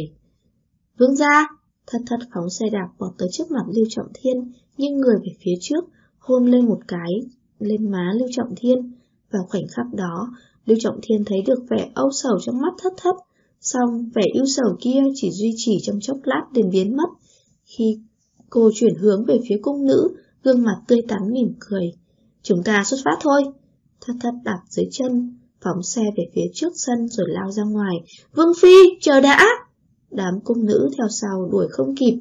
Lưu Trọng Thiên đăm chiêu nhìn bóng dáng thất thất khuất xa, không biết vì thất thất vào hoàng cung rồi sẽ có cảnh tượng gì. Vương phủ có thể để nàng tùy ý bát nháo, nhưng hoàng cung sao có thể chứ? Thái hậu sẽ nghĩ như thế nào đây? Chàng thoáng sờ qua gương mặt, nụ hôn vừa rồi nhẹ như gió thoảng qua, thật thật chỉ dựa theo tư duy của nàng mà hành sự, còn cả ánh mắt trước khi đi, nàng không hề vui vẻ. Lòng Lưu Trọng Thiên như bị bóp nghẹt, cảm giác đối với uy thất thất càng thêm khó dứt bỏ. Lưu Trọng Thiên xoay người trở về phòng, thay y phục. Hôm nay chả nhất định phải tiến cung, đi tìm Thái Hậu, thăm dò ý định Thái Hậu thế nào. Nếu như Thái Hậu thực sự dũng túng Hoàng thượng làm bừa, thì đừng trách Lưu Trọng Thiên không niệm tình huynh đệ. Xong nếu đã thất thất chủ động yêu thương nhung nhớ, nguyện theo Hoàng thượng, thì Lưu Trọng Thiên chẳng còn gì để nói. Người trong Hoàng cung đều hiểu, Uy thất thất thực ra là nữ nhân hoàng thượng đặc biệt hạ lệnh nghênh đón, Uy thất thất phóng xe đạp trên đường, sau khi hùng hùng hổ hổ tiến vào hoàng cung, nhanh chóng băng qua hành lang dài, xông thẳng tới ngự hoa viên. Lúc này trong ngự hoa viên có một nữ nhân mặc cẩm bào màu tím hoa lệ, trên đầu cải trâm vàng, vây xung quanh nàng là một đám phi tần, đang thưởng thức hoa tươi nở rộ trong ngự hoa viên. Nữ nhân kia đoan trang diễm lệ, thoạt nhìn đã biết ngay là một nhân vật quan trọng, nàng đương ngắm hoa thực dược nở. Đột nhiên có tiếng ẩm ý, khiến nữ nhân kia bất giác nhíu mày, đưa mắt ngước nhìn. Đúng lúc trông thấy uy thất thất xông tới, mặt mày liền biến sắc. Sao lại có nữ nhân điên cuồng quái dị tiến vào hoàng cung như thế? ủy thất thất liếc nhìn nữ nhân kia, khóe miệng nhếch lên, hoàn toàn xem như vô hình. Chiếc xe đạp lao thẳng về phía trước, vùi dập rất nhiều cây hoa thưởng rực dọc đường. Nơi nào xe đạp đi qua, tiếng gió rít từng cơn, cánh hoa bay lả tả, thất thất, làm càn cười khủng khục, dáng vẻ xấu xa hung ác, gọi cô tiến hoàng cung, hừ, chẳng khác nào đã gọi Diêm Vương đến cả, đó, đó, đó là ai? Nữ nhân vẫn cầm vào chỉ vào thất thất, lớn tiếng quát, tất cả đám phi tần ai nấy đều mặt mày biến sắc, không biết con nhã đầu lỗ mãng kia vào đây khi nào. Đây, đây là hoàng cung, quả thực không coi ai ra gì, có phần tắc oai tắc quái. Một cung nữ đuổi theo thất thất phía sau nghe thấy tiếng quát của nữ nhân kia, mồ hôi đầm đìa lập tức chạy tới, quỳ dạp xuống đất. Khởi bẩm hoàng hậu nương nương, đó là vương phi của tam vương gia, uy thất thất, được thái hậu triệu tới. Cái gì? Vương phi của tam vương gia, đó là nữ nhân sao? Sao có thể như vậy? Mau dẫn tới đây cho bổn cung. Hóa ra, nữ nhân đoan trang diễm lệ này chính là chính cung nương nương của đại hán thiên tử, nàng chính là người đứng đầu tam cung lục viện, ngày ngày đều được các phi tần vây quanh kéo đến su nịnh, thỉnh thoảng cùng các nàng ngắm hoa giết thời gian. Chẳng ngờ hôm nay bỗng nhiên gặp cảnh uy thất thất xông vào. Vâng, hoàng hậu nương nương. Cung nữ lên tiếng đáp, xoay người vội vã đuổi theo uy thất thất. Cung nữ vất vả lắm mới đuổi kịp thất thất, mệt tới nỗi sắp hạ đường huyết, thở không ra hơi nói. Vương Phi, hoàng hậu nương nương muốn gặp người. Hoàng hậu, thất thất thoáng sờ cột tóc đuôi ngựa, vợ cả của đại hán thiên tử nha, hiếm thấy hiếm thấy, nhất định phải gặp mặt. Không biết chung một phu quân với vô số nữ nhân như vậy, liệu cuộc sống có cảm dễ chịu hay không? Thất thất xoay đầu đạp xe lại, vọt tới trước mặt hoàng hậu, xe đạp phanh két một tiếng dừng lại trước mặt hoàng hậu, khiến hoàng hậu sợ hãi, thiếu chút nữa hét toáng lên, liên tục lui về phía sau. Cô chính là hoàng hậu nương nương. Đôi mắt tròn xoe của thất thất đảo tới đảo lui trên người hoàng hậu, vợ cả của hoàng thượng, trừ y phục lộng lẫy ra, dung mạo cũng thường thường, gương mặt thiếu sức sống, có thể thấy đây là nữ nhân theo khuôn phép cũ. Hoàng hậu lẫn đám phi tần đều kinh sợ trước dung mạo xinh đẹp tràn trề sức sống của thất thất. Sao vương phi cổ quái này có dũng mạo mê người như vậy? Một vị phi tần bên cạnh hoàng hậu lớn tiếng quát mắng. Tam vương phi to gan, không thấy hoàng hậu, còn không thỉnh an. Thỉnh an? Uy thất thất cười ít xe đạp, cười tươi đáp trả, xuống xe, dáng vẻ khôi hài tiến tới vái chào. Tam vương phi uy thất thất, xin thỉnh an hoàng hậu nương nương. chương 122 Đại náo hoàng cung Uy thất thất, chẳng phải là hộ quốc nữ tướng quân hay sao? Sao lại là một tiểu nhã đầu phá phách thế này? Hoàng hậu quét mắt nhìn uy thất thất, hoàng thượng thật hoang đường, sao có thể sắc phong tiểu nữ nhân này làm nhị phẩm tướng quân cơ chứ?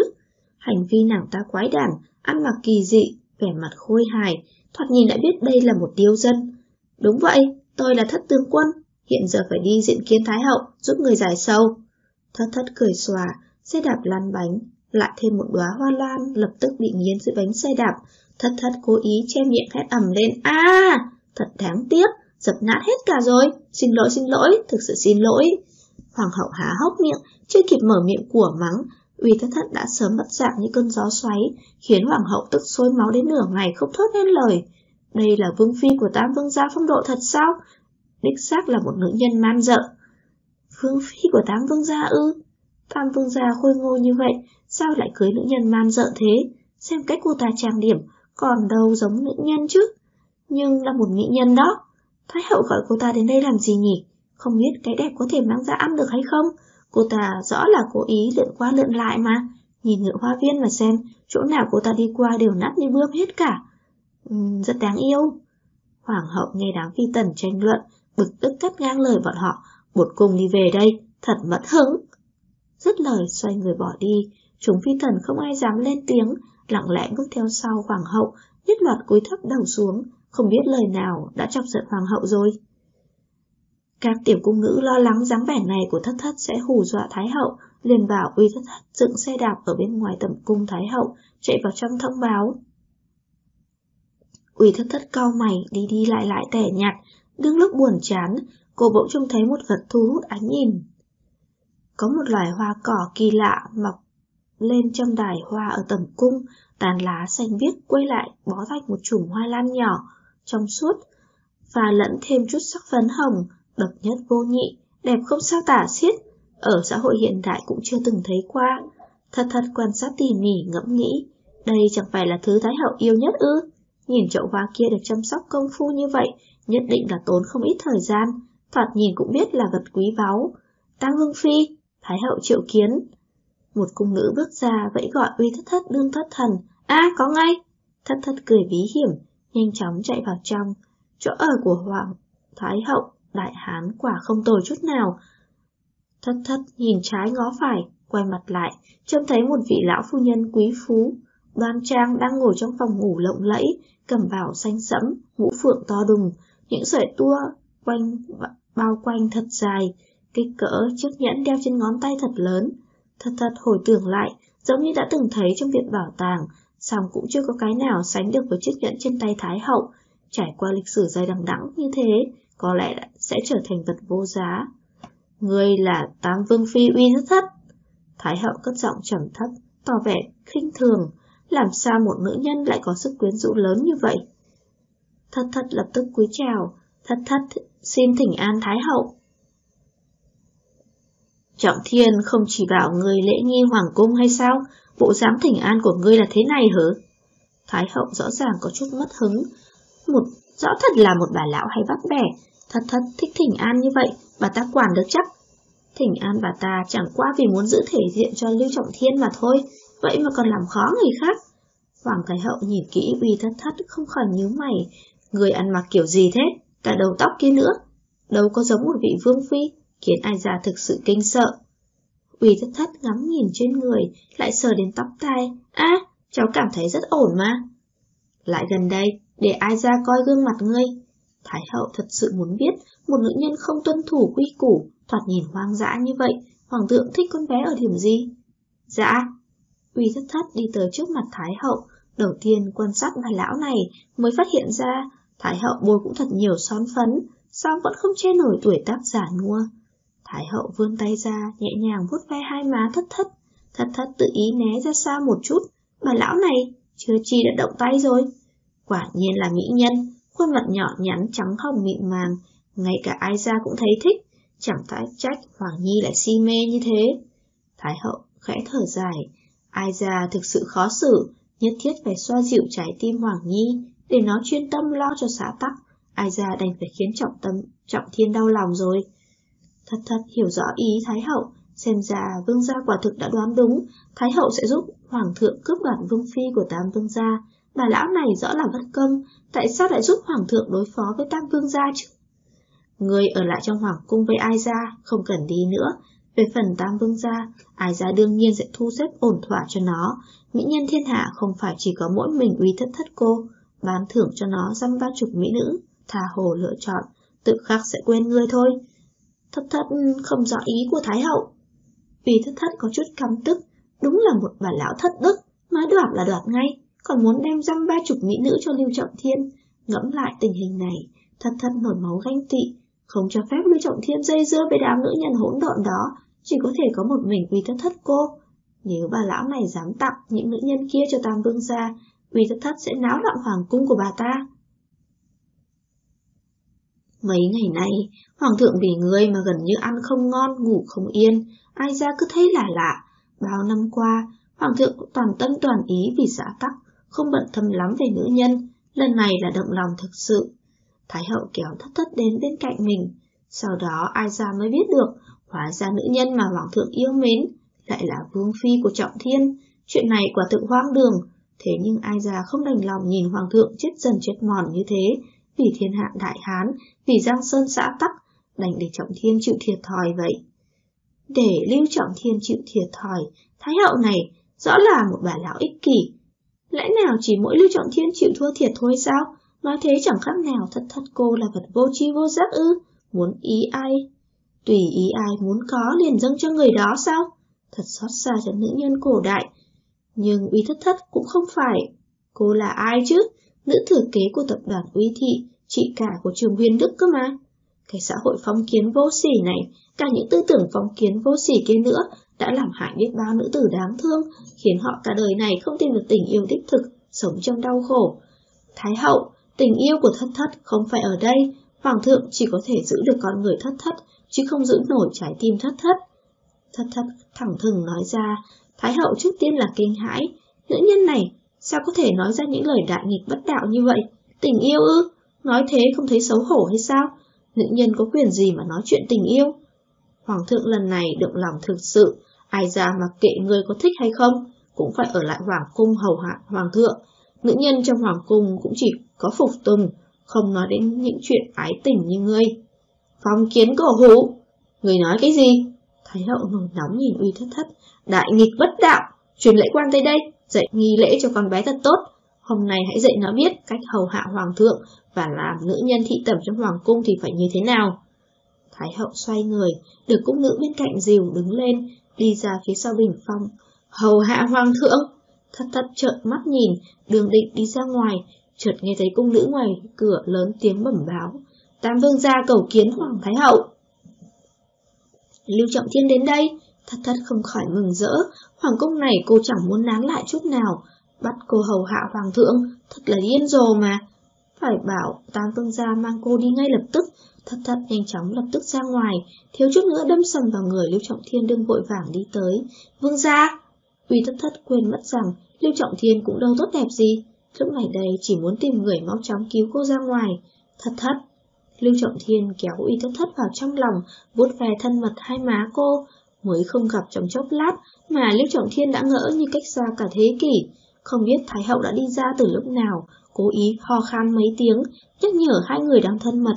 Tam vương già trước giờ vẫn luôn oai phong lẫm liệt, lạnh lùng vô tình, nhưng nay dịu dàng tình cảm thế, khiến Thái Hậu vô cùng ái náy. Xem ra nữ nhân này đã chiếm giữ trái tim của cả Lưu Trọng Thiên lẫn Hoàng Nhi. Thế nhưng, Thái Hậu là mẫu thân thân sinh của Đại Hán Thiên Tử, còn Lưu Trọng Thiên là do Di Quý Phi sinh ra. tần từ Thái Hậu đương nhiên là muốn thiên vị cốt nhục của mình. Thân thể Di Quý Phi suy nhược lắm bệnh tật đã mất sớm, Thái Hậu tận mắt chứng kiến sự trưởng thành của Lưu Trọng Thiên, cũng không phải, không có cảm tình, chỉ là so với Hoàng thượng mà nói, khó tránh khỏi bên trọng bên khinh. Thái Hậu, bản tính thất thất lỗ mãng, không hiểu lễ nghi phép tắc, ở lại Hoàng cung chỉ tăng thêm phiền toái, cho nên Trọng Thiên... Còn có biết tại sao ai ra triệu kiến uy thất thất hay không? Thái Hậu! Lưu Trọng Thiên không sao trả lời thẳng được, chàng hy vọng không phải nghe những lời từ trong miệng Thái Hậu thốt ra. Vì Hoàng thượng, hiện tại ai già cũng không giấu giếm con nữa. Hoàng thượng muốn có được uy thất thất. Mấy ngày qua ai già cũng rất yêu sầu, vì Giáng Sơn Đại Hán, ai già hy vọng con có thể nhẫn nhịn từ bỏ tình yêu, tác thành cho tâm nguyện của Hoàng thượng. Thái Hậu! Lưu Trọng Thiên phận uất siết chặt nắm tay, Quỳ thất thất là vương phi hoàng thượng bán hôn cho Trọng Thiên, lẽ nào không sợ người trong thiên hạ chế nhạo hay sao? Chỉ là một nữ nhân mà thôi, việc này cũng rất đơn giản, con hãy lập tức bỏ uy thất thất, sẽ chẳng có ai chế nhạo hoàng thượng nữa. Thái hậu nói nhẹ nhàng vâng cua, dường như cảm thấy chủ ý này vô cùng hay. Uy thất thất đã là nữ nhân của Trọng Thiên, hoàng thượng làm thế là đoạt thê tử của người khác. Hàng lông mày của Trọng Thiên không khỏi dựng ngược lên. Trọng Thiên, Ai già biết con phải chịu thiệt thòi. Vậy con muốn ai ra phải làm sao? Hoàng huynh con dù sao cũng là hoàng thượng, con là thần tử. Mấy ngày nay hoàng thượng hồn siêu phách lạc, ai ra cũng bất đắc dĩ mà thôi. Trong giọng nói của Thái hậu mang theo vẻ khẩn cầu, dường như cũng cảm thấy áy náy với Trọng Thiên. Ai già sẽ bù, tổn thất cho con. Hoàng thượng cũng sẽ không bạc đãi con, chỉ là một nữ nhân, buông tay đi. Lưu Trọng Thiên tuyệt không tuân mệnh, con muốn thế nào? Thái hậu thực ra cũng có chút nể sợ Lưu Trọng Thiên, e ngại bởi vì một nữ nhân mà phá hỏng đại sự. Chẳng lẽ vì nữ nhân này còn muốn đối địch với Hoàng thượng hay sao? Chuyện bất kỳ nữ nhân nào cũng có thể được, ngoại trừ uy thất thất, không nên dồn ép người quá đáng. Lưu Trọng Thiên vừa dứt lời, bên ngoài rèm cửa được vén lên, tiểu vu tử đi trước dẫn đường, Hoàng thượng bước nhanh vào trong, y lạnh lùng đi tới trước mặt Lưu Trọng Thiên. Những nữ nhân khác, chậm có thể không cần, nhưng uy thất thất chậm nhất định phải có. Trọng Thiên tuyệt đối không vào thất thất, hơn nữa Trọng Thiên cũng muốn mang người đi ngay lập tức. Lưu Trọng Thiên kéo tay uy thất thất đi nhanh ra ngoài cửa, Hoàng thượng khẽ cười, vỗ tay một cái, lực lượng cấm vệ quân hùng hậu xông lên, ai nấy đều cầm binh khí trong tay, Hoàng thượng cười gằn, mang đi, đừng nghĩ dễ thế. Chấm chỉ muốn nữ nhân này mà thôi, không muốn làm tổn thương tình huynh đệ. Thế nhưng, nếu đệ dám động thủ ở nơi này, chấm lập tức có thể khép đệ vào tội danh như phản. Lưu Trọng Thiên, những đại thần ủng hộ đệ kia sẽ muốn giúp đệ liền vô cớ xuất binh. Lưu Trọng Thiên nhìn Hoàng thượng chằm chằm, siết chặt nắm tay, sắp nổi giận tới nơi. Ủy thất thất nhanh chóng ôm lấy chàng. Vương gia, hãy quay về, thất thất xin chàng đấy. Thất thất. Lưu Trọng Thiên thương tiếc nhìn Uy thất thất, muôn phần không muốn, lại có chút bất lực. Hoàng thượng không khỏi nổi nóng, sao thất thất lại quan tâm Lưu Trọng Thiên như vậy? Dục vọng chiếm hữu càng mạnh mẽ, khiến chàng, khiến cho lòng y càng thêm kiên định, thế nên phải đoạt bằng đường nữ nhân này. Hoàng thượng phất tay về phía cấm vệ binh lính phía sau, Tam Vương gia đã đến đây, vậy chớ nên đi vội, mời Tam Vương gia đến ỉ Nguyệt Các nghỉ ngơi, cho đến khi Vương gia chịu viết hưu thư mới thôi. Lưu Trọng Thiên hiện giờ có thể tóm gọn hoàng thượng một cách dễ dàng, khống chế thiên tử như kẻ chư hầu, song chàng không thể, chàng không thể coi nhẹ Giang Sơn Đại Hán, cũng không không thể để người đời chế nhạo chàng là loạn thần tặc tử. Xem ra kiếp này thực sự không có duyên với uy thất thất, một nữ nhân yêu kiều, ẩn giấu đôi mắt đẹp tuyệt trần. Lưu Trọng Thiên nắm chặt bàn tay ngọc ngà của uy thất thất, trong lòng muôn phần không nỡ, nhưng vẫn phải miễn cưỡng không buông ra, buông cô ra đi theo một hộ vệ rời khỏi tẩm cung Thái Hậu. Hoàng thượng nhìn thoáng qua y phục của uy thất thất, không khỏi nhíu mày. Y không thích mỹ nhân này ăn mặc như thế, không quyến rũ tẹo nào, thoạt nhìn càng thêm xảo quyệt. Hoàng thượng vui mừng đi tới trước mặt thất thất, không nhịn được vươn tay ra, lướt qua hai bên má thất thất. Thất thất nhìn hoàng thượng đầy căm ghét, Y cho rằng Lý Trọng Thiên có thể vì Giang Sơn Đại Hán, hết lần này tới lần khác nhường nhịn Y, thì uy thất thất cô cũng sẽ làm thế sao? Thất thất lui dần về phía sau, tung một cước đá trúng cầm Hoàng thượng. Hoàng thượng không ngờ tới việc thất thất sẽ đánh lén Y, nhất thời tay chân luống cuống, tránh về phía sau, thiếu chút nữa té lăn ra đất. Tiểu vô tử vội đỡ Hoàng thượng dậy, sợ toát mồ hôi. Thái hậu cũng không ngờ được rằng uy thất thất lại lộ. Mãng như thế, sợ tới nỗi mặt mũi trắng bệch, đây là dạng nữ nhân gì? Hoàng Nhi sao có thể thích nó? Ngoại trừ nhan sắc nghiêng nước nghiêng thành ra thì tính tình vô giáo dục ngang ngược, làm sao có thể sống ở hậu cung chứ? Bản thân thất thất, dừng trên không trung, nghịch ngợm đung đưa cổ chân, cười ha ha nhìn đại hán thiên tử. Tưởng có thể tiếp cận tôi dễ dàng thế sao? Coi chừng lại không biết bị. Tại sao bị đá? Ha ha, quả là mỹ nhân đáng yêu, chậm nhất định phải có được nàng. Tiểu vô tử, Ánh mắt hoàng thượng chuyển sang tiểu vô tử. Dạ hoàng thượng, dẫn uy thất thất đi tắm rửa, sau đó đưa đến tẩm cung của trẫm tối nay trẫm sẽ sủng hạnh nàng. Hoàng thượng cười khủng khục, y nhất định phải ôm mỹ nhân yêu dấu vào lòng. Tiểu vô tử sợ hãi nuốt nước miếng, võ công của uy thất thất lợi hại như vậy, hoàng thượng nói câu sủng hạnh thật nhẹ nhàng, việc này đều có đơn giản chứ, phải làm sao mới có thể đưa nàng ta tới tẩm cung của hoàng thượng, đó là một vấn đề nan giải. Quỷ thất thất nhìn ra tâm tư của tiểu vũ tử, hắn không sợ mới lạ, vì vậy thu chân trở về, đi tới trước mặt tiểu vũ tử. Tiểu vu công công, trước kia thường xuyên tới vương phủ tặng này tặng nọ, thất thất còn chưa cảm tạ cậu, bây giờ có cơ hội rồi, thất thất sẽ tạ ơn cậu dần dần. Đợi nàng trở thành quý phi rồi, hãy ban thưởng cho hắn thật nhiều. Hoàng thượng lưu luyến lướt nhìn uy thất thất, hình như không hiểu rõ ý thất thất tạ ơn tiểu vô tử, Y dạo bước vén rèm cửa lên rồi đi ra ngoài. Tiểu vô tử không lưng hướng về phía thất thất, lòng trống trải. Bất kể chuyện tốt hay chuyện xấu đều là hắn ra mặt, đối phó với uy thất thất. Quan trọng nhất chính là phải làm sao mới có thể đưa nàng ta tới tầm cung của hoàng thượng, giống như những phi tử khác, ngoan ngoãn nằm trên giường chờ. Vương phi, y phục này... sao? Thất thất đung đưa chân, căm tức lườm hắn, y phục này không đẹp sao?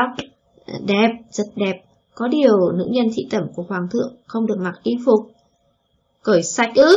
Thật thật hét lên, cung nữ bên cạnh nhất thời xấu hổ đỏ mặt, Tam Vương Phi này thật lớn mật làm càn, lớn tiếng thốt ra hai chữ kia.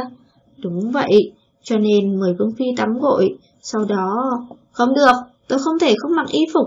Thị tẩm gì chứ? Liệu có phải Hoàng thượng mắc bệnh tâm thần hay không?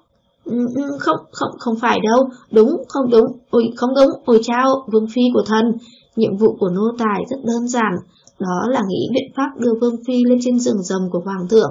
Nếu người chịu nghe lời là tốt nhất, nếu như phản kháng, thần sẽ gọi Liên Công Công ra tay. Liên Công Công là cao thủ trong cung, đối phó với nữ nhân có võ công như Vương Phi cũng không khó. Lời tiểu vũ tử nói, xem ra cũng không phải là giả. Uy thất thất âm thầm suy tính, nếu thực sự xuất hiện cao thủ, võ công lợi hại y như Tam Vương gia, Uy thất thất chẳng phải sẽ bị ép đi vào khuôn khổ ư. Nếu như lại bị điểm huyết đạo, hoặc là uống mê dược, hoặc là... Thái độ của Uy thất thất đã quay ngoắt 180 độ, cười sởi lời nói, hầu hạ hoàng thượng sao? Thất thất hiểu, đều cho nghe theo tiểu vu công công, nhưng tôi muốn mặc y phục. Thật sao? Được được được, nghe theo người. Tiểu vu tử bất cười. Đâu có nữ nhân nào không muốn đi theo hoàng thượng chứ, đó là vinh hạnh, là giấc mộng của tất cả nữ nhân. Ủy thất thất căng thẳng ngồi ở trong tầm cung hoàng thượng, chẳng lẽ sẽ thực sự cùng tên hoàng thượng kia? Cô cắn móng tay, từ nữ bên cạnh nhẹ nhàng trải giường, thất thất đảo mắt, chịu mở miệng nói chuyện. Nữ nhân thị tẩm thông thường vào đây bằng cách nào? Hầu hạ hoàng thượng thế nào? Ừ, chuyện này... Tỷ nữ đỏ bừng mặt, đầu cúi thấp xuống, giọng lề mề. Đều được thái gạt giám khiêm vào. Người có lẽ là nữ nhân thị tẩm đầu tiên vào bằng cách như vậy. Ý tôi là, cô thấy qua bọn họ hầu hạ hoàng thượng thế nào chưa? Tỷ nữ không dám lên tiếng, thất thấp nắm chặt tay nàng. Tôi lần đầu tiến cung, không ai nói cho tôi biết, chỉ sợ hoàng thượng không vui. Là thế này, tỷ nữ khẽ cười, không mấy phức tạp đâu, ngoan ngoãn nằm ở trên giường, sau đó chờ hoàng thượng sủng hạnh. Thật ư? Đương nhiên rồi, nữ, nô tỳ toàn đứng bên ngoài hầu hạ, biết rất rõ. Đơn giản thế sao? Thất thất nở nụ cười quái dị, bỗng vươn tay ra đánh một quyền trúng cổ tỷ nữ, tỷ nữ lập tức ngã xuống. Nếu đơn giản như vậy, ha, thì đành để cô chịu thiệt. Thất thất khoán đổi y phục tỷ nữ, mặc y phục của mình lên người tỷ nữ. Chờ khi hoàng thượng phát hiện ra không phải tôi, có khi tôi đã sớm chạy thoát rồi. Dứt lời liền kéo tỷ nữ lên giường, tóc chân lên, xoay mặt cô ta vào bên trong, hắc hắc. Như vậy hoàng thượng sẽ phải mất một lúc mới có thể phát hiện ra. Thật thật lén lén chuẩn đi, thái giám canh cửa liếc nhìn cô. Sao không lo hầu hạ, ra ngoài làm gì? Nàng ta đói bụng, muốn ăn chút gì đó. Thất tướng quân này cũng thật lắm chuyện. Chính xác, thất thất bắt chước dáng vẻ của tỷ nữ, cố nén không bật cười, nhanh chóng rời khỏi hoàng cung. Ủy thất thất tìm thấy chiếc xe đạp của mình, vội vã phóng xe ra ngoài. Xung quanh ỉ nguyệt cát, tăng thêm binh lính canh gác, nhiệm vụ của bọn họ khá đơn giản, bảo đảm vương gia không bước ra khỏi kỳ nguyệt cát, cấm quân hộ vệ hết sức khâm phục vị tam vương gia này, anh dũng thiện chiến, vì Giang Sơn Đại Hán lập được vô số công lao hiển hách, đáng tiếc là quan hệ với Hoàng thượng tương đối căng thẳng, cho nên cấm vệ binh lính cũng không dám làm khó chàng, đối đãi lễ phép. Lưu Trọng Thiên lo lắng đi đi lại lại, thần sắc nghiêm trang, chẳng biết mình lúc này không thể thoát thân, lòng thấp thỏm bất an, trong đầu vào ý nghĩ xáo trộn. Tiểu phu tử cười ha hả bước đến, mục đích hắn tới đây rất đơn giản, chính là nói cho vương gia biết vương phi của chàng ta đang nằm ở trên giường rồng của hoàng thượng, sắp tiếp nhận sự sủng hạnh của hoàng thượng. Vương gia, tiểu phu tử đến nói chuyện phiếm với ngài. Nói chuyện phiếm, bổn vương chẳng có gì để nói với ngươi.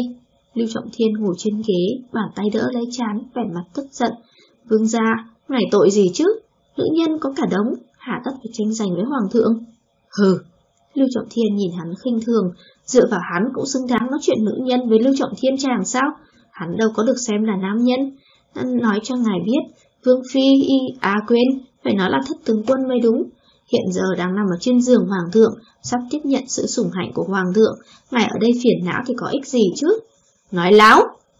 Hoàng Lưu Trọng Thiên phẫn nộ đứng bật dậy, nhấc bổng tiểu vũ tử lên. Lưu Trọng Thiên thân hình cao lớn, dễ dàng sách cổ tiểu vũ tử. Người muốn chọc giận bồn vương? Không, không phải, không phải, vương gia, là là là là tự vương phi chủ động đi. Tiểu vũ tử chỉ là muốn nói cho vương gia biết, nữ nhân kia không đáng để vương gia lo nghĩ như vậy mà thôi. Chủ động! Lưu Trọng Thiên buông tay, tiểu vũ tử run lập cập té xuống đất, ngã lăn quay, sợ tới nỗi sắc mặt tái nhợt, hồi lâu sau mới thốt được ra lời. Vương Phi chắc giờ này đã cùng Hoàng thượng ân ân ái ái, vương gia hãy bỏ nàng ta đi, xéo, xéo, cút ngay.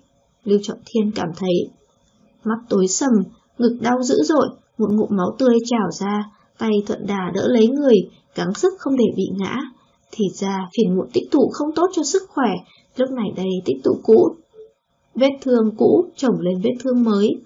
Vương, vương gia, tiểu vô tử cực kỳ hoàng sợ. Này, này, vương gia, tiểu nô tài đi mời thái y. Ngày chờ nhé. Không cần, bổn vương lát nữa sẽ ổn thôi, người máu xéo đi, máu xéo đi. Đừng xuất hiện trước mặt bổn vương, để bổn vương yên tĩnh một lát. Vâng, vâng, tiểu nô tài lập tức xéo ngay. Tiểu vô tử không ngờ rằng Lưu Trọng Thiên lại phản ứng mạnh mẽ như thế, khiếp sợ tháo chạy ra ngoài. Lưu Trọng Thiên hung hăng đấm mạnh vào cột nhà, chàng nhìn máu tươi trên mặt đất, lẽ nào mạng chàng không còn giữ được lâu nữa. Vì thất thất đã khiến chàng như mất phương hướng, gục ngã, thậm chí đau khổ tột cùng. Nàng là một nữ nhân lẳng lơ, dung mạo yêu kiều quyến rũ, nghĩ tới cảnh nàng thướt tha nằm trên giường, đón nhận sự âu yếm của Lưu Trọng Thiên, mà giờ lại đang nằm trên giường rồng, quấn quýt si mê không ngừng âu yếm yếm yếm với hoàng thượng. Quý thất thất! Lưu Trọng Thiên ngửa đầu hét lớn, bi vẫn thê lương, bước đi lảo đảo tới trước bàn, gắng sức nâng chiếc bàn lên ném ra ngoài, chiếc bàn va trúng vào tường vỡ tan tành. Ánh mắt Lưu Trọng Thiên điên dại, giống như một con thú tuyệt vọng. Chàng ép bản thân mình căm hận uy thất thất, nhưng chàng không làm được. Vừa nghĩ tới thất thất thì chỉ có ghen tuông và đau khổ. Chàng muốn được giải thoát, chàng vô phương cứu chữa rồi. Đã yêu một nữ nhân mê hoặc, mà nữ nhân kia giờ đã bạc tình phản bội chàng. Lưu Trọng Thiên vốn do bực tức nên luyện kiếm, vết thương đó tới nay vẫn chưa khỏi hẳn. Giờ đây tâm tình vẫn uất, tích tụ sinh bệnh, đột nhiên ngã quỵ xuống đất. Cấm quân hộ vệ phát hiện tình hình không ổn, chạy trở vào đỡ Lưu Trọng Thiên dậy, lớn tiếng kêu gào, vương gia, vương gia, mau gọi thái y. Cấm vệ quân vội vàng khiêng Lưu Trọng Thiên lên trên giường, Tam Vương gia là trụ cột của nước nhà, không ngại nguy nan, anh dũng thiện chiến rốt cục đã gục ngã, bất kỳ ai cũng cảm thấy bất bình thay cho chàng. Đại hán thiên tử không đợi xử lý xong việc quốc sự, đã nhanh chóng đến tẩm cung. Tâm trạng này sao có thể nhẫn nại, hận không thể một bước tiến thẳng vào tẩm cung, ôm lấy mỹ nhân, âu yếm nàng, mỹ nhân của y đang chờ y. Hoàng thượng! Thái giám bên ngoài tẩm cung khom lưng hô lớn, đại hán thiên tử nóng lòng như lửa đốt, không chờ thái giám mở cửa đã tự mình đẩy cửa ra bước vào trong. Như ẩn như hiện, một nữ nhân đã ngoan ngoãn nằm bên trong giường, ban ngày nghịch ngợm như vậy, tại sao hiện giờ lại hiền hòa như thế? Quả là nữ nhân miệng nói một đằng, lòng nghĩ một nẻo, chắc đúng, lúc này cũng giống như y, không chờ nổi nữa rồi. Thất thất, nằm mơ chậm cũng muốn có đêm nay, nàng khiến chậm chờ đợi mỏi mòn. Hoàng thượng đi tới, kéo rèm giường ra, đặt tay lên người nữ nhân trên giường, nhẹ nhàng vuốt ve. Nữ nhân trên giường rên rỉ một tiếng, hoàng thượng trong lòng phấn chấn, xem ra nàng đã rút ruột rồi, thất thất, đừng vội, chậm lập tức sủng ái nàng. Trước tiên để chậm ngắm kỹ nàng đã nhé. Đại hán thiên tử xoay mặt nữ nhân trên giường về phía mình, ngắm nhìn chăm chú, lập tức nhảy dựng lên, lùi lại mấy bước, giật tối tức giận, đây đâu phải là uy thất thất, là tỷ nữ tẩm cung thì phải. To gan! Hoàng thượng cảm tức quát, tỷ nữ trên giường hình như cũng đã tỉnh lại, nàng chống người ngồi dậy, hoảng sợ khi trông thấy hoàng thượng, lại liếc nhìn mình, nhanh chóng nhảy xuống giường, run lẩy bẩy quỳ xuống đất. Hoàng thượng tha mạng, nô tỳ không biết gì cả, không biết tại sao lại ở trên giường. Nô tỳ nhớ, nhớ nữ nhân kia đã đánh nô tỳ, cầu xin hoàng thượng khai ân. Hoàng thượng! Tỷ nữ không ngừng dập đầu, mặt cắt không còn giọt máu nào. Cút! cút ra ngoài. Hoàng thượng xa sầm mặt bước tới cửa, lớn tiếng gầm lên, bọn cầu nô tài các ngươi, trông coi kiểu gì vậy? Máu chóng bắt uy thất thất về đây cho ta. Thái giám canh cửa và hộ vệ lập tức hành động, tiểu vũ tử vừa lúc chạy tới, không biết đã xảy ra chuyện gì, nhìn hoàng thượng khó hiểu. Hoàng thượng, sao thế? Cầu nô tài. Hoàng thượng hung dữ trừng mắt nhìn tiểu vô tử, người muốn cho chấm sủng hạnh tỳ nữ sao? Uy thất thất ở đâu? Tìm về đây cho chậm. Vâng, vâng, vâng, vâng, nô tài lập tức đi tìm. Tiểu cô tử toát mồ hôi lạnh. Ủy thất thất này tại sao lại làm ra chuyện như vậy? Chẳng phải nói sẽ ngoan ngoãn hay sao? Hiện tại hoàng thượng tức giận thế kia, nếu không tìm được, tiểu cô tử sẽ gặp xui xẻo. Ủy thất thất vẫn chưa kịp chạy ra khỏi hoàng cung, đã phát hiện khắp nơi công nữ. Cấm vệ binh lính đều đang truy lùng cô. cho dù y thất thất trốn đông trốn tây, cũng sẽ bị những binh lính kia phát hiện thôi. Thất tướng quân ở kia, mà bắt lấy nàng ta. Cấm vệ binh lính cùng một đám tiểu thái giám xông tới, thất thất dùng lực dưới chân, chiếc xe đạp phóng về phía ngự hoa viên.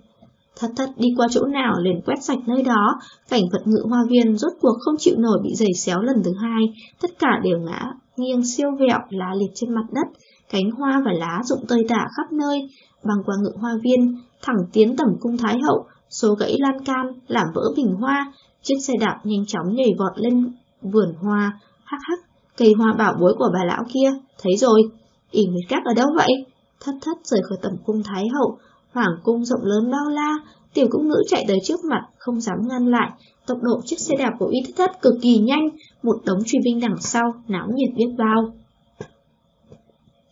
Uy thất thất huyết sáo một tiếng, xe đạp xông vào vị ương cung, đột nhiên trước mắt hiện lên bóng đen, thất thất biết cao thủ đến rồi, lập tức gia tăng tốc độ dưới chân, có một bàn tay cầm vào chỗ tay nắm xe đạp của thất thất, bánh xe đạp vổng lên, dừng lại, thất thất nhìn chăm chú, là một lão thái giám tóc hoa dâm, tiểu nhà đầu, bắt nháo đủ rồi đấy. Ông là ai? Thất thất mở to hai mắt, không hề tỏ ra yếu thế dò hỏi. Lão nô là Liên Thạch Hoa, mọi người đều gọi lão nô là Liên Công Công. Ai quan tâm ông là hoa gì, mau buông tay Tôi muốn đến ỉ Nguyệt Cát. Ủy ỉ Nguyệt Cát, đúng, tôi muốn tìm Tam Lương gia. Hoàng lệnh. Ha ha, Hoàng thượng lệnh cho lão nô tới bắt cô, sao có thể để cô diễu võ dương oai khắp nơi? Linh công công xoay cổ tay tóm lấy uy thất thất.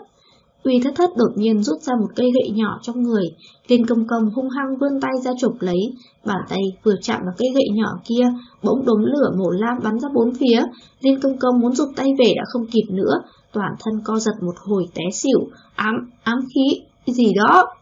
Ám khí phòng sói dữ, thất thất mỉm cười, đặt dưới chân, xe đạp phóng qua lên công công, tiếp tục lao về phía trước.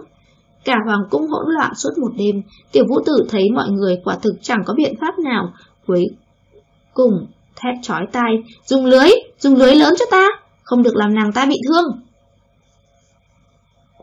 Tiểu vũ tử vừa dứt lời, Uy thất thất không biết tự khi nào đã xông ra, bánh xe trước quét qua đụng phải tiểu vũ tử, khiến hắn ngã chồng vó lên trời. Thái giám chết tiệt, Uy thất thất sao chịu bỏ qua cho hắn, nếu không phải do hắn, thì mọi chuyện đâu có trở nên rối ren thế này. Chiếc xe đạp nhanh chóng quay lại, lao thẳng về phía tiểu vũ tử. Trời ơi! Tiểu vũ tử cảm thấy đầu óc vẫn còn choáng váng, vừa đứng lên lại bị đụng lần nữa. Hắn cũng không biết dính trên mặt mình là máu hay là bùn đất, từng giọt nước mắt lăn xuống, muốn báo thủ hãy đi tìm hoàng thượng. Hắn chỉ là tiểu thái giám, cho dù có đâm chết cũng là vô ích. Hoàng thượng thích nàng ta như vậy, sao lại nỡ lòng trừng phạt nàng ta chứ? Mau mau bỏ dậy chạy thôi. Uy rất thất tâm tên tiểu thái giám kia đủ rồi, không ngừng lại mà tiếp tục phi lên. Dù có chết trong hoàng cung, thất thất cũng sẽ không đi theo hoàng thượng. Nếu dồn ép quá đáng, sẽ thiến luôn tên khốn đó. Hoàng cung rộng lớn, uy thất thất không sao tìm thấy ỉ nguyệt các, toát hết cả mồ hôi. Trời đã tảng sáng, thất thất vừa nhọc vừa mệt, đường định đánh một giấc, phía trước quăng một cái túi lưới lớn, lập tức phủ kín cả người lẫn xe, chiếc xe đạp vùng vẫy trong lưới, nhưng không thể động đậy, mọi người đều thở phào nhẹ nhõm, rốt cuộc đã tóm được uy thất thất đáng sợ này. Không ai dám tiến lên, trong tay uy thất thất có ám khí vô cùng cao cường, cao thủ như Liên Công Công cũng trúng đòn, không thể khinh thưởng thất tướng quân này được. Tiểu vũ tử mặt mũi bầm dập đi trước dẫn đường, đại hán thiên tử theo sau bước tới trước mặt thất thất. Đại hán thiên tử lạnh lùng nhìn nữ nhân trong lưới đường mệt mỏi dã rời, sắc mặt uy thất thất tái nhợt, mồ hôi đầm đìa, đôi mắt tròn xoe lờ đờ. Chấm có gì không tốt, nàng đã chiếm được thứ mà những nữ nhân khác đều không thể có được, chính là trái tim chấm. Dứt lời, hoàng thượng không biết nên xử trí cô thế nào, nếu là phi tần khác, bát nháo như vậy, đã bị nhốt vào lãnh cung. Tôi không cần, cũng không thích, nó thả tôi ra. Thất thất túm lấy lưới, ngón tay mảnh rẻ thò ra bên ngoài lưới, trong ánh mắt lập tràn lửa giận. Chậm sẽ không thả nàng ra, nàng chính là nữ nhân chậm muốn có. Hiện giờ chậm say mê nàng, hướng tiếc nàng, nếu nàng cố ý phản kháng, chậm có rất nhiều biện pháp đối phó với nàng. Ngài, ngài là cái đồ không biết xấu hổ, không biết dơ, không phải nam nhân. Quỷ thất thất nghiêm mặt, khinh miệt nhìn hoàng thượng. Hoàng thượng nhấn mày, nàng nói cái gì? dám bôi nhọ chậm như thế, quả là láo xược. Uy thất thất liều mạng bắt lấy sợi lưới, hừ lạnh một tiếng. Nhìn cho rõ, đây chính là tôi, Uy thất thất, là một nữ nhân không thích hợp với ngài, để tôi gặp Lưu Trọng Thiên. Nàng muốn gặp hắn, là vì gặp hắn, bắt nháo khắp hoàng cung. Hoàng thượng gần như chết lặng. Đúng, vì thất thất dương khuôn mặt nhỏ nhắn lên, người trong lòng thất thất là Tam Vương gia, Hoàng thượng đừng phí công nữa, hãy sủng hạnh đám phi tử của ngài đi, một đám nữ nhân cô đơn nhàm chán. Nàng... Ở Đại Hán, ai có thể cho nàng vinh hoa phú quý như chậm? Hoàng thượng nổi giận phát run. Ngoại trừ vinh hoa phú quý ra, ngài có thể cho tôi thứ gì? Chỉ một câu của uy thất thất khiến Hoàng thượng lập tức nghẹn lời. Lúc này tiểu vũ tử chạy như bay tới. Thái hậu đến, thất từng quân lần này đã gây họa thực sự rồi. Vừa dứt lời, hơn chục cung nữ cùng Thái hậu xuất hiện trước mặt Hoàng thượng. Sắc mặt Thái hậu rất khó coi, khỏi cần đoán cũng biết, uy thất thất đại náo Hoàng cung nhất định là kinh động đến Thái hậu, chắc là tới đây để hỏi tội dáng vẻ uy thất thất điểm nhiên như không, dù sao sống hay chết cũng chỉ bởi một câu nói của bọn họ mà thôi. Ở Đại Hán, Hoàng thượng chính là pháp luật cao nhất, không tồn tại án oan sai phạm, càng dựa vào tâm tình tốt xấu của tên tiểu tử Hoàng thượng này. Uy thất thất ngang ngược xảo trá, phá hoại ngự hoa viên, trà đạp hoa lan ai ra mất bao năm tâm huyết kỳ công chăm sóc, ai ra cần phải lập tức xử ngươi tội chết. Nếu hoàng thượng còn muốn giữ lại tính mạng của nó, tốt nhất nhanh chóng mang ra khỏi cung, đừng để ai ra trông thấy nó nữa. Mẫu hậu! Hoàng thượng lộ vẻ lúng túng. Nếu hoàng thượng nhất định không chịu, ai ra lập tức hạ chiếu, loạn cung đánh chết. Nó rõ ràng là một yêu nghiệt quyến rũ, bắt nháo đủ trò, khiến hoàng cung không được bình yên. Nếu sau này giữ lại, hậu cung sẽ rối loạn quy củ. chương 125 Giam cầm chân tình Thái hậu lạnh lùng nhìn uy thất thất, Nữ nhân này dù gì cũng không thể ở lại Hoàng Cung được nữa. Ở lại Hoàng Cung, sớm muộn gì cũng gây ra phiền phức lớn. Đằng sau khuôn mặt đẹp đẽ kia, bản tính lại ngang tàng, khó có thể phục tùng. Hoàng thượng biết thất thất gây đại họa, nhưng trong lòng không nỡ. Chấm tự biết xử lý. Hoàng thượng, nếu thực sự thích nữ nhân này, có thể mang ra khỏi cung, chờ tới khi nó ngoan ngoãn nghe lời, hiểu lệ. Phép tắc sẽ triệu về sắc phong. Thái hậu dùng lời lẽ cương quyết, sau đó dẫn theo cung nữ giận dữ bỏ đi. Tiểu vũ tử dương mắt nhìn hoàng thượng, sao chuyện tốt lại thành ra nông nỗi này, nhất thời không dám nói tiếp nữa, lặng lặng đứng sau lưng hoàng thượng. Vừa rồi Thái hậu có thái độ cứng rắn, ắt không cho phép thương lượng, đưa thất thất về phủ tướng quân. Hoàng thượng bực tức nhìn uy thất thất, xem ra muốn giữ nàng ở trong cung, nhất định phải nghĩ ra biện pháp khác. Uy thất thất có biết trở thành quý phi nương nương rồi, được hoàng thượng chuyên sụng là vinh hạnh cỡ nào hay không? Thái y chẩn bệnh cho Lưu Trọng Thiên, hy vọng chàng có thể bình tâm dưỡng khí, song giam cầm thế này, ít có khả năng chuyển biến tốt. Thái y lướt mắt nhìn cấm quân trông giữ, nên bẩm báo Thái hậu thả tam vương ra ra, còn giam giữ nữa không cải thiện được bệnh tình, căn bệnh này đã kéo dài lâu rồi. Hoàng cung vừa bị uy rất thất náo loạn tả tơi, chắc lúc này hoàng hậu Thái hậu cũng chẳng còn tâm tư đâu mà dám cầm tam vương ra. Cấm vệ, binh lính nhẹ giọng nói, thất thất. Sắc mặt Lưu Trọng Thiên tái nhợt, nghe thấy cấm quân nhắc tới thất thất, cắn ngượng ngồi dậy, bỗng cảm thấy khí huyết đảo ngược, suýt nữa ngã xuống. Vương ra, chuyện bên ngoài ngài đừng quan tâm. Nói cho bổn vương biết, thất thất làm sao vậy?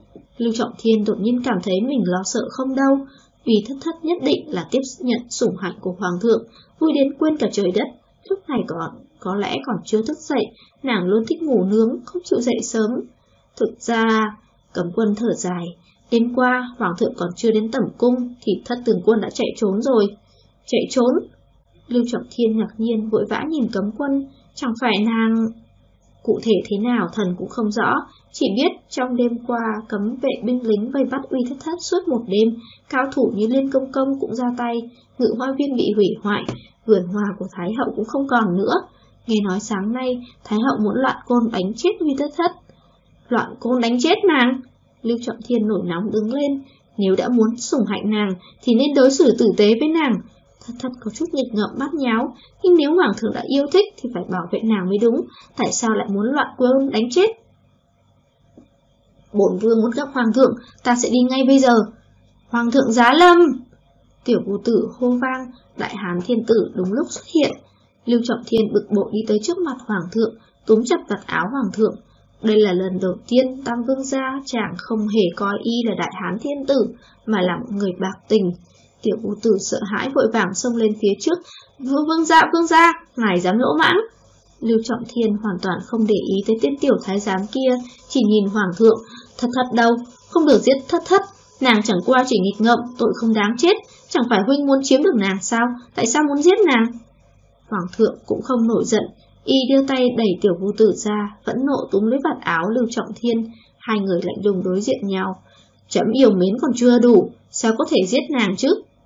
Nói như vậy, thất thất không sao cả. Lưu Trọng Thiên thoải mái buông tay ra, nét mặt cũng nhẹ nhõm hơn rất nhiều.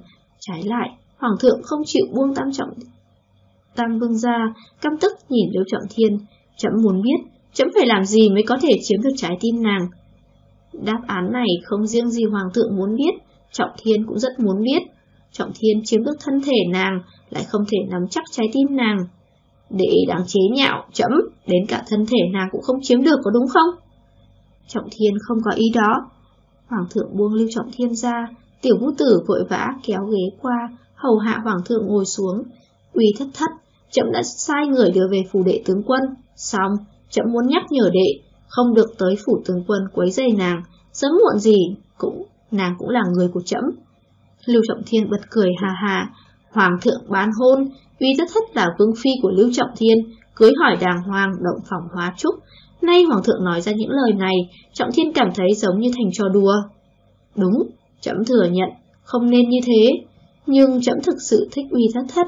Hiện tại đừng xem trẫm là Hoàng thượng, trẫm là một nam nhân. Trong Hoàng cung rộng lớn này, Hoàng hậu là người được Thái hậu khâm điểm, còn phi tần ư. Bọn họ luôn ghen tuông đố kỵ nhau, chẳng bao giờ chiếm được trái tim chậm. Tất cả đám nữ nhân thị tẩm đều khiến chậm cảm thấy không hứng thú. Chậm chỉ cần một nữ nhân toàn tâm toàn ý, yêu quý chậm mà thôi. Nhưng thật đáng tiếc, nữ nhân đó lại là vương phi của đệ. Hoàng thượng lấy tay day day chán, thần sắc ảm đạm, lâm vào trạng thái yêu sầu. Nếu thất thất quyết một lòng đi theo hoàng thượng, Trọng Thiên không còn gì để nói. Lưu Trọng Thiên hiểu loại cảm giác này, chẳng phải chàng cũng từng trải qua đó sao? Vì nữ nhân này gần như sức cùng lực kiệt, nếu nàng cứ khăng khăng không theo chậm, chậm sẽ giết nàng. Lời Hoàng thượng nói khiến Lưu Trọng Thiên chấn động, những lời này thật quen tai, chẳng phải Lưu Trọng Thiên cũng từng nói thế với uy thất thất ư. Nếu, nạn rằng nếu nàng đi theo nam nhân khác, chàng sẽ thẳng tay trừng trị thất thất. Giờ đây nghe những lời nói này, tâm trạng của Lưu Trọng Thiên vô cùng phức tạp, chẳng lẽ đây không phải là điều Lưu Trọng Thiên chẳng muốn hay sao? Lưu Trọng Thiên tràn đầy mâu thuẫn ngắm nhìn sang cửa sổ, Rốt cuộc chẳng hy vọng thất thất kháng cự hoàng thượng hay là thuận theo hoàng thượng đây. Thuận theo hoàng thượng, Lưu Trọng Thiên sẽ đau khổ tột cùng, kháng cự hoàng thượng, thất thất sẽ khó bảo toàn tính mệnh. Kiếp này vĩnh viễn không gặp lại. Lưu Trọng Thiên siết chặt nắm tay, bất luận cuối cùng thất thất theo ai, nhất định nàng phải còn sống, sống vui vẻ. Nếu thất thất ưng thuận theo hoàng thượng, mong hoàng thượng hãy đối xử tử tế với thất thất. Chậm biết, chậm thật lòng thích nàng, chậm sẽ cho nàng tất cả những thứ nàng muốn. Hoàng thượng đứng dậy, bước tới trước mặt Lưu Trọng Thiên. Chậm cảm thấy có chút áy náy với đệ, cho nên đệ có thể đưa ra yêu cầu, nếu như không quá đáng, chậm sẽ đáp ứng đệ. Nếu như trao đổi uy thất thất với Trọng Thiên, Trọng Thiên không có gì để nói, chỉ hy vọng Hoàng thượng mãi không rời xa, không vứt bỏ thất thất, yêu thương nàng sâu đậm. Nữ nhân của trẫm, trẫm tự biết yêu thương thế nào, để cứ chuyên tâm làm vương gia cho tốt đột nhiên xoay người căn dặn binh lính. Thân thể Tam Vương Gia không khỏe, chậm hạ chỉ đưa Tam Vương Gia trở về phủ. Hoàng thượng sải bước đi tới cửa. Dạ, Hoàng thượng. Thực ra, thiên tử Đại Hán cũng rất lo cho thân thể của Tam Vương Gia. Tam Vương Gia dũng mãnh, lập được không ít chiến công hiển hách vì giam sơn của y. Làm Hoàng thượng, y không thể nhắm mắt làm ngơ, y ngưỡng mộ Lưu Trọng Thiên, càng như vậy lại càng không phục, Ngoại trừ ngôi vị hoàng đế ra, Lưu Trọng Thiên gần như có hết mọi thứ, thậm chí còn có mỹ nhân uy thất thất, huynh quốc huynh thành, hoạt bát đáng yêu trung tình với chàng ta.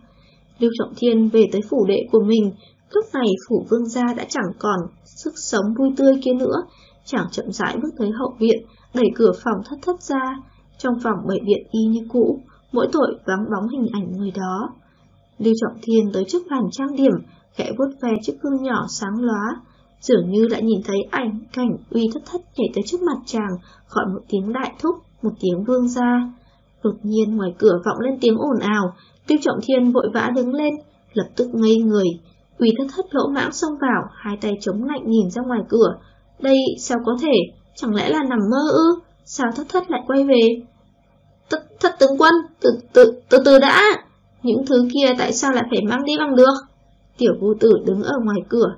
Hiện giờ, tiểu thái giám này phụ trách trông chừng uy thất thất, xem ra hoàng thượng đã hạ quyết tâm thật rồi.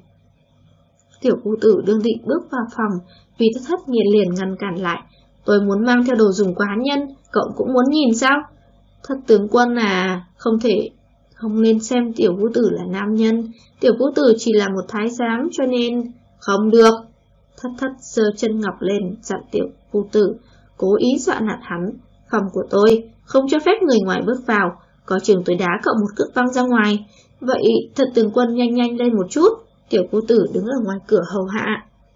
Tiểu vũ tử vô ý, nhìn thoáng qua trong phòng, đột nhiên trông thấy Lưu Trọng Thiên lập tức căng thẳng, thật quái lạ, chẳng phải Tam Vương Gia đương bị nhốt trong Hoàng Cung sao?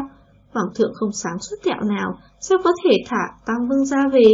Hiện tại hai người họ gặp nhau rồi, có vẻ khó mà kiềm chế. Được rồi, thất thất nhanh chóng đóng cửa phòng lại, bỏ tiểu thái giám ở ngoài cửa. Vì thất thất phủi phủi tay, xoay người lại, đột nhiên cảm thấy trước mắt một bóng người cao lớn vút qua, còn chưa kịp có phản ứng, đã bị ôm giết lấy. Không thể cựa quậy.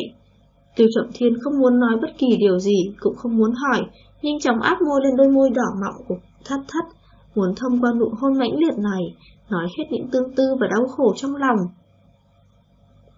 Lưu Trọng Thiên tưởng rằng mình sẽ không còn được gặp lại thất thất nữa, mỹ nhân quyến rũ xảo quyệt khiến chàng yêu thương sâu đậm. Giờ đây đột nhiên xuất hiện trước mặt chàng, tựa như từ trên trời rơi xuống, liền kinh ngạc rồi lại thấy bi thương, tất cả những cảm xúc dồn nén bấy lâu trong chốc lát đã thoát ra ngoài. Vì thất thất có cảm giác cả người bị nhấc bổng lên, cô thoáng bối rối, hoảng sợ nhìn Lưu Trọng Thiên, thấy người chàng bình an vô sự, trong lòng cũng thoải mái hơn rất nhiều. Xong lúc này tiểu vũ tử đang chờ ngoài cửa, chẳng điên rồi sao? Lưu Trọng Thiên không chút do dự đặt thất thất vào bên trong chiếc giường trắng tuyết, ôm chặt lấy cô, ánh mắt si mê chứa chan tình cảm nhìn cô, không biết vương phi của mình trong hoàng cung đã mạo phạm chuyện gì, khiến hoàng thái hậu bực tức đuổi nàng ra khỏi cung. Tại sao nàng luôn nghĩ ra nhiều ý tưởng như vậy? Chờ đã, vương ra, tiểu vũ tử còn ở đây. Tên cậu nô tài đó, hắn dám ngăn cản bổn vương, hôm nay bổn vương sẽ cho hắn quy tiên. Nhắc tới tiểu vũ tử, trong ánh mắt Lưu Trọng Thiên ngập tràn lửa giận, khi ánh mắt chàng chuyển hướng về phía uy tất thất, lại ánh lên vẻ dịu dàng khác thường. Em khiến bổn vương gần như đánh mất bản thân mình. Đôi môi Lưu Trọng Thiên bỗng dưng, dừng lại trên gương mặt thất thất. Thất thất vội vã đẩy chàng ra, tỷ nữ ngoài cửa, hộ vệ đâu hết cả rồi, còn tiểu vũ tử nữa. Vương gia tại sao lại không kiềm chế như vậy chứ? Đối với ánh mắt si tình của Lưu Trọng Thiên, Uy Thất Thất bỗng cảm động, nhưng sự cảm động đó chỉ diễn ra trong tích tắc, có lẽ Tam Vương Gia e sợ quyền uy của Hoàng thượng nên định hưu thê và sẽ cưới Ninh Vân Nhi. Vương Gia, bổn vương ganh tị, thất thất, em hãy cứu bổn vương, bổn vương không thể không có em. Ganh tị, thất thất có phần không tin, Lưu Trọng Thiên lại có thể nói ganh tị, phải là đã tổn thương tới lòng tự trọng, tự tôn của chàng mới đúng, chẳng phải vương gia ngạo mạn này đã nói cô chỉ là nữ nhân ư, chẳng phải có thể vạc sức lấy người khác thay thế cô hay sao? Ở lại đây, đừng tới phủ tướng quân. Lưu Trọng Thiên than nhẹ, biểu hiện hiện tại của vương gia là vì yêu thất thất hay là vì lòng tự tôn bị tổn thương, bất luận là cái nào, thất thất biết vương gia sẽ không quay lưng lại với hoàng thượng, Giáng Sơn Đại Hán quan trọng hơn hết thảy, trước đây vương gia muốn giết thất thất, chẳng phải cũng lo sợ sẽ có ngày thế này hay sao? Lưu Trọng Thiên giật mình, đúng vậy, chàng quả thực sợ có một ngày như vậy, đã từng giơ kiếm lên, thiếu chút nữa giết chết uy thất thất. Nhưng hiện giờ tâm trạng chàng không giống như xưa, trải qua nỗi đau mất mát, tận đáy lòng chàng lo sợ từ nay về sau sẽ không còn được gặp nàng nữa. Chàng hy vọng thất thất có thể sống tốt, cho dù ở bên hoàng thượng, chỉ cần uy thất thất cảm thấy hạnh phúc là được. Lưu Trọng Thiên sẽ cảm thấy được an ủi phần nào. Trong thiên hạ đại hán, còn có một nữ nhân khiến chàng yêu thích, cảm mến như vậy. Âu cũng là chỗ dựa tinh thần cho chàng. Thứ lỗ cho bổn vương. Thất thất đẩy Lưu Trọng Thiên ra, sửa sang lại đầu tóc, ngồi dậy. Thất thất không phải lễ vật, cũng không phải là vật phụ thuộc. Vương gia đã sức cùng lực kiệt, lo lắng không đâu rồi. Em hiện giờ vẫn là vương phi của bổn vương. Lưu Trọng Thiên thực sự bị ngữ khí lạnh nhạt của thất thất làm tổn thương. Hãy bỏ thất thất, vương gia sớm muộn gì cũng sẽ phải làm như vậy. Hơn nữa, vương gia chẳng phải muốn nạp Ninh Vân Nhi sao? Hãy sắc phong nàng ta là vương phi. Quỳ thất thất nhảy xuống giường, bắt đầu thu dọn đồ dùng cá nhân của mình. Em chẳng cần ai hết, không cần vương gia, cũng không cần hoàng thượng. Thất thất. Lưu Trọng Thiên giữ chặt tay thất thất. Em vì sao cứ phải so đo với Vân Nhi?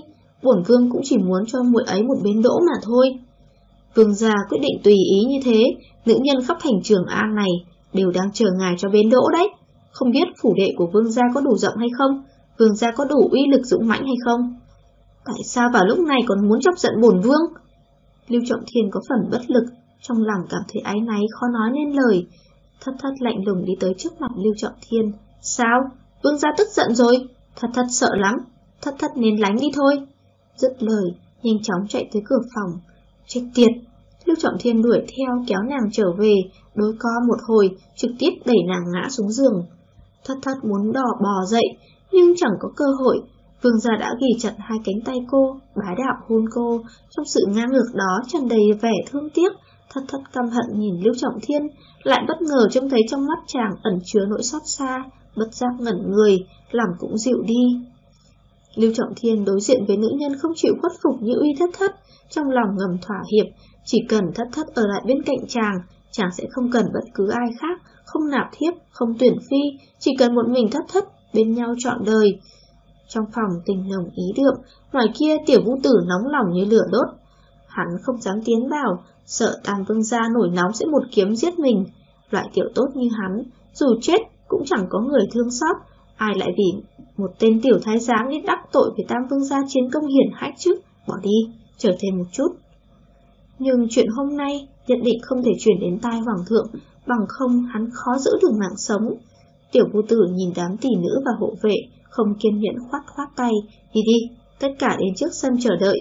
Thất thất, tướng quân thu dọn xong xuôi sẽ ra. Tỷ nữ và hộ vệ nhanh chóng rời đi, tiểu vũ tử không nhịn được ghé sát vào cạnh cửa phòng, nhìn trộm qua khe cửa, chớp mắt vài lần nhỏ giọng nói thầm. Ngay cả thái giám vốn không phải nam nhân nhìn thấy cũng động lòng, huống chi là hoàng thượng và tam vương gia khí huyết sung mãn. Hắn vội nuốt ngụm nước miếng đang sắp trực trào ra, lặng lặng ngồi canh ngoài cửa, hy vọng tam vương gia có thể giải quyết nhanh gọn nội tương tư để mà hắn mang thất thất đi. Tiểu vu tử vẫn đứng ngoài canh cửa phòng, chờ đã rất lâu, hắn buồn chán ngắm nhìn sao trên trời, ngủ gật gà gật gù. Tiểu vu tử không dám làm liều, hắn lo sợ tam vương gia sẽ lấy mạng hắn. Uy thất thất thẹn thùng đẩy Lưu Trọng Thiên ra, cô bối rối né tránh ánh mắt si mê của chàng. Tam vương gia này, trên chiến trường oai phong lẫm liệt, nhưng trong tình yêu lại ngu ngơ không biết tình cảm của thất thất thế nào. Có lẽ suốt cuộc đời cũng chẳng rõ cô có yêu chàng hay không. Thất thất ngượng ngùng mặc y phục vào, vì vừa rồi dâng trào cảm xúc mãnh liệt, hai má cô đỏ bừng, tim cũng đập rộn ràng. Bổn vương nghĩ thông suốt rồi, bổn vương không sao dùng tay giết em được, vậy bổn vương sẽ từ bỏ, có lẽ hạnh phúc của em đích thực không ở chỗ bổn vương. Lưu Trọng Thiên thở dài, chỉ cần em vẫn là vương phi của bổn vương một ngày, bổn vương đồng ý với em, tuyệt đối sẽ không nạp thiếp, không tuyển phi. Vương gia, chàng thực sự hy vọng thất thất hạnh phúc sao? Vì thất thất kinh ngạc nhìn Lưu Trọng Thiên, được nghe thấy những lời nói như thế này từ trong miệng vương gia cổ đại, quả thực khiến thất thất giật bắn mình, chàng sẽ vì cô thay đổi sao? Phải, chàng có thể vì thất thất không tuyển phi, không nạp thiếp. Trong lòng bổn vương chỉ có mình em, nếu thất thất yêu nam nhân khác, chàng cũng sẽ không đòi giết thất thất nữa chứ. Bổn vương không làm được, bởi vì bổn vương không nỡ. Vương gia, thất thất xúc động, nước mắt lưng tròng, đột nhiên nhào tới trong lòng uy thất thất, ôm giết lấy chàng. Cử chỉ khác thường của thất thất đã u hù dọa Lưu Trọng Thiên, chàng khẽ vỗ bả vai cô, thương tiếc vô hạn. Thất thất ngẩng đầu, nhìn vào mắt Lưu Trọng Thiên, vương gia trong lòng thất thất cũng chỉ có một mình vương gia, cả đời này chỉ yêu tam vương gia Lưu Trọng Thiên, cho nên cũng muốn trong lòng vương gia chỉ có một mình thất thất, cả đời chỉ yêu một mình thất thất. Bổn vương bằng lòng cả đời. Lưu Trọng Thiên lúc này không hề hoài nghi, nghe những lời nói này của thất thất, khiến chàng cảm thấy vui sướng khôn cùng. Thực sự, sự nghi ngờ trước đây, đối với thất thất đã tan thành mây khói. Xong lúc này, Lưu Trọng Thiên càng thêm sầu não. Xem ra vấn đề hưu thư, bất luận thế nào chàng cũng không sao biết nổi, cho dù có muốn lấy mạng chàng đi chăng nữa. Vương gia, hôm nay thất thất thực sự rất vui, nhưng hiện giờ thất thất phải đi rồi. Thất thất lau hai là hàng lệ, tránh nhìn Lưu Trọng Thiên. Bổn vương sẽ nghĩ cách để em trở lại bên cạnh bổn vương, nếu còn bức ép bổn vương nữa, bổn vương sẽ... Đừng! Thất thất bịt miệng chàng, thất thất muốn vương gia bình bình an an, tạo phản, chuyện mất đầu như chơi không thể làm. Chàng cũng đã nói, đại hán là thiên hạ của hoàng thượng, thất thất luôn mong được sống bên vương gia chọn đời chọn kiếp này, cho nên chẳng nhất định phải vì thất thất mà bảo trọng. Thất thất, những lời em vừa nói cộng thêm dáng vẻ hiện tại khiến bổn vương không nỡ rời xa em. Lưu Trọng Thiên nắm lấy bàn tay nhỏ nhắn của thất thất, đặt ở bờ môi, hôn mơn man. Cả đời, thật lâu, thất thất còn muốn sinh rất nhiều con gái cho vương gia. Lời em nói quả là lớn mật, nhưng lại khiến bổn vương vô cùng khoan khoái. Lưu Trọng Thiên cứ cảm thấy những biểu đạt kia của thất thất đặc biệt mê người, khiến người ta lưu luyến quên mất rằng đó là những điều xuồng xã lớn mật, quên cả việc chấn chỉnh. Tình yêu của nàng thể hiện hết trên gương mặt, trong lời nói. Còn rất nhiều việc lớn mật nữa đó, vương gia sau này cứ từ từ thưởng thức. Uy thất thất rút ngón tay ra, mỉm cười, nụ cười dạng dỡ đó khiến Tam Vương gia mê mẩn. Uy thất thất cầm đống đổ, dùng cá nhân đã thu dọn xong, đặt một nụ hôn lên môi Vương gia, nhanh chóng chạy tới cửa phòng. Tiểu phụ tử đợi chờ sốt ruột, bực bội đi đi lại lại. Tam Vương gia này, quấn quýt si mê đã lâu như vậy rồi mà vẫn chưa xong. Hắn lại dòm qua khe cửa, nhìn vào trong lần nữa, vừa ghé mặt tới gần, cửa phòng bị đẩy mạnh ra, lập tức đụng trúng vào mũi hắn. Hắn đau đớn liên tục lui về phía sau, cảm giác có chất gì đó ươn ướt chảy ra. Ôi mẹ ơi, xuất huyết rồi! Thật, tướng quân, cô không thể nhẹ nhàng chút sao? Cái mũi của tiểu nô tài... Tiểu cô tử xoa mũi, thấy uy thất thất cười tươi giói, nước mắt tuôn trào xót xa. Ô, ai vào ghé cửa làm gì? Dám nhìn lén, khẩu nô tài chết tiệt, cậu đã trông thấy những gì rồi? Uy thất thất xách tay tiểu cô tử, tiểu cô tử nhăn mặt nhe răng chắp tay cầu khẩn. Ái ui, thất tướng quân của thần, và cô ơi, tiểu nô tài chẳng trông thấy gì cả. Nhìn thấy rồi sẽ móc mắt cậu ra, hoàng thượng yêu thích tôi như thế, nếu tôi muốn moi tim cậu, chắc hắn ta cũng đồng ý, vì thất thất cố ý hù dọa tiểu phụ tử, sợ hắn nói bậy bạ khắp nơi sẽ mang đến phiền toái không cần thiết cho Lưu Trọng Thiên. Ôi chào, thất tướng quân, tiểu nô tài đâu dám tắc tội với thất tướng quân, dù cho thực sự nhìn thấy điều gì, tiểu nô tài cũng không dám nói, nói ra chẳng phải sẽ gặp họa rơi đầu ư. Biết thế là tốt. Vì thất thất quăng đống đồ đã thu dọn cho tiểu vũ tử, dẫn đường tới phủ tướng quân. Dứt lời học theo dáng vẻ của nam nhân, Hải tay chắp sau lưng, nghênh ngang tiến về phía trước. Tiểu vô tử vui mừng, chỉ cần uy thất thất chịu đi đã tốt rồi. Nếu cứ nán lại chỗ tam vương gia, hắn sẽ phiền phức to. Thất tướng quân hồi phủ tướng quân! Tiểu vô tử phấn khích, sách gói đồ nặng, cười ha ha đi trước dẫn đường. Lưu Trọng Thiên bước tới cửa, lặng lẽ nhìn uy thất thất mang theo đám hộ vệ tỷ nữ kia, cùng tiểu vũ tử rời khỏi đây. Căn phòng thoáng chốc yên tĩnh trở lại, trong phòng cũng có cảm giác trống vắng. Những lời nói lớn mật của Y thất thất vẫn quanh quẩn trong đầu chàng. Tình bóng nữ nhân hoạt bát ấy đã khắc sâu trong trái tim chàng, mãi không phai mờ. Lưu Trọng Thiên quay về phòng mình, tâm tình đã không còn nặng chịu như trước. Hòn đá, tảng đè nặng trong lòng đã được cất đi, Bất luận sau này, thất thất theo hoàng thượng hay là lưu lại đây, Lưu Trọng Thiên đã làm sáng tỏ được một chuyện, đó là trong lòng vi thất thất chỉ có một mình chàng, thất thất của chàng yêu thương chàng sâu đậm, vậy là đủ rồi. Lưu Trọng Thiên buồn chán khôn xiết, nhớ lại những tháng ngày kể vai sát cánh bên uy thất thất trên chiến trường Đại Hán, quân nhà Hán anh dũng thiện chiến trong biển. Cát vàng sa mạc, kỵ binh hung nô đại bại, rũ rượi tháo chạy thoát thân về phương Bắc, bọn họ dẫn binh lính hỏa thiêu doanh trại hung nô, đuổi tới hơn 2.000 dặm, giết hơn 7 vạn quân giặc, gần như toàn bộ cánh quân chủ lực của hữu hiển vương bị diệt sạch. Triều đình đại hán toàn thắng, đăng đàn cúng tế trời đất, chúc mừng chiến tích huy hoàng, từ nay về sau hung nô tan tác, sa mạc phía nam không còn là vương triều của chúng nữa. Lưu Trọng Thiên lúc này lại hy vọng trận chiến trên sa mạc kia chưa hề kết thúc, chàng và thất thất cũng chưa hề trở lại Trường An. Có lẽ ở trong sa mạc, trải qua khoảng thời gian vui vẻ hạnh phúc, loại chân tình hoạn nạn này, suốt đời không sao vứt bỏ được. Dù cho uy thất thất thuộc về người khác, nàng cũng là nữ nhân của chàng, vĩnh viễn chôn chặt trong tim chàng. Đường lúc Lưu Trọng Thiên hoài niệm, thì cánh cửa khe khẽ đẩy ra. Ninh Vân Nhi mặc một bộ y phục bằng lụa mỏng màu xanh, bưng điểm tâm chậm rãi tiến vào. Nàng đặt điểm tâm trên thư án, lẳng lặng đi tới sau lưng Lưu Trọng Thiên, nhẹ nhàng đấm lưng giúp chàng. Vương gia, vừa rồi suy nghĩ gì thế? Vương Vân Nhi nhẹ giọng hỏi, đâu có chuyện gì, không còn sớm nữa, bổn vương cần nghỉ ngơi. Lưu Trọng Thiên cảm thấy toàn thân bài hoài, giãn cân cốt cho đỡ mỏi. Vương Vân Nhi trải giường chiếu giúp Vương ra. Ninh Vân Nhi đi tới trước giường, trải chân đệm, y như một thê tử hiền thục, có vẻ như lời hứa hẹn của Vương gia trong hoa viên đã chấn an tinh thần nàng, hầu hạ Vương gia nghỉ ngơi là việc nàng nên làm. Lưu Trọng Thiên bỗng cười khổ, thực ra, nữ nhân phải là mẫu người hiển lương thục đức, biết tể ra nội trợ và hầu hạ nam nhân thế nào. Ninh Vân Nhi am hiểu tam tổng tứ đức hơn uy thất rất nhiều, lại dịu dàng thủy mị, Xong, đáng tiếc, trong lòng Lưu Trọng Thiên lại chỉ có một mình uy thất thất, nữ nhân vô lễ bốc đồng ấy mới chính là tình yêu vận mệnh trong cuộc đời chàng. Lưu Trọng Thiên đi tới trước giường, đương định cởi bỏ y phục, nhất thời ngạc nhiên, Ninh Vân Nhi nằm trên giường không một mảnh vải che thân, cơ thể trần như nhộng, bộ ngực sữa phập phồng, gò má ửng hồng, ánh mắt long lanh. Vương gia, đêm nay Vân Nhi sẽ hầu hạ vương gia, làm nữ nhân của vương gia, không để vương gia chân đơn gối chiếc. Dứt lời liền ngồi dậy, quỳ trên giường, vươn bàn tay nhỏ nhắn ra, đặt lên vạt áo Lưu Trọng Thiên. Vân Nhi cởi áo giúp Vương gia. Trời đã, Vân Nhi! Ánh mắt Lưu Trọng Thiên nhanh chóng rời khỏi người nàng, cầm lấy bộ y phục cạnh mép giường, ném lên người nàng. Mặc vào, mà mặc vào, rõ thật là làm can. Vương ra! Thân thể yêu kiểu trần trụi của Ninh Vân Nhi ôm chặt lấy Lưu Trọng Thiên. Hiện giờ Vương Phi đã đi rồi, Vân Nhi sợ Vương gia cô đơn, cho nên mới tới hầu hạ Vương gia.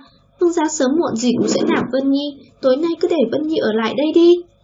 Vân, Ninh Vân Nhi vòng một tay qua cổ Lưu Trọng Thiên, tay kia nắm lấy bàn tay chàng đặt lên trước ngực mình. Thông qua bàn tay, Lưu Trọng Thiên cảm nhận được vẻ mềm mại của bộ ngực, xen lẫn nhịp tim rồn rập của Vân Nhi.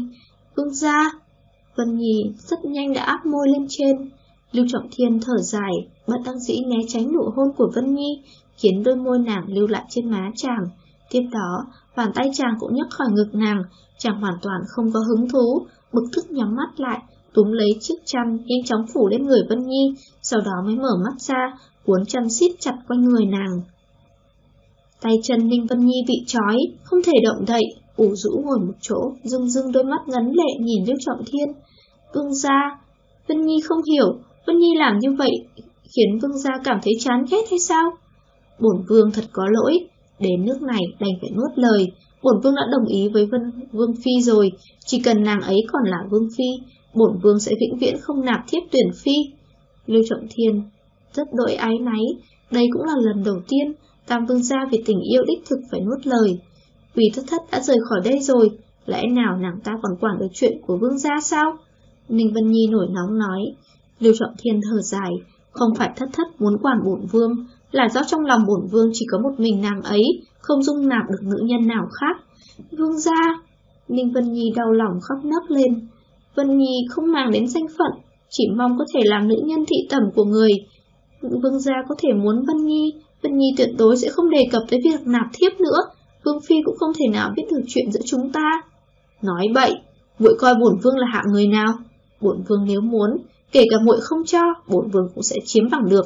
Thế nhưng hiện giờ bổn vương không muốn, nên muội hãy mau chóng mặc y phục vào rồi đi ra ngoài, đừng ép bổn vương sai người khiêng muội ra ngoài.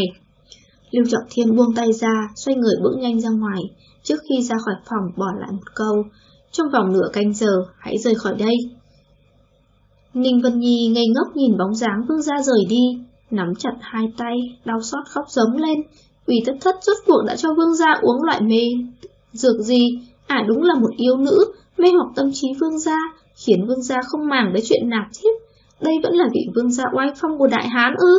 Hiện giờ, ngoại trừ nữ nhân kia, chẳng một ai có thể lọt vào trong mắt tam vương gia. Uổng phí bao năm qua, Ninh Vân Nhi một lòng một dạ với chàng ta. Ninh Vân Nhi có phần không tình nguyện, nàng vừa khóc vừa mặc y phục vào, cô đơn rời khỏi căn phòng của vương gia, thất hồn lạc phách chạy về phòng mình, trái tim nàng tan nát thê lương vô hạn, nàng cầm cây kéo sắc nhọn, nhắm mắt lại, đường định đâm trúng vào cổ họng, đột nhiên dừng lại, Vân Nhi mở choàng mắt ra, ném cây kéo xuống đất. Tại sao phải chết? Vương Phi đã bỏ đi rồi, Hoàng thượng muốn sủng hạnh nữ nhân kia, chỉ cần Hoàng thượng chiếm được, thân thể uy thất thất, sẽ mất đi sự trong trắng, à ta còn cao quý được nữa không? Tam Vương gia liệu có còn yêu thích một nữ nhân đã qua lại với nam nhân khác nữa không? Nam nhân cực kỳ để ý tới những chuyện thế này, đặc biệt là nam nhân có lòng tự tôn cao như Vương gia. Một khi uy thất thất thuộc về Hoàng thượng, Tam Vương gia sẽ trở lại như xưa, chẳng sớm muộn gì cũng sẽ cưới Vương Phi, tam thê tứ thiếp, chỉ cần có nữ nhân mới trong lòng, chẳng thể nào nhớ tới ả uy thất thất lẳng lơ kia nữa. Ninh Vân Nhi mỉm cười, nàng chết như vậy quả là thiệt thòi, cần kiên nhẫn chờ đợi, chờ đến khi Tam Vương Gia muốn nàng. Thì lúc đó, Tam Vương Gia sẽ biết rằng một Ninh Vân Nhi thuần khiết nếu so với uy thất thất nhơ nhớp thì tốt hơn gấp bội lần. Những ngày qua, Đại Hán Thiên Tử sống trong nỗi bồn chồn thấp thỏm, y cũng không sủng hạnh bất kỳ vị phi tần nào, hàng ngày đều bận bịu việc triều chính, ngồi ngây người ở trong dưỡng, dưỡng tâm điện. Hoàng thượng cũng đâu phải dạng người tự do, dù có thích tới chỗ nào cũng không thể chạy tới chỗ đó được. Phủ tướng quân thành Trường An khiến Hoàng thượng ngứa ngáy trong lòng, bất luận thế nào, Hoàng thượng cũng muốn tìm một cơ hội trốn khỏi Hoàng cung đến thăm uy thất thất. Ngày hôm nay, phê duyệt tấu chương xong, Đại Hán Thiên Tử thực sự không kiềm chế nổi nữa, buông cây bút trong tay xuống, thay bộ long bảo ra ra, mặc thường phục vào, theo mang theo vài cao thủ đại nội, trốn thái hậu rời khỏi cung. Đến cửa phủ tướng quân, hoàng thượng vô cùng nôn nóng, không biết uy thất thất lúc này đương làm gì nhỉ, có phải cũng sốt sắng giống như y hung hay không? Hoàng thượng vừa bước vào phủ tướng quân, tiểu vũ tử liền ra nghênh đón, mặt mũi lấm lem bùn đất. Hoàng thượng, cầu xin hoàng thượng hãy tha cho tiểu vũ tử, để nô tài quay về hầu hạ người đi, thất tướng quân sắp hành hạ tiểu nô tài tới chết rồi. Nhìn khuôn mặt nhếch nhác của tiểu vũ tử, liền biết hắn nhất định là bị uy tất thất trêu chọc đủ trò rồi. Hoàng thượng đâu có tâm tư để ý đến hắn, càng không quan tâm tới hắn phải chịu đầy đọa những gì, gấp gáp hỏi, uy tất thất đâu? Hoàng thượng, người nên cẩn thận một chút, khắc phủ tướng quân này chỗ nào cũng nguy hiểm do bị uy tất thất dày xéo khủng bố, khuôn mặt này của tiểu nô tài vừa bị dính trưởng xong. Ha ha! Hoàng thượng phá lên cười, xem ra mỹ nhân của trẫm rất xảo quyệt đáng yêu. Tiểu cô tử cây đắng ngậm ngùi, xảo quyệt đáng yêu. Dù sao, người bị hành hạ cũng không phải là hoàng thượng, đương nhiên, nhìn thế nào cũng thấy đáng yêu. Còn ở trong mắt tiểu vũ tử, đó chẳng khác nào một tiểu ác ma. Đập vào mắt là quang cảnh sân huấn luyện rộng lớn nằm chính giữa đại viện phủ tướng quân, Ủy tất thất mặc bộ y phục màu đen của nam nhân, ngồi nghỉ trên ghế, điệu bộ nhàn nhã, chống một chân lên, đôi mắt khép hờ, bàn tay nhỏ nhắn sẽ khẽ dơ lên, làm động tác ra hiệu cho một hộ vệ trong sân tập. Tiếp đi, tiếp đi, sao cậu không khổng chống tiếp hả? Mau lên nào! Trên sân huấn luyện, một hộ vệ đương ra sức chống đẩy. Thật tướng quân, thần đã làm hơn 100 cái rồi, sắp không cầm cự nổi nữa, xin tha mạng à! Tiếp đi tiếp đi, không cho phép dừng lại. Ủy tất thất bực tức đứng lên, đi tới đó túm lấy cổ áo hộ vệ. Phải làm 150 cái, vừa nhìn đã biết quen thói lười nhắc trong cung, tên hoàng thượng ngốc kia, chắc cũng cùng một ruột với các cậu. Ôi trời, thất tướng quân nói vậy mất đầu như chơi đó. Hộ vệ nhắc nhở, chém đầu tôi, các cậu nên vui mừng chứ, khỏi phải ở đây trông chừng tôi, không, không, không, tôi không có ý đó. Không có ý đó thì mau tiếp tục làm đi. Vì thất thất dùng tay ra dấu ok, nhìn đám người nhàm chán các cậu bực muốn chết. Hộ vệ kia gian nan tiếp tục công ngục chống đẩy, thất thất quay đầu ra sau nhìn thấy mấy tên hộ vệ đương nhìn xem náo nhiệt vừa cười khúc khích. Nhìn cái gì mà nhìn, làm hết, tất cả làm hết cho tôi, mỗi người 150 cái, để xem các cậu còn đủ sức ngày ngày dạo qua dạo lại không biết mệt trước cửa phòng tôi nữa hay không. Vì thất thất nói xong trở về chỗ ngồi, khoanh chân lại, dựa lưng vào ghế, biếng nhác sai tỷ nữ bên cạnh, đấm vai cho tôi, hầu hạ chu đáo một chút, bằng không cũng cho các cô ra chống đẩy. Dạ tướng quân, hai tỷ nữ cuống quýt tiến lên, mỗi người đứng một bên hầu hạ, không dám sơ suất. Đằng xa, tiểu vũ tử một mặt như đưa đám, nhỏ giọng nói với hoàng thượng, Hoàng thượng người thấy không, rõ thật là một chủ nhân quái gở khó chiều, tiểu phu tử hầu hạ không nổi.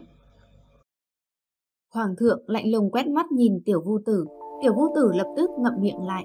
Hoàng thượng hoàn toàn không có ý định để hắn quay về, xem ra việc hầu hạ uy thất thất vẫn phải để hắn làm.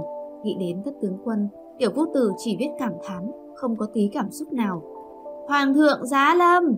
Tiểu vũ tử lớn tiếng hô.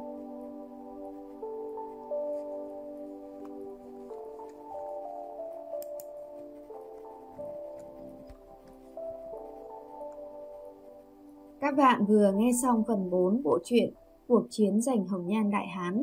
Nếu thấy hay, hãy bấm like và share video để ủng hộ cho Totoro nhé.